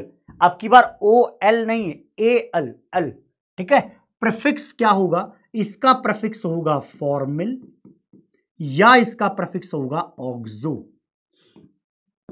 इसका होगा फॉर्मिल या ऑक्सो। ठीक है? आइए अगला देखते हैं, क्वेश्चन प्रैक्टिस करते हैं। वैसे इसका नाम तुरंत बताइए, चलिए। बिना टाइम गंवाए, अथर्व बताइए, इसका क्या नाम होगा? वन टू मुझे चैलेंज दे रहा नाम बताओ। अरे, नाम पढ़ दो। अबे, पढ़ ले नालायक यहाँ पे। दो कार्बन है तो हमने कहा कि भैया, ये कोई और नहीं, ये इथेन लिखने योग्य लोग हैं, और वन पर आपको एल्डिहाइड दिख रहा है तो इथेनल कह दीजिए। क्योंकि एल्डिहाइड हमेशा वन पे ही होगा। जहाँ कहीं होगा, वन पे ही होगा ऐसी कंडीशन में ना जी? हाँ। आइए, अगला बताइए। इसमें नामकरण करें तो हमें पता कि एल्डिहाइड के कार्बन को carbon number one, two, three, four और फाइव देना होता है। अब आप बताएँगे, क्या लिखेंगे बताओ? फोर पर ब्रोमो, थ्री पर मिथाइल। क्या लिखेंगे पहले? पहले लिखे four bromo, three methyl four bromo three methyl. इसके बाद पूरा पढ़ो क्या होगा? पेंटेन वन अल या अल कह दो, पेंटेनल। ठीक है? तो four bromo three methyl pentanal, इसका जवाब आएगा। जिन्होंने बताया, किसी ने बताया यार? नाम नहीं आ पाया तो आपका। वेरी गुड ड्रीम आईआईटी बहुत सही जा रहे हो। ड्रीम आईआईटी नाम भी है, तुम्हारा, काम भी तुम्हारा ठीक लग रहा है मुझे। लेकिन ध्यान रहे आइसोमेरिज्म में भी यही बात जिंदाबाद रहनी चाहिए और आगे जीओसी भी पढ़ाएँगे हाइड्रोकार्बन भी, उनमें भी जिंदाबाद रहनी चाहिए। ठीक है? आइए अगला देखते हैं। यहाँ की बात करें तो यहाँ पर नंबरिंग ये वन ये टू थ्री फोर फाइव इसको आप कृपया खुद से कर लीजिएगा। अगला देख लीजिए। ये भी आपको खुद से करना होगा, नहीं, इसको मैं आपको बता ही देता हूँ। चलो one two three four, five. पाँच कार्बन की चेन के लिए तो आप पेंटेन, पेन, पेंटेन होता है भाई। टी गायब कर दिया मैंने यहाँ पे। Pentane, Pantanal. पेंटेनल क्यों? क्योंकि वन पर, देखो, इतने को पढ़ दिया हमने। इसको इसके लिए तो अल पढ़ेंगे ना तो ये पेंटेनल। लेकिन थ्री पर क्या है? ऑक्सो। थ्री पर ऑक्सो या कीटो लिख सकते हैं। तो थ्री ऑक्सो पेंटेनल इसका नामकरण हो जाएगा। अच्छा ये क्वेश्चन करिए भाई। तुरंत अभी करवाया था, वैसा ही क्वेश्चन आया है जे मेन्स 2020 में। अरे बालक, करके देखियो। बहुत सारे क्वेश्चन करवा दिए हैं। अरे शुरुआत में कैसे प्रीवियस ईयर क्वेश्चन करवा सकता हूँ, जब तक ऐसा कोई टॉपिक ना आए जहाँ से क्वेश्चन पूछे जाते हैं। चलिए बताइए, यहाँ पर नामकरण कहाँ से होगा? वन टाइम दे दूँ क्या? टाइम टाइम टाइम, तीस सेकेंड। टाइम, तीस सेकेंड है भैया। वन, ये क्या होगा? टू, ये है थ्री, ये है फोर, ये है फाइव। और यहाँ पर यहाँ पर देखो, सिक्स। इस तरीके से करें क्या? सही बनाया या गलत बनाया है? ये भी आपको ही जज करना है, गलत है या सही है?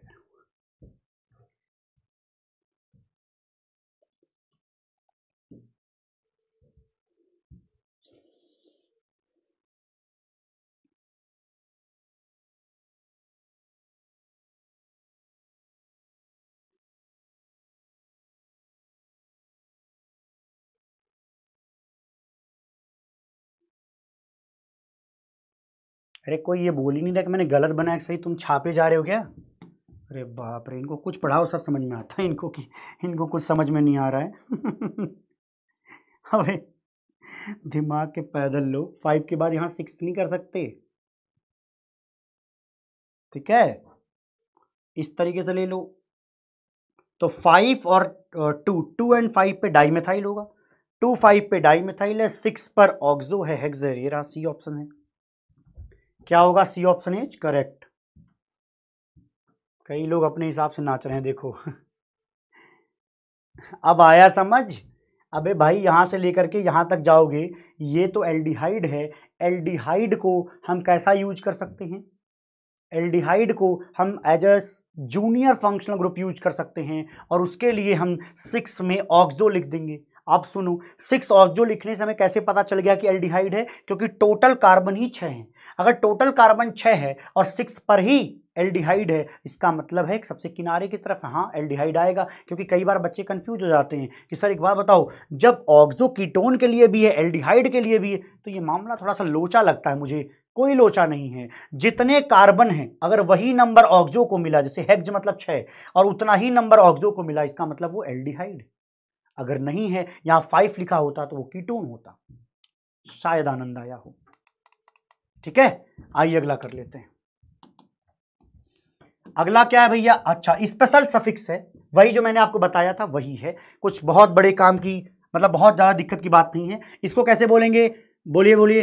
मैं पूरा लिख देता हूँ। आप नोट डाउन करना चाहें तो लिख दीजिए। साइक्लोहेक्सेन ये है साइक्लोहेक्सेन ये है कार्बोक्सिलिक एसिड तो साइक्लोहेक्सेन कार्बोक्सिलिक एसिड नाम का एक स्पेशल सफिक्स यूज़ होगा। क्यों?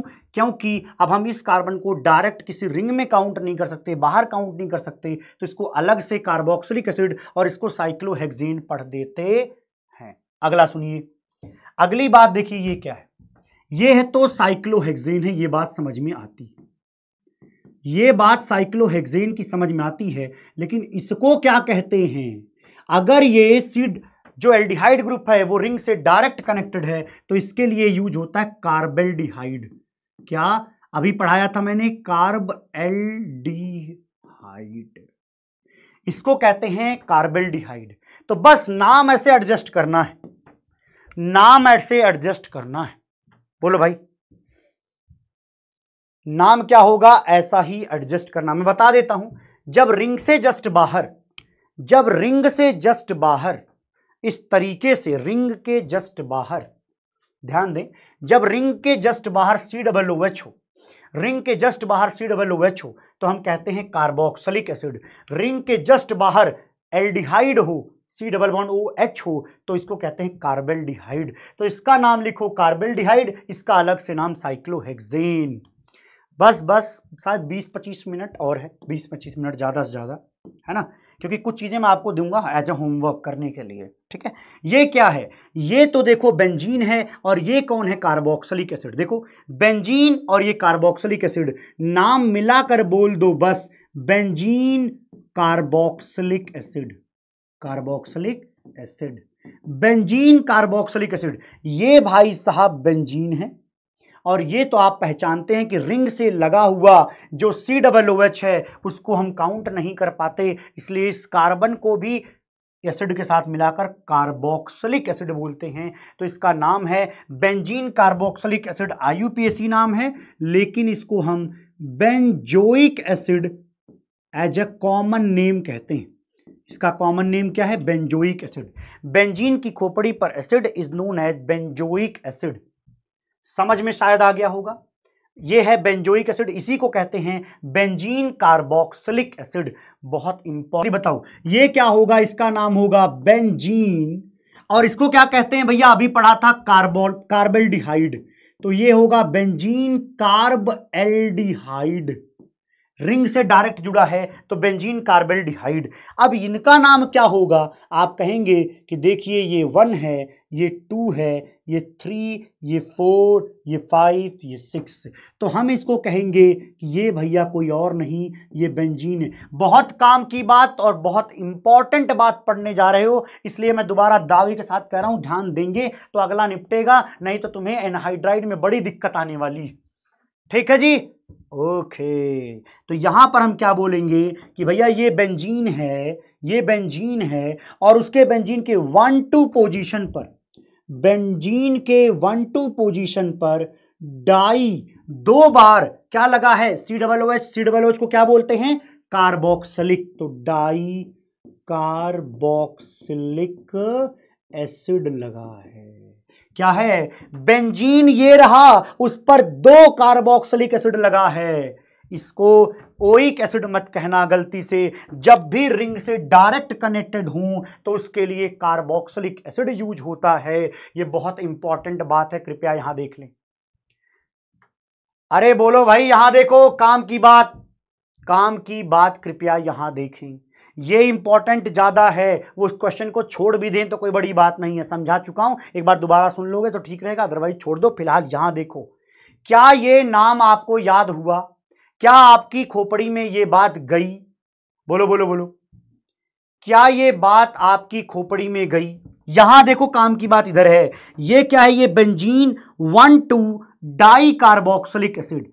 Benzene one two dicarboxylic acid हो जाएगा। क्लियर है? चलो, इसका नाम बताओ। चलो, अगर तुम्हें ये आ चुका है, तुम्हें इसका नाम ज़रूर आ जाएगा। चलो, बताओ। चलो, बताओ भाई। चैट वालों लिख के ये बताओ कि ये सही है कि गलत है? अरे इसका क्या आएगा, आप बताओ। ये तो सही लिख दिया। इसी को देख कर बताओ क्या आएगा। आप कहेंगे, देखो ये बेंजीन है। एकदम दिक्कत की बात नहीं है भैया, ये तो बेंजीन है। लेकिन ये देखो, carbon number one, carbon number two, क्या प्रेजेंट है? कार्बल डिहाइड प्रेजेंट है। तो क्या कहेंगे? बेंजीन वन, टू, ये पेपर में आएगा। आधे लोग तो बना ही नहीं पाएँगे। डाई कार्बेल्डिहाइड है बड़ा आसान सा। Benzene one two die carbaldehyde तो ध्यान रखना रिंग से बाहर एल्डिहाइड तो कार्बेल्डिहाइड नहीं तो यहाँ पर कार्बोक्सिलिक एसिड लिखते हैं, और ये हमारे सबसे काम की बात है। ये सबसे काम की बात है फ़िलहाल के लिए, ठीक है? अगले पर आते हैं। अब यहाँ से जो पीछे पढ़ा उसका यूज़ करेंगे। हमें एसिड एनहाइड्राइड आना चाहिए, सिखाता हूँ कैसे निकालते हैं। एसिड एनहाइड्राइड एनहाइड्राइड का मतलब होता है कि दो एसिड को आसपास लाकर वाटर मॉलिक्यूल हटा दिया गया। आप कहते हैं ना कि आदमी को कहा जाता है कि तुम्हें हाइड्रेट होने का मतलब पानी लेना एनहाइड्राइड होने का मतलब पानी कम है बॉडी में, ठीक है? तो यहाँ पर देखिए क्या होता है। अगर दो, ध्यान से सुनिएगा, दो एसिड आपस में मिल करके यहाँ से ओ OH और यहाँ से H मिलके गायब करें तो यहाँ से वाटर गायब हो जाएगा। देखो H2O आपस में गायब हो तो क्या बनेगा वो लिख लो। क्या बनेगा वो लिख लो, क्या लिखोगे? बेंजीन। ये देखो, बेंजीन के बाद क्या बचेगा? C double bond O C double bond O ये तो गायब हो गया तो क्या बचा? ऑक्सीजन। ये ऑक्सीजन। अगला देखो, ये है कार्बन डबल बॉन्ड ऑक्सीजन, और यहाँ पर आ जाएगा बेंजीन। यहाँ पर क्या आ जाएगा बेंजीन? देखो एक बार। देखो एक बार क्या होगा? Benzene CO O CO benzene. Benzene C O O C O benzene. ये देखो, जो बीच में ये बना है सी ओ ओ सी ओ इसको कहते हैं एनहाइड्राइड ग्रुप। अब होता क्या है, यूजुअली जब इनका नाम बोला जाता लिखने को तो हमें डर लगता है कि भैया इतने बड़े का हम नाम कैसे लिखें? ये तो तब भी चलो सही है, बाद में और कठिन हो जाएगा। कैसे करेंगे? अब सुनना। तो इसका इजी तरीका एक है कि जब कभी भी ऐसा दिखे तो आपको क्या करना है? ऑक्सीजन के रिस्पेक्ट में चेक करना है कि क्या दोनों तरफ़ सेम लोग लगे हैं? तो पता चला हाँ दोनों तरफ़ सेम लोग लगे हैं। किससे बने हैं? इससे बने, इनका नाम क्या है? इनका नाम है benzene carboxylic benzene carboxylic acid बोलो, इसका नाम क्या है? बेंजीन कार्बोक्सिलिक एसिड दोनों एसिड का नाम था बेंजीन कार्बोक्सिलिक एसिड। तो इस कंडीशन में यहाँ कैसे लिखना है? खाली एसिड को हटा दीजिए, उसकी जगह एनहाइड्राइड लगा दीजिए। बाकी सारी बातें सेम है। बेंजीन यहाँ पर लिखिए, कार्बोक्सिलिक। अब डायरेक्ट यहाँ ऐड करिए, एनहाइड्राइड। इनका नाम थोड़ा यूनिक तरीके से लिखना सीखना पड़ता है। इसका नाम थोड़ा यूनिक तरीके से लिखना सीखना पड़ता है। पहले आपको ये देखना है कि इसमें ऑक्सीजन के रिस्पेक्ट में इधर और इधर सेम है। सेम है तो पता करो ये किस एसिड से बने होंगे। तो पता चला कि बेंजीन की खोपड़ी पर सी डबल ओ एच होगा, उससे बने होंगे। तो पता करो इसका नाम क्या है? पता चला बेंजीन कार्बोक्सिलिक एसिड है। और अगर बेंजीन कार्बोक्सिलिक एसिड इसका नाम है तो भैया हम इसके एनहाइड्राइड में से एसिड को छुपा देंगे एनहाइड्राइड लिख देंगे, इसका नाम बेंजीन कार्बोक्सिलिक एनहाइड्राइड हो जाएगा। लिखते, लिखने का तरीका यही होता है, ठीक है? इतनी बात में कोई दिक्कत तो नहीं किसी को? इतने में किसी को दिक्कत नहीं। चलो ये बताओ, अब अगर ये लोग आपस में गठबंधन करें, देखो क्या होगा। इनका नाम बता सकते हो क्या नाम है? इनका नाम है इथेनोइक। इसको कहते हैं इथेनोइक एसिड। देखो, वन और टू। इथेनोइक एसिड अगर आपस में मिल करके आपस में मिल करके वाटर यहाँ से गायब कर दें तो क्या बनेगा? एनहाइड्राइड बनेगा। और वो एनहाइड्राइड कैसा दिखेगा? C O O C O C S three type का दिखेगा। फिर हमने देखा कि इस ऑक्सीजन के रिस्पेक्ट में दोनों तरफ़ C O C S three C O C S three है। अब बताइए क्या होगा? अब बताइए क्या होगा? बोलो बोलो बोलो। अब बताइए इसका नाम क्या होगा? आप कहेंगे इसका होगा इथे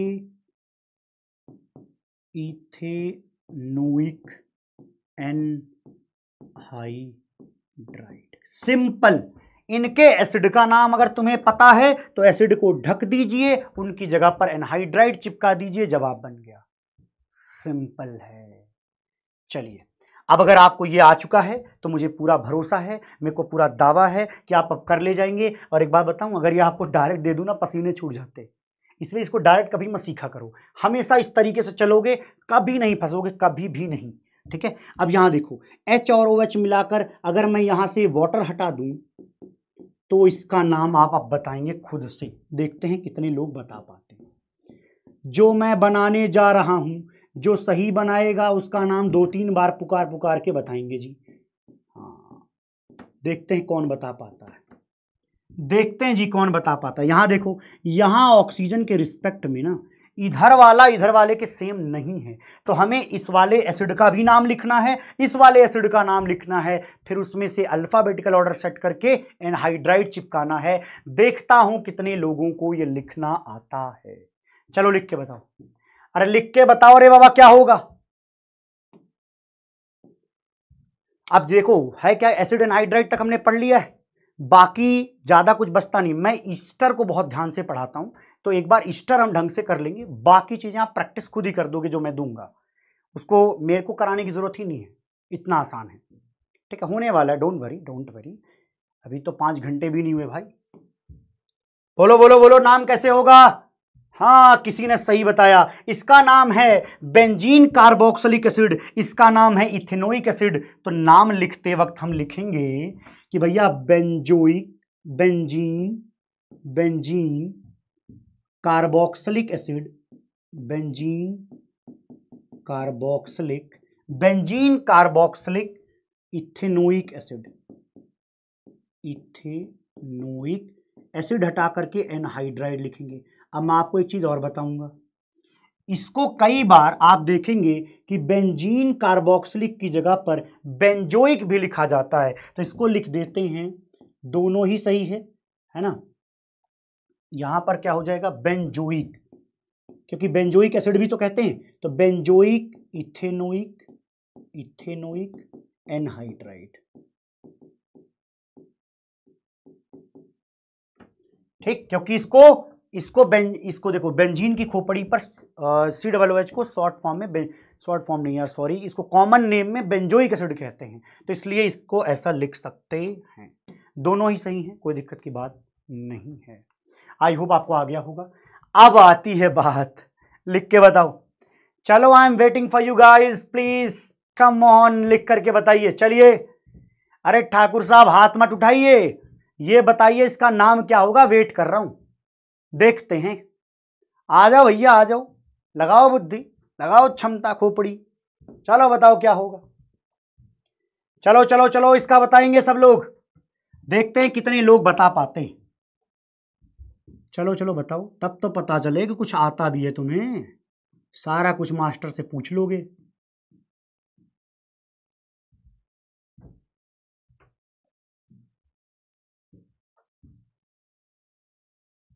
एक कह रहा थाइलिक एनहाइड्राइड। अरे phthalic anhydride is the common name man इसका आयुपीएससी चाहिए। आयुपीएससी लेकर आओ, नाटक नहीं चाहिए। आयुपीएससी लेकर आओ इसका। कोई नहीं बता पा रहा है। कर क्या रहे हो तुम? वेरी गुड एक ने पकड़ा है, एक ने। बहुत सही। ओहो, गुजर गया यार तुम्हारा नाम। एक ने पकड़ा है मूविल समथिंग करके नाम था। एम से कुछ नाम है उनका। चलो मैं बताता हूँ। पहले क्या करना है? जब कभी भी एनहाइड्राइड मिले तो आपको इस ऑक्सीजन के रिस्पेक्ट में दोनों तरफ़ C double O H C double O H करनी है। पहले आपको जब तक एसिड के नाम नहीं आएँगे तब तक आप कभी नहीं बता पाएँगे। तो इसको ब्रेक करिए एक तरफ़ ओ OH, दूसरी तरफ़ भी ओ OH करिए। इसका नाम तो तुम्हें आता था। अरे इसी को तो मिलाकर ये बनाया गया है। अरे इसका नाम तो बताओ रे बुद्धू। इसका नाम क्या है? इसको कहते हैं benzene one two di carboxylic अगर इसका नाम होता तो एसिड लिख देते, लेकिन मुझे तो इसका नाम चाहिए, इसीलिए हम एनहाइड्राइड लिखेंगे। अब समझ में आया क्या ब्रह्मास्त्र था? कितना कामगर था, बहुत सारे लोग फंस जाते हैं, निकाल ही नहीं पाते। हाँ ये काम की बात है भैया। आपको पहले जब कभी भी एनहाइड्राइड लिखने की इच्छा जागृत हो तो पहले उसके एसिड की नामकरण को सही से लिख लीजिए, तभी यहाँ जाइए। ये रिवर्स इंजीनियरिंग का काम करेगा, उल्टा चलना पड़ेगा, उल्टा कार्यक्रम करना यहाँ पर पड़ता है। समझ में आया क्या भाई? बोलो। बोलो बोलो बोलो, समझ में आया क्या? नहीं आया? कतई समझ में नहीं आया क्या? आ गया होगा अब तो समझे? हाँ। अब इसको बताओ सेम तरीके से इसका एसिड बनाओ। इसका एसिड बनाओगे तो साइक्लोहेक्सेन पर दो C double O H group लगते हुए, लहराते हुए दिखेंगे। इसका नाम है cyclohexane one two dicarboxylic dicarboxylic acid यहाँ हो जाएगा साइक्लोहेक्सेन लिखो। Cyclohexane one two dicarboxylic anhydride anhydride लिख लिया? यस इस तरीके से आएगा समझ में। ये तो आपको आता है, मुझे लगता है। बताओ भैया। इसके रिस्पेक्ट में ये भी सेम है, ये भी सेम है। अब क्या होगा? तो इनके एसिड का नाम बना लो बस। इनके एसिड का नाम बना लो, किसी एक के एसिड का नाम बनाओ, क्या होगा? C double bond O O H ये है। साइक्लोहेक्सेन कार्बोक्सिलिक एसिड इनका नाम है। इनका नाम है साइक्लोहेक्सेन कार्बोक्सिलिक एसिड तो इसका नाम क्या होगा? साइक्लोहेक्सेन बोलो बोलो बोलो carboxylic anhydride that's it that's it भाई, मामला खत्म है। मामला खत्म, क्या? साइक्लोहेक्सेन कार्बोक्सिलिक एनहाइड्राइड समझ में आ गया, बहुत सारे बच्चों ने लिख दिया। आनंद की अनुभूति, बस। मेरा सबसे प्रिय भैया ईस्टर है। ईस्टर में जो प्रफिक्स होता है, वो भैया हम कह सकते हैं कि मोर देन नाइन्टी परसेंट लोग सही नहीं कर पाते। वो गलत कर देते हैं, बस वो चीज़ मुझे सही करानी है। और ईस्टर सीखने के बाद बाकी एमाइड नाइट्राइल तुम खुद करोगे, ईथर मैं बताऊँगा जी। हाँ। आइए, काम की बात करेंगे ईस्टर पर। ईस्टर में क्या होगा? ईस्टर लिखा जाता है C double one O O R this is ester group और ईस्टर के लिए हम अगर सफिक्स की बात करें तो हम लिखते हैं ओ एट क्या लिखते हैं?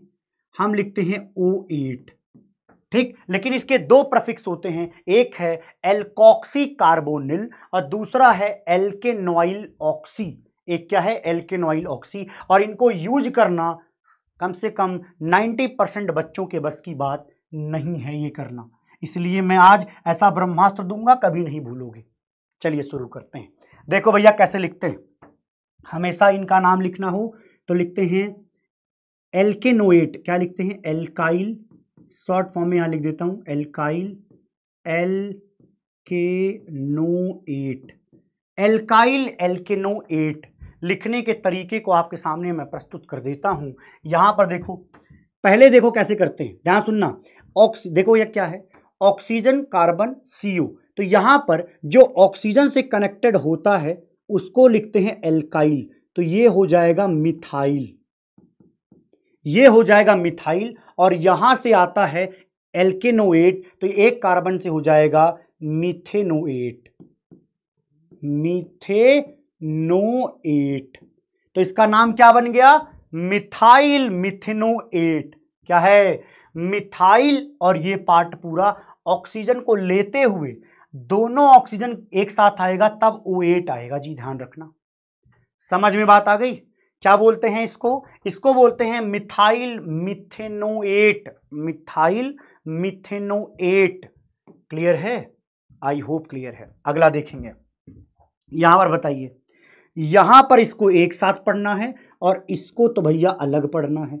इसको क्या कहते हैं? इथाइल। तो नाम की शुरुआत होगी इथाइल। ये क्या है? ये है इथेनोएट। Ethyl, ethanoate. ये है इथाइल, ये है इथेनोएट। मानस पांडे जी, बात समझ में आ रही है? क्या कह रहा हूँ? पांडे साहब, बात समझ में आ रही है? ये है इथाइल, ये इथेनोएट। क्यों? क्योंकि यहाँ पर एक कार्बन ये और एक कार्बन, ये दोनों कार्बन गिनने के बाद दो कार्बन से इथेनोएट बना। ऑक्सीजन अगर यहाँ रहेगा, तभी इसका नाम ओएट में आ रहा है भैया। एकदम सिंपल है जी। अच्छा ये भी समझ में आ गया। ये आप खुद कर ले जाएँगे, मुझे लगता है। इसको क्या बोलेंगे? इथाइल प्रोपेनोएट इथाइल प्रोपेनोएट क्या? इथाइल ये और ये रहा प्रोपेनोएट आएँगे भैया, अर्जुना बैच में भी आने वाले हैं, जल्द ही आएँगे। अर्जुना बैच में भी जल्द ही मुलाकात करेंगे आप सभी से। निश्चिंत रहिए। अब जेई एडवांस ने कोर्स दे दिया है तो आपको एस ब्लॉक भी मेरे को पढ़ाना पड़ेगा। किसको? अर्जुना बैच को। अभी वो बेचारे इलेवेंथ में हैं।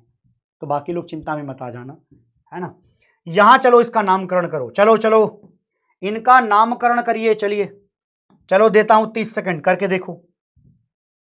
बस ज़्यादा टाइम नहीं लगेगा। अब से तो एग्जैक्टली पंद्रह मिनट।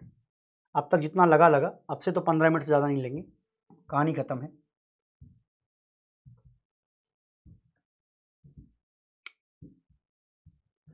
यहाँ देखिए, सिंपल सा समझा देता हूँ।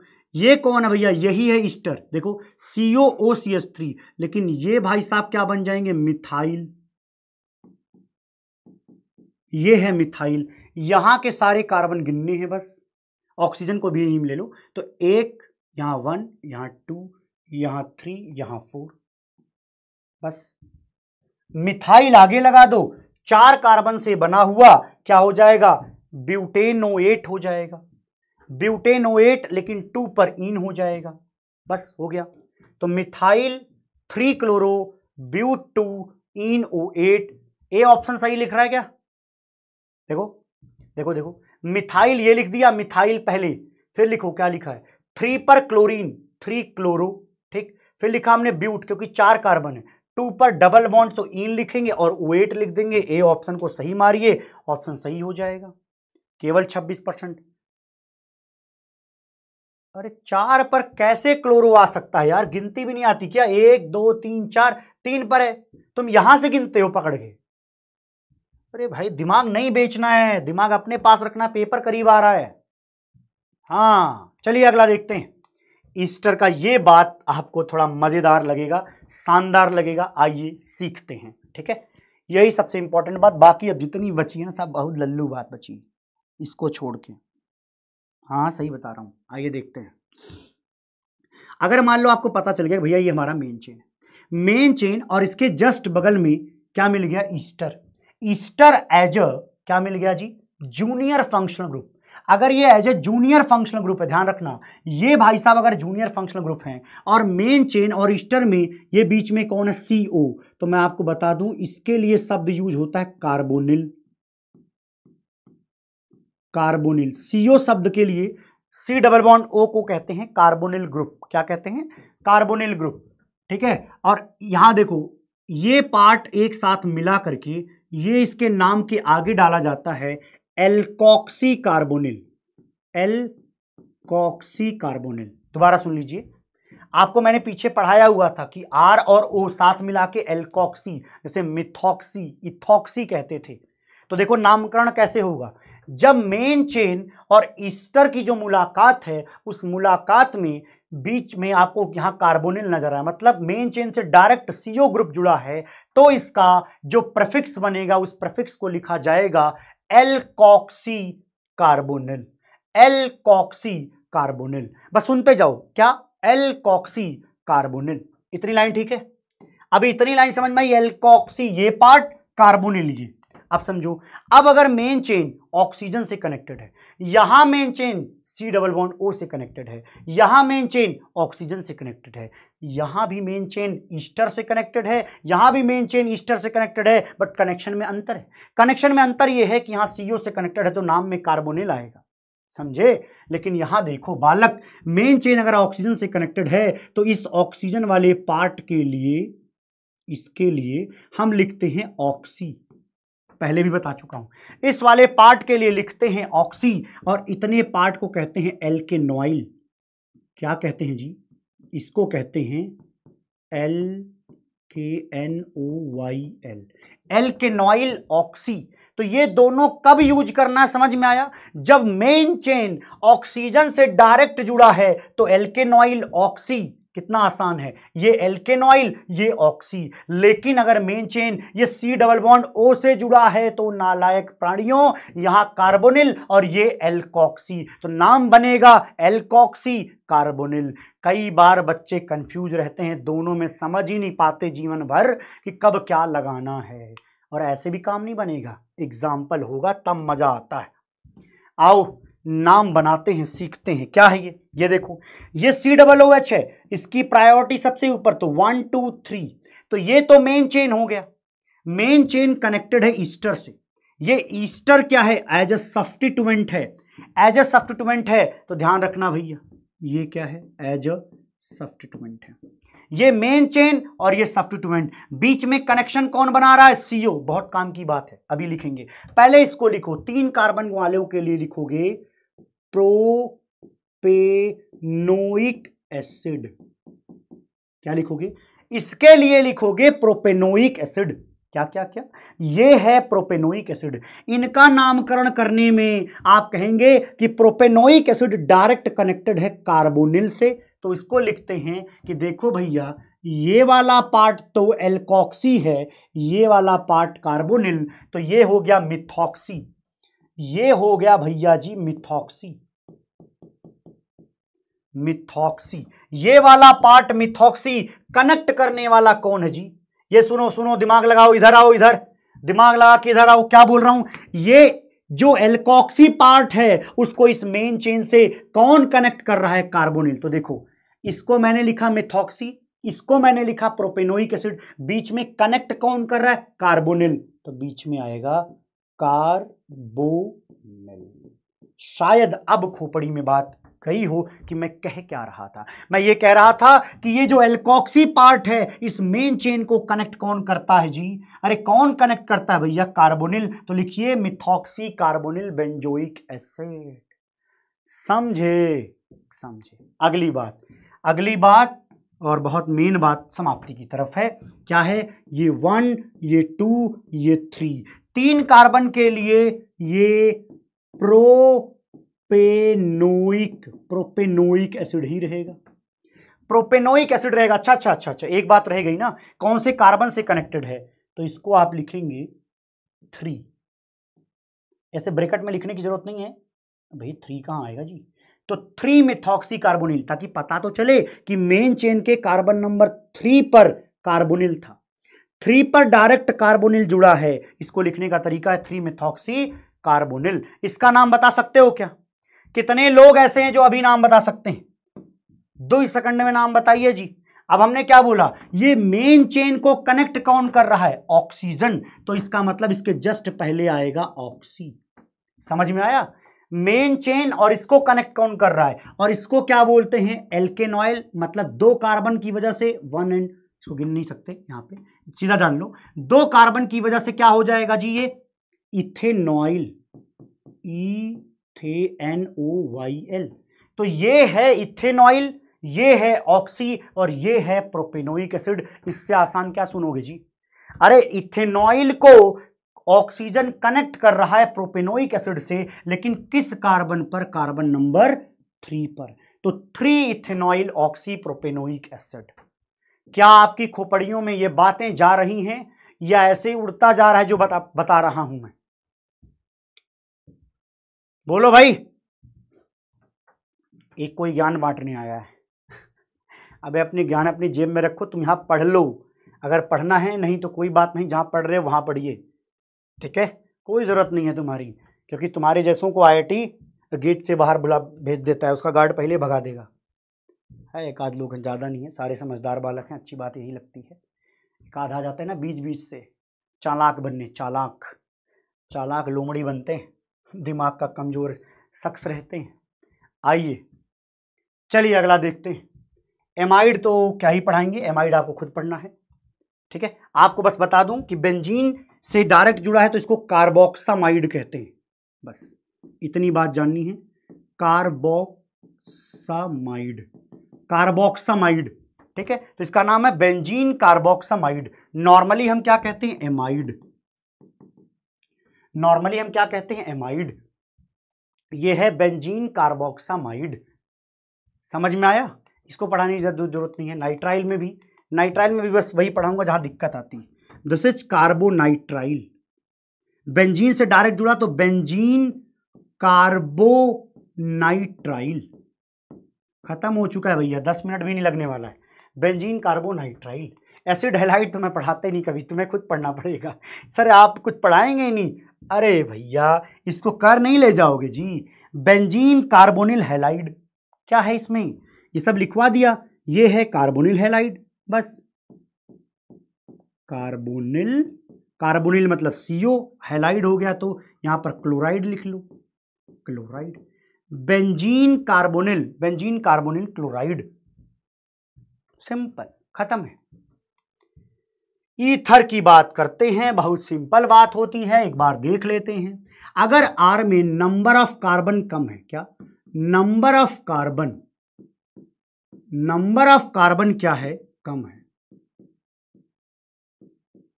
नंबर ऑफ़ कार्बन कम है तो इतने पूरे को मिला करके नाम दिया जाएगा एल्कॉक्सी। और यहाँ आर में क्या होगा? नंबर ऑफ़ कार्बन होंगे ज़्यादा।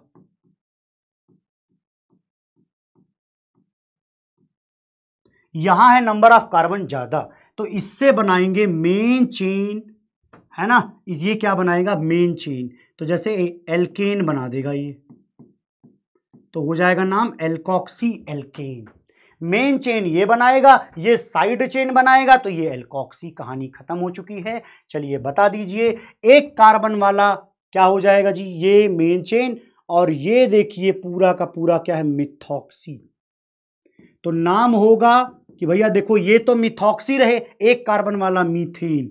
तो नाम हो गया मिथॉक्सी मीथेन।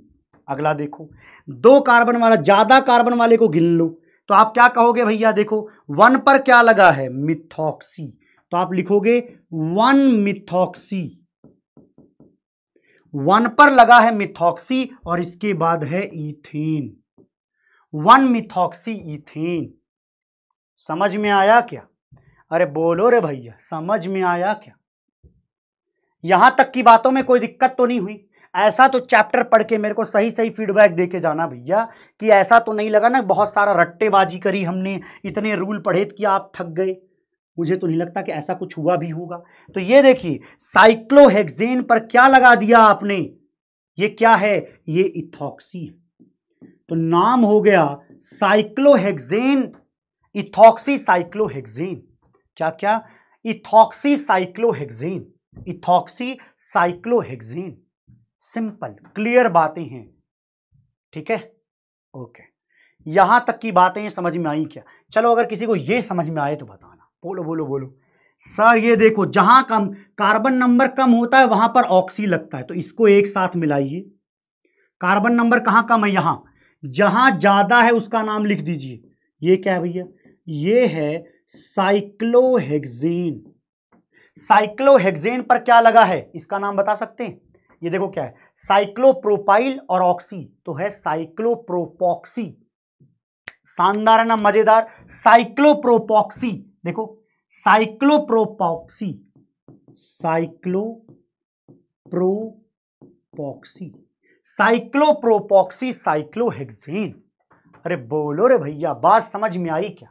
क्या यहाँ तक की बातें आपकी खोपड़ियों में बस गई हैं क्या? बोलो मेरे भाई। चलिए, मिलते हैं हम आप सभी को अगली वीडियो में। तब तक के लिए खुश रहिए, प्रसन्न रहिए, आबाद रहिए, जिंदाबाद रहिए। अगर आपको कुछ सुनना है तो वो भी बताइए। फ़िलहाल आप ये बताइए कि जितना पढ़ाया गया, क्या वो सब कुछ समझ में आया? इंपॉर्टेंट ये है कि आपको सब कुछ समझ में आए, तभी तो इसका कोई मतलब बनता है। समझ रहे ना भाई? क्या? इसका तभी कोई मतलब बनता है। बोलो भैया। एक चीज़ मैं अक्सर सुनाता हूँ, वो बस एक लाइन सुनाते हैं कि सस्ते सपनों का ढेर है दुनिया। सस्ते सपनों का ढेर है दुनिया। सस्ते ही दाम में ये बिक जाएँगे। सस्ते सपनों का ढेर है दुनिया। सस्ते ही दाम में ये बिक जाएँगे। अरे महँगे ख्वाबों की प्यास रखो तुम। महँगे ख्वाबों की प्यास रखो तुम। एक दिन हकीकत हो जाएँगे। एक दिन हकीकत हो जाएँगे, लेकिन उसके लिए लगेगा ठीक ठाक मेहनत। तो मिलते हैं आप सभी को अगली वीडियो में, और अगली वीडियो में आइसोमेरिज्म को ढंग से, कायदे से एक्सप्लेन करेंगे। आपको कुछ भी ना आता हो, तब भी सीख जाइएगा, लेकिन तैयारी अच्छे से करिए। अभी जो दिया जाएगा नोट्स उसको एक बार चाहे तो रिवाइज कर लीजिएगा, लेकिन निश्चित रूप से अभी आपको डीपीपी के क्वेश्चंस सॉल्व कर लेने चाहिए। बाबा take care love you all आप बताइए कि मज़ा आया कि नहीं आया? पहले आपसे सुनना चाहता हूँ कि आपको समझ में आया कि नहीं आया? हाँ हार्डवर्क तो यार पढ़ाने में भी है, लेकिन तुम्हें पढ़ने में भी तो है। तो पढ़ो, तुम ध्यान से, हमारे हार्डवर्क की चिंता छोड़ दो। हम तो भैया करने को तैयार हैं, क्योंकि हम पी डब्ल्यू के वासी हैं भैया, आपके साथ हैं। ठीक है जी? Bye bye take care love you love you all love you bye bye bye bye bye bye